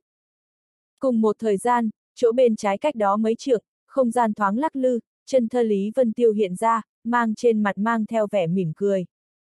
Trong lòng Trần Phong Viễn và Phi Nghê đều cả kinh, dưới uy áp cửu tinh đỉnh phong của lôi hổ hỏa báo còn có thể thi triển ra ảo thuật tàn ảnh, ảo thuật thần thông của người này đã đăng phong tạo cực rồi. Lôi hổ hỏa báo sắc mặt âm trầm, lại thấy nụ cười tự tin kia của Lý Vân Tiêu, trong lòng hắn càng thêm điên tiết. Xem ngươi có thể tránh được mấy chiêu của bổn tọa. Hai tay của hắn chụp mạnh xuống, vô số lôi vân rậm rạp chẳng chỉ tuôn ra, hợp lại trước người, hóa thành một chùm lôi quang như hình quạt mở ra. Uống! Gầm lên giận dữ, đạo lôi quang hình quạt kia run lên bần bật, như sấm sét giữa trời quang, hóa thành một đạo lôi nguyên hình bán nguyệt, ầm ầm chém ra. Nguyệt hình lôi quang thoáng cái hóa thành hơn trăm trượng, như một vòng mặt bằng trực tiếp mở không gian ra. Sắc mặt Trần Phong viễn trầm xuống, quát. Cẩn thận! Một chiêu lôi nguyên chảm này bao phủ lấy cả ba người vào trong, hắn cũng không ngoại lệ, lập tức dương lên bảo kiếm, thanh quang lan tràn, như lãnh nguyệt im ắng, lặng yên mà ra. Một thanh kiếm quang như nước kích động trên không trung, nghênh hướng lôi trì bán nguyệt kia. Bang bang!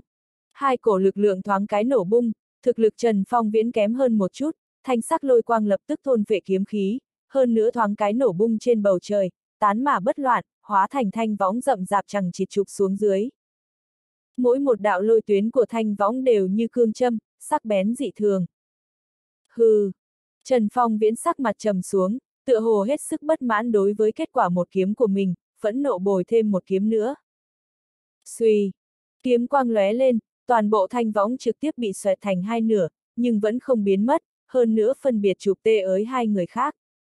Thần sắc Lý Vân Tiêu không thay đổi, loại lôi võng trình độ này đã không còn bao nhiêu sức mạnh nữa, cả người hắn thoáng cái hóa thành lôi đình, lóe lên liền xuyên qua khe võng. Chỉ ở trên lôi võng tóe lên vài đạo hồ quang điện, cả người hoàn toàn không có gì đáng ngại cả. Phi Nghe lại biến sắc, hai tay đẩy ra trước, lập tức vô số vũ linh bắn ra, ngưng tụ trước người nàng, hóa thành một thanh quạt lông màu đỏ, lăng không quạt xuống dưới. Hô! Một cổ thần hỏa vô danh bắn ra, phóng tới thanh võng. ầm ầm, lôi võng màu xanh vừa chạm vào ngọn lửa kia, lập tức bị đốt lên một miệng lớn, rơi xuống bên người phi nghê. Hừ! Lôi hổ hỏa báo hừ lạnh một tiếng, một kích không có hiệu quả tựa hồ cũng trong dự liệu của hắn, tay trái bấm niệm pháp quyết, tay phải chụp mạnh một chảo vào hư không, ầm ầm một tiếng chấn vang, giống như bầu trời trực tiếp rách nát ra vậy. Một đạo kim quang trực tiếp lóe lên trong tay hắn, hóa thành một thanh kim cương sử chừng ba trượng, trên đó có khắc các loại đầu thú, diện mục dữ tợn. Sử này vừa xuất hiện, lập tức lôi quang đầy trời bắt đầu khởi động, không ngừng từ đó bắn ra, toàn bộ bầu trời chiếu sáng trưng, cùng lôi lâm điện hải bên dưới chiếu dọi lẫn nhau. Bốn người giao thủ thoáng cái đã kinh động lấy tất cả mọi người bên dưới. Vợ chồng Trần Phong, bọn người mộ dung hằng vũ cũng bất chấp hái trái cây, thoáng cái liền phóng lên trời. Sắc mặt Mộc Hữu Vân cũng đại biến, đột nhiên hít vào một hơi, hét lớn đi ra. Tất cả mọi người nghe lệnh, vây giết toàn bộ người hải tộc. Một cổ sóng âm chi lực chấn động ra, trùng kích trong toàn bộ lôi lâm, khuếch trương ra bốn phương tám hướng. Người hải tộc chỉ còn lại nhuận tông, nhuận võ, còn có nam tử mặt thịt và thập đại hộ vệ, nghe thế sắc mặt đều đại biến, trở nên cảnh giác vạn phần. Trên bầu trời lôi hổ hỏa báo cũng đã nghe được thanh âm, hừ lạnh một tiếng, tựa hồ lơ đánh, chỉ là kim cương sử trong tay xoay chuyển, một cổ lôi lực minh mông tuôn ra, chậm rãi ngưng kết trên không. Vô số lôi chi phủ văn điên cuồng bay múa, đều bị hút vào trong lôi vân, bên trong sấm sét vang dội, như một mảnh lôi chi địa ngục, trong mơ hồ hóa ra vô số thú ảnh chạy vội trong đó. Sắc mặt Lý Vân Tiêu đại biến, trầm giọng nói. Không tốt phong viễn tiên sinh, mau cắt đứt chiêu này của hắn. Trần Phong Viễn cũng kinh hãi, quyết đấu trước kia cũng chưa thấy đối phương thi triển loại chiêu số cực kỳ tốn thời gian này, một cổ dự cảm bất hảo xông lên đầu, mặc dù không có Lý Vân Tiêu nhắc nhở, hắn cũng ngồi không yên nữa rồi. Từng đạo kiếm quang thoáng hiện quanh thân hắn, cả người hóa ra vô số tàn ảnh, mỗi một kiếm đâm ra, đều ngưng mà không tiêu tan, trong khoảnh khắc, đầy trời đều là kiếm nhìn như mất trật tự. Sắc mặt Lý Vân Tiêu cũng ngưng trọng vạn phần, quát. Đồng loạt ra tay, ngàn vạn không thể để cho hắn hoàn thành chiêu này. Chỗ mi tâm hắn bỗng nhiên mở ra thiên mục, giới thần bi hóa thành một đạo lưu quang bắn ra, trên đó có vô số ma ha cổ tự bay ra, vần quanh thân bi. Hai tay Lý Vân Tiêu nhanh chóng bấm niệm pháp quyết, nguyên một đám ma ha cổ tự trực tiếp ngưng tụ ra trong tay hắn, đánh vào trên giới thần bi, từng chữ chấn nhập trong đó, đều dẫn động thiên địa nổ vang, đồng thời hóa thành một đạo quang hoàn quấn ở thân bi. Đó là huyền khí gì? Tất cả mọi người sửng sốt một chút, vốn lực chú ý đều ở trên người lôi hổ hỏa báo và Trần Phong Viễn, cũng bỗng chốc bị Lý Vân Tiêu hấp dẫn. Lôi hổ hỏa báo cũng là nhướng mày, lộ ra ngưng trọng cùng lăng lệ ác liệt chi sắc. Trên trán Lý Vân Tiêu lộ ra gân xanh, quát mạnh nói. Nhìn con em ngươi a, à, mọi người mau chóng ra tay đi. Mọi người lúc này mới chấn động thân hình, nhao nhao phục hồi tinh thần lại. Phi nghe cả người lăng không xoay chuyển, tay trái đánh ra từng đạo quyết ấn, đánh vào trong quạt lông vũ đỏ thấm kia, trên toàn bộ quạt lông chấp động linh quang. Sau đó nàng khẽ quát một tiếng, khẽ mở môi, nhổ ra một ngụm liệt diễm màu đỏ, thổi vào trên quạt lông. Những lông vũ kia phảng phất thoáng cái đều bốc cháy lên, có loại xu thế khổng tước xòe đuôi, chuẩn bị cũng đã diễm lệ phi thường, linh khí mười phần. Phi nghê bắt lấy quạt lông, trong mắt hiện lên ánh sáng lạnh như băng, dùng sức quạt xuống. Thu! Một tiếng chim hót vang lên trên bầu trời, lập tức hóa thành một đầu hỏa phượng màu đỏ, chiếu rọi cả nửa bầu trời đến đỏ bừng, như hồng vân đốt tới lôi hổ hỏa báo. Trần Phong và Lương Ngọc Y liếc mắt nhìn nhau, hai người lập tức tâm hữu linh tê, tâm ý tương thông. Một người tử kiếm bay lên trời, lập tức hóa thành một đầu đại xà, diện mục giữ tợn le lưỡi ra. Một người cũng kiếm thế lăng không, thập nhật đồng thiên. Sắc mặt Lương Ngọc Y trầm xuống, nhẹ quát một tiếng, trường kiếm trong tay xoay chuyển, thập nhật lập tức xoay tròn vòng quanh trường xà, thoáng cái đột nhiên hợp nhất. Đồng tử Trần Phong đột nhiên co lại, hai tay kháp ra một ấn quyết cổ quái, tựa hồ dốc hết lực lượng toàn thân đánh ra. Thiên trị uy nghiêm, nhất kiếm thiên khiển. Ấn quyết kia vỗ vào trên thân trường xa lập tức xà hóa dao, dao hóa rồng, kết hợp cùng đạo liệt dương kia, như thanh long nhả châu, đánh tới phía trước. Sắc mặt mộ dung hằng vũ lạnh như băng, chỉ là trên người hàn quang lăng liệt, cả người liền như là một thanh trường kiếm, tùy thời đều muốn ra khỏi vỏ giết người. Chật chật, nhiều người như vậy liên thủ, xem là bổn sự gì chứ, người cứ để cho ta đối phó đi. Đột nhiên một đạo âm thanh lạnh như băng vang lên, chỉ thấy hào quang lóe lên, nam tử mặt thịt của hải tộc đột nhiên xuất hiện trước người mộ dung hằng vũ, hai đấm hợp lại đánh tới. Mộ dung hằng vũ phẫn nộ quát. Muốn chết. Thân ảnh hắn hơi động một chút, cũng không thấy ra tay liền có một đạo kiếm quang bắn ra, chém thẳng vào đầu đối phương. Thần sắc nam tử mặt thịt biến đổi, hóa quyền trảo, lại trực tiếp chụp vào kiếm quang. ầm ầm, kiếm khí trực tiếp nổ bung trong lòng bàn tay hắn, trong mắt hiện lên một tia ngoan lệ liền xông tới, hai người rất nhanh đã chiến đấu với nhau. Giờ phút này trên trời, kiếm thế của Trần Phong Viễn cũng vận chuyển tới cực hạn, trong không gian tầm hơn 10 trượng đều lộ ra kiếm quang của hắn, cùng với vô số tàn ảnh. Vào thời khắc này phảng phất như dừng lại. Đồng tử lôi hổ hỏa báo đột nhiên co lại, thân hình cũng không khỏi chấn động. Tuy rằng hỏa phượng, tử long, liệt dương đánh đến đều dị thường lăng lệ ác liệt, nhưng hắn còn không chính thức để vào mắt, giờ phút này trong hai mắt chấp động lôi hỏa, toàn bộ tâm thần đều tập trung vào chiêu kiếm thế kia của Trần Phong Viễn. Nhất kiếm tay lai, thiên ngoại phi tiên. Một tiếng xa xưa vang lên, Trần Phong Viễn cả người nhẹ nhàng khẽ động. Lập tức tàn ảnh và kiếm khí đầy trời bỗng nhiên hội tụ lại, hóa thành một người, một kiếm, lăng không chém ra. Xuy! Toàn bộ thời không tựa hồ thoáng cái bất động, mọi âm thanh tịch diệt, bên tai tất cả mọi người chỉ còn lại một âm thanh, chính là kiếm âm. Lý Vân Tiêu cũng đồng thời ném giới thần bi đi, một tòa bất hủ chi bi to lớn cao ngạo nháy mắt biến mất tại chỗ, sau một khắc đã xuất hiện ở trước lôi hổ hỏa báo, kim quang lóng lánh, mạnh mẽ đè ép xuống. Bốn người liên thủ một kích, đủ để sụp đổ hoàn vũ, đánh nát hư không. Lôi hổ hỏa báo rốt cục biến sắc rồi, trong hai tròng mắt tuôn ra tức giận và vẻ quả quyết, kim cương sử trong tay xoay chuyển, quát. Lôi giới. ầm ầm. Theo hắn hét lớn một tiếng, toàn bộ bầu trời đều chấn động kịch liệt. Vạn đạo lôi đình thoáng cái tuôn ra từ trên người hắn, trên da thịt toàn thân lộ ra từng vòng đường vân màu xanh, hơn nữa có đại lượng phù văn không ngừng lượn vòng mà ra, cả người phảng phất như lôi thần đến thế gian. Lôi vân trên đỉnh đầu hắn bỗng nhiên biến thành trăm trượng, giống như trong vũ trụ hỗn độn, một hạt kỳ điểm đột nhiên nổ bung, hoặc như một phương thế giới xuất hiện, chấn vỡ hoàn toàn không gian hiện giờ. ầm ầm, không gian không ngừng chấn động, toàn bộ lôi vân màu xanh tăng trưởng theo cấp số nhân, phảng phất muốn triệt để thay thế thế giới hiện giờ vậy. Phanh! Hỏa phượng đầu tiên đâm vào lôi vân màu xanh kia lên, tóe ra một chùm ánh lửa, không ngừng vỗ cánh vang lên tiếng si. Si, nhưng chỉ nháy mắt đã rên rĩ một tiếng, hình thái phượng hoàng hoàn toàn bị nổ nát, hóa thành một đoàn hỏa diễm, bị lôi giới nghiền áp qua, cuối cùng nhất chôn vùi mất. Sắc mặt phi nghe đại biến, trong mắt hiện lên vẻ sợ hãi, quạt lông đỏ thẫm vừa thu lại, cả người liền độn ra sau vài trăm thước.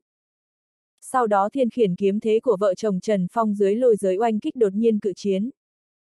Dị tượng tử long trục nhật bị lôi vân nghiền áp qua, hào quang trên người không ngừng nứt vỡ, toàn bộ dị tượng trực tiếp nhét vào trong thế giới màu xanh, bắt đầu quay cuồng dẫy ruộng, muốn phá tan lôi giới, nhưng lại như phủ du lay cây, không biết tự lượng sức mình. ầm ầm, lôi giới khuếch tán rốt cục đâm vào dưới kiếm thế của Trần Phong Viễn, toàn bộ kết giới chấn động mãnh liệt thoáng một cái, tốc độ khuếch trương kinh khủng kia bỗng chốc bị ngăn chặn lại. Toàn bộ gương mặt Trần Phong Viễn trướng đỏ bừng, mười thành nguyên lực đều hợp nhập vào trong một chiêu này, kiếm khí trong tay cũng bị kích phát đến mức tận cùng, không ngừng có tiếng khí minh cường đại vang lên. Nhưng thế kiếm kia tuy mạnh, một mình bổ ra một phương thế giới, chống lại lôi giới kéo dài tới, lại khó có thể bền bỉ, thời gian dần qua chợt run rẩy lên. Sắc mặt lôi hổ hỏa báo trầm xuống, hừ lạnh nói. Lão thất phu, hôm nay chính là tử kỳ của ngươi. Quyết ấn trên tay trái ấn đánh vào trong kim cương sử, quát. Lôi giới trung chiêu. Bành. Một tiếng vang thật lớn, kiếm thế của Trần Phong Viễn rốt cục không thể kháng trụ nữa, đột nhiên thoáng cái phá vỡ ra, kiếm khí không ngừng tiêu tán. Phốc! Trần Phong Viễn phun ra một ngụm máu tươi, tròn mắt muốn nứt, giận dữ hét. Đáng chết ta liều mạng với lão cẩu ngươi. Trên người hắn không ngừng dâng lên đại lượng kiếm phù, ở sau lưng ngưng tụ thành một cái kiếm hoàn màu vàng cự đại, kiếm thế trong tay mở ra, lần nữa kích ra một chùm kiếm quang, giữ vững lôi giới chi lực. Hai cổ lực lượng rằng co trên không trung, linh áp khủng bố khuếch tán ra, như khe hở rậm rạp chẳng chịt lan tràn khắp bốn phía. Nhưng định nhãn nhìn lại, trời cao đã là một mảnh màu xanh, kiếm uy kia tuy mạnh, nhưng lại bốn bề thọ địch. Ngay khi Trần Phong viễn tuyệt vọng thì đột nhiên trong thế giới màu xanh một đạo lưu quang tràn ngập các loại màu sắc hiển hiện, bỗng nhiên hóa thành một tòa bất hủ phong bi, trực tiếp đè xuống trên người lôi hổ hỏa báo. Cái gì? Lôi hổ hỏa báo cả kinh, công kích của ba người còn lại đều bị lôi giới chi lực của hắn nổ nát hoặc là ngăn cản lại, huyền khí do Lý Vân Tiêu ném ra thoáng cái chẳng biết lúc nào đã xuất hiện. Giờ phút này giới thần bi lưu quang chuyển động, không ngừng có ma ha cổ tự hiển hiện, hơn nữa từng vòng màu vàng vần quanh bốn phía, như tấm bia to lớn cao ngạo lăng không mà xuống, một phương không gian dưới chân áp chi lực kia cũng bắt đầu trở nên biến hình. Lôi hổ hỏa báo càng cảm nhận được xu thế như núi cao kia, sắc mặt bỗng nhiên đại biến. Giờ phút này toàn bộ lực lượng của hắn đều đang duy trì lôi giới chi lực, toàn lực nghiền áp kiếm thế của Trần Phong Viễn, nào rãnh phân tâm nữa chứ. Tiểu xúc xanh chết tiệt. Hắn nổi giận gầm lên một tiếng, trực tiếp thu tay trái về, lăng không hóa ra hỏa quyền, bùng nổ, đánh mạnh tơi. Phanh! Một đoàn hỏa diễm cực lớn đánh lên kim quang bốn phía giới thần bi, kết quả lại ầm ầm tản ra, tất cả hỏa diễm không còn sót lại chút gì. Cái gì? Lôi hổ hỏa báo đột nhiên cả kinh, hai mắt mở to ra, tràn đầy vẻ không thể tin được. Nhưng đã không có thời gian cho hắn nghĩ nhiều nữa, giới thần bi không chút nào bị lôi giới chi lực ảnh hưởng, hiệp với xu thế núi cao, ầm ầm rơi xuống. Mắt Trần Phong Viễn cũng lộ ra sợ hãi lẫn vui mừng, quát to.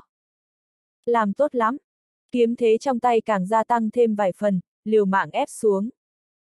Khuôn mặt hắn chật vật không thôi, nhưng trợn mắt tròn xoe, không ngừng có đại lượng kiếm phủ bay ra từ trong cơ thể. Đáng chết a! À. Lôi hổ hỏa báo lập tức đã bị lực trùng kích, hơi sơ sẩy khiến nội phủ bị thương, phun ra một búng máu. Hắn tức đến sùi bọt mép, liên tục gào thét, cả đầu cánh tay thoáng cái đốt thành màu đỏ bừng, nhiệt độ cực cao giống như nham tương vậy, hét lớn một tiếng lần nữa đánh ra một quyền. Phanh! Quyền tiêm trực tiếp nện lên giới thần bi, lôi giới màu xanh như sụp đổ một khối, không gian màu xanh bốn phía thân bia đều phá vỡ, hóa thành từng chút mảnh vỡ. Đại lượng hỏa hoa từ trên nắm tay lôi hổ hỏa báo bắn ra, từng đạo kim hoàn trên giới thần bi bị đè xuống, phát ra tiếng kim loại ma sát chói tai. Uống! Lôi hổ hỏa báo tròn mắt muốn nứt, hét lớn một tiếng, toàn bộ trên thân lần nữa yêu hóa, thân hình bành trướng lên như khí cầu, trước ngực mọc đầy lông mảnh màu nâu, quyền thế lần nữa gia tăng vài phần, nhiệt độ hỏa diễm bỗng nhiên tăng lên. Dầm dầm dầm phanh, kim hoàn trên giới thần bi từng đạo nứt vỡ, hào quang lập tức đại giảm. Lý Vân Tiêu biến sắc, vội vàng lăng không một chảo, giới thần bi lập tức vọt lên, đã bay trở về.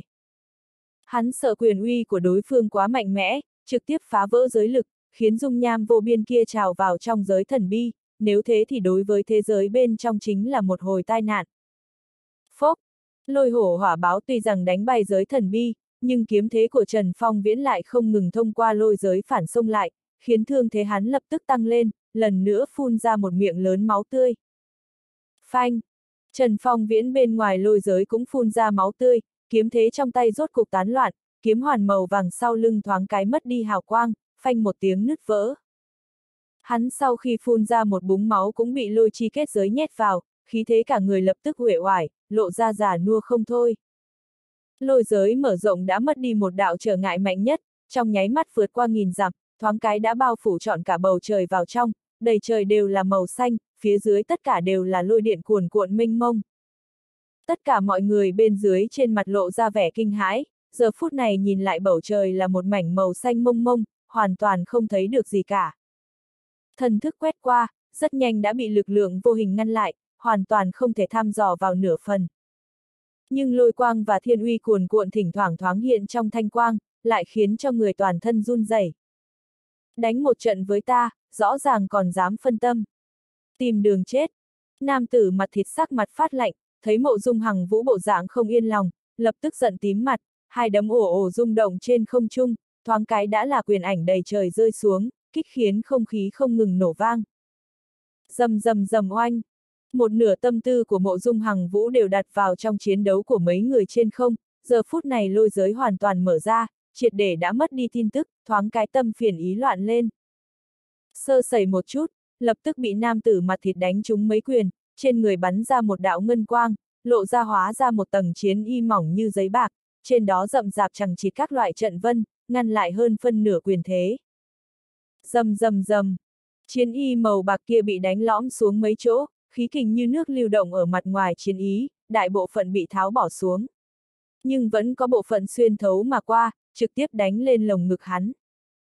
Phốc, mộ dung hằng vũ bị chấn lùi lại hơn 10 bước, trong cơ thể khí huyết không ngừng quay cuồng, rốt cục phun ra một búng máu.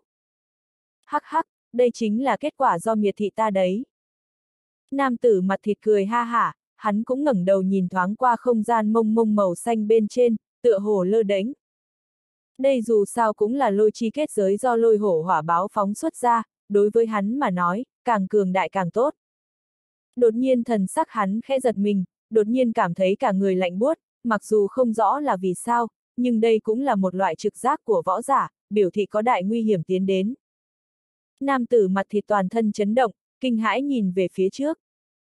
Mộ dung hằng vũ bị hắn loạn quyền đánh cho thổ huyết chậm rãi ngẩng đầu lên, trên gương mặt vốn vô cùng tuấn tú che kín đầy các vết dạn rậm rạp chẳng chịt, giống như bị lợi khí đâm vào vô số đao, triệt để hủy mất khuôn mặt vậy. Không chỉ có trên mặt hắn, mà phần cổ, hai tay, phàm là da thịt lộ ra đều bắt đầu giãn nứt, hơn nữa trong làn da vỡ tan dần khởi động lấy tinh hồng sắc. Ngươi! Nam tử mặt thịt cả kinh, đột nhiên một đạo hào quang vô cùng lăng lệ ác liệt qua, hắn vội vung quyền đón đánh. Lại hoảng sợ phát hiện, ánh sáng lăng liệt kia cũng không phải công kích gì, mà chỉ là hai con ngươi tràn ngập sát ý của đối phương. Nam tử mặt thịt thoáng cái sợ hãi, lập tức quay người bỏ chạy vào trong lôi lâm, động tác vô cùng lưu loát. Hừ! Mộ dung hằng vũ hừ lạnh như băng, hai mắt sát ý giạt rào quét qua, thân ảnh lóe lên trên không trung, liền trực tiếp xuất hiện trong lôi lâm, đuổi theo nam tử mặt thịt kia. Mà ở ở trong một khu vực chân không khác trong lôi lâm, một hồi đại chiến thảm thiết cũng đang triển khai kịch liệt.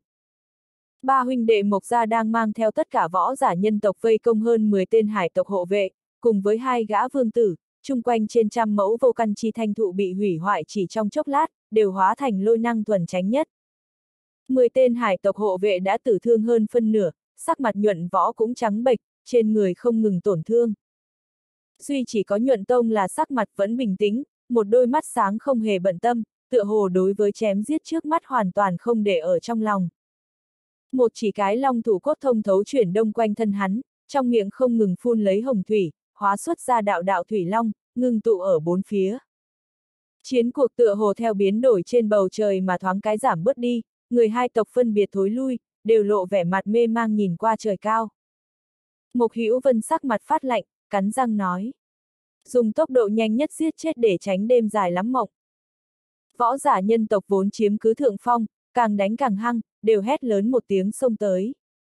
Hải tộc hộ vệ vừa mới nghỉ một hơi lập tức sắc mặt thoáng cái trắng bệch, sắc mặt nhuận võ cũng đại biến, có chút giận dữ nói. Nhị ca, nếu không xuất toàn lực thì ngay cả ta cũng phải chết ở đây mất. Nhuận tông thần sắc không thay đổi, chậm rãi nói. Không gấp, mục đích của chúng ta không phải giết người, mà là tuyệt thế ất mộc, không nên tiêu hao bản thân quá sớm. Nhuận võ rốt cục nhìn không được, giận dữ nói. Người ta đã muốn giết chết chúng ta, còn không muốn tiêu hao bản thân quá sớm sao? Nhuận tông nhìn hắn một cái, nhuận võ bị con người thanh tịnh kia nhìn lấy, lập tức toàn thân chấn động, thoáng cái nói không nên lời. Nhuận tông lạnh nhạt nói. Giết không nổi thì có thể trốn A. Hắn tự tay điểm vào long thủ cốt, lập tức hơn 10 đạo thủy long kịch liệt du đãng ra, đánh tới bốn phương tám hướng. Mà bản thân của hắn lại chụp lấy nhuận võ, cũng không để ý tên phản kháng, thoáng cái dẫm lên trên lưng thủy long lớn nhất bay vào trong lôi lâm ở xa xa. Đáng chết lão nhị lão tam theo ta đuổi, người còn lại giết hết những hộ vệ này. Mục Hữu Vân giống to một tiếng, lập tức ba đạo quang mang vọt lên, đuổi tới đầu thủy long kia. Giờ phút này trong lôi giới thanh mông mông, đầy trời đều là lôi quang vô cùng vô tận và màu xanh không thấy điểm cuối. Ở trên không màu xanh mông mông, không ngừng có hồ quang điện nhảy lên, lóe lên y vậy mà bất diệt, ngược lại trực tiếp ngưng tụ thành ánh sáng, hóa thành ngôi sao. Toàn bộ trong kết giới một cổ lôi điện chi lực minh mông thay đổi lưu chuyển một cách vô tri vô giác, diễn hóa trong lôi giới. Lôi hổ hỏa báo lạnh lùng nhìn giới thần bi kia bay về lại trong tay Lý Vân Tiêu, trên mặt hiện lên một tia không cam lòng.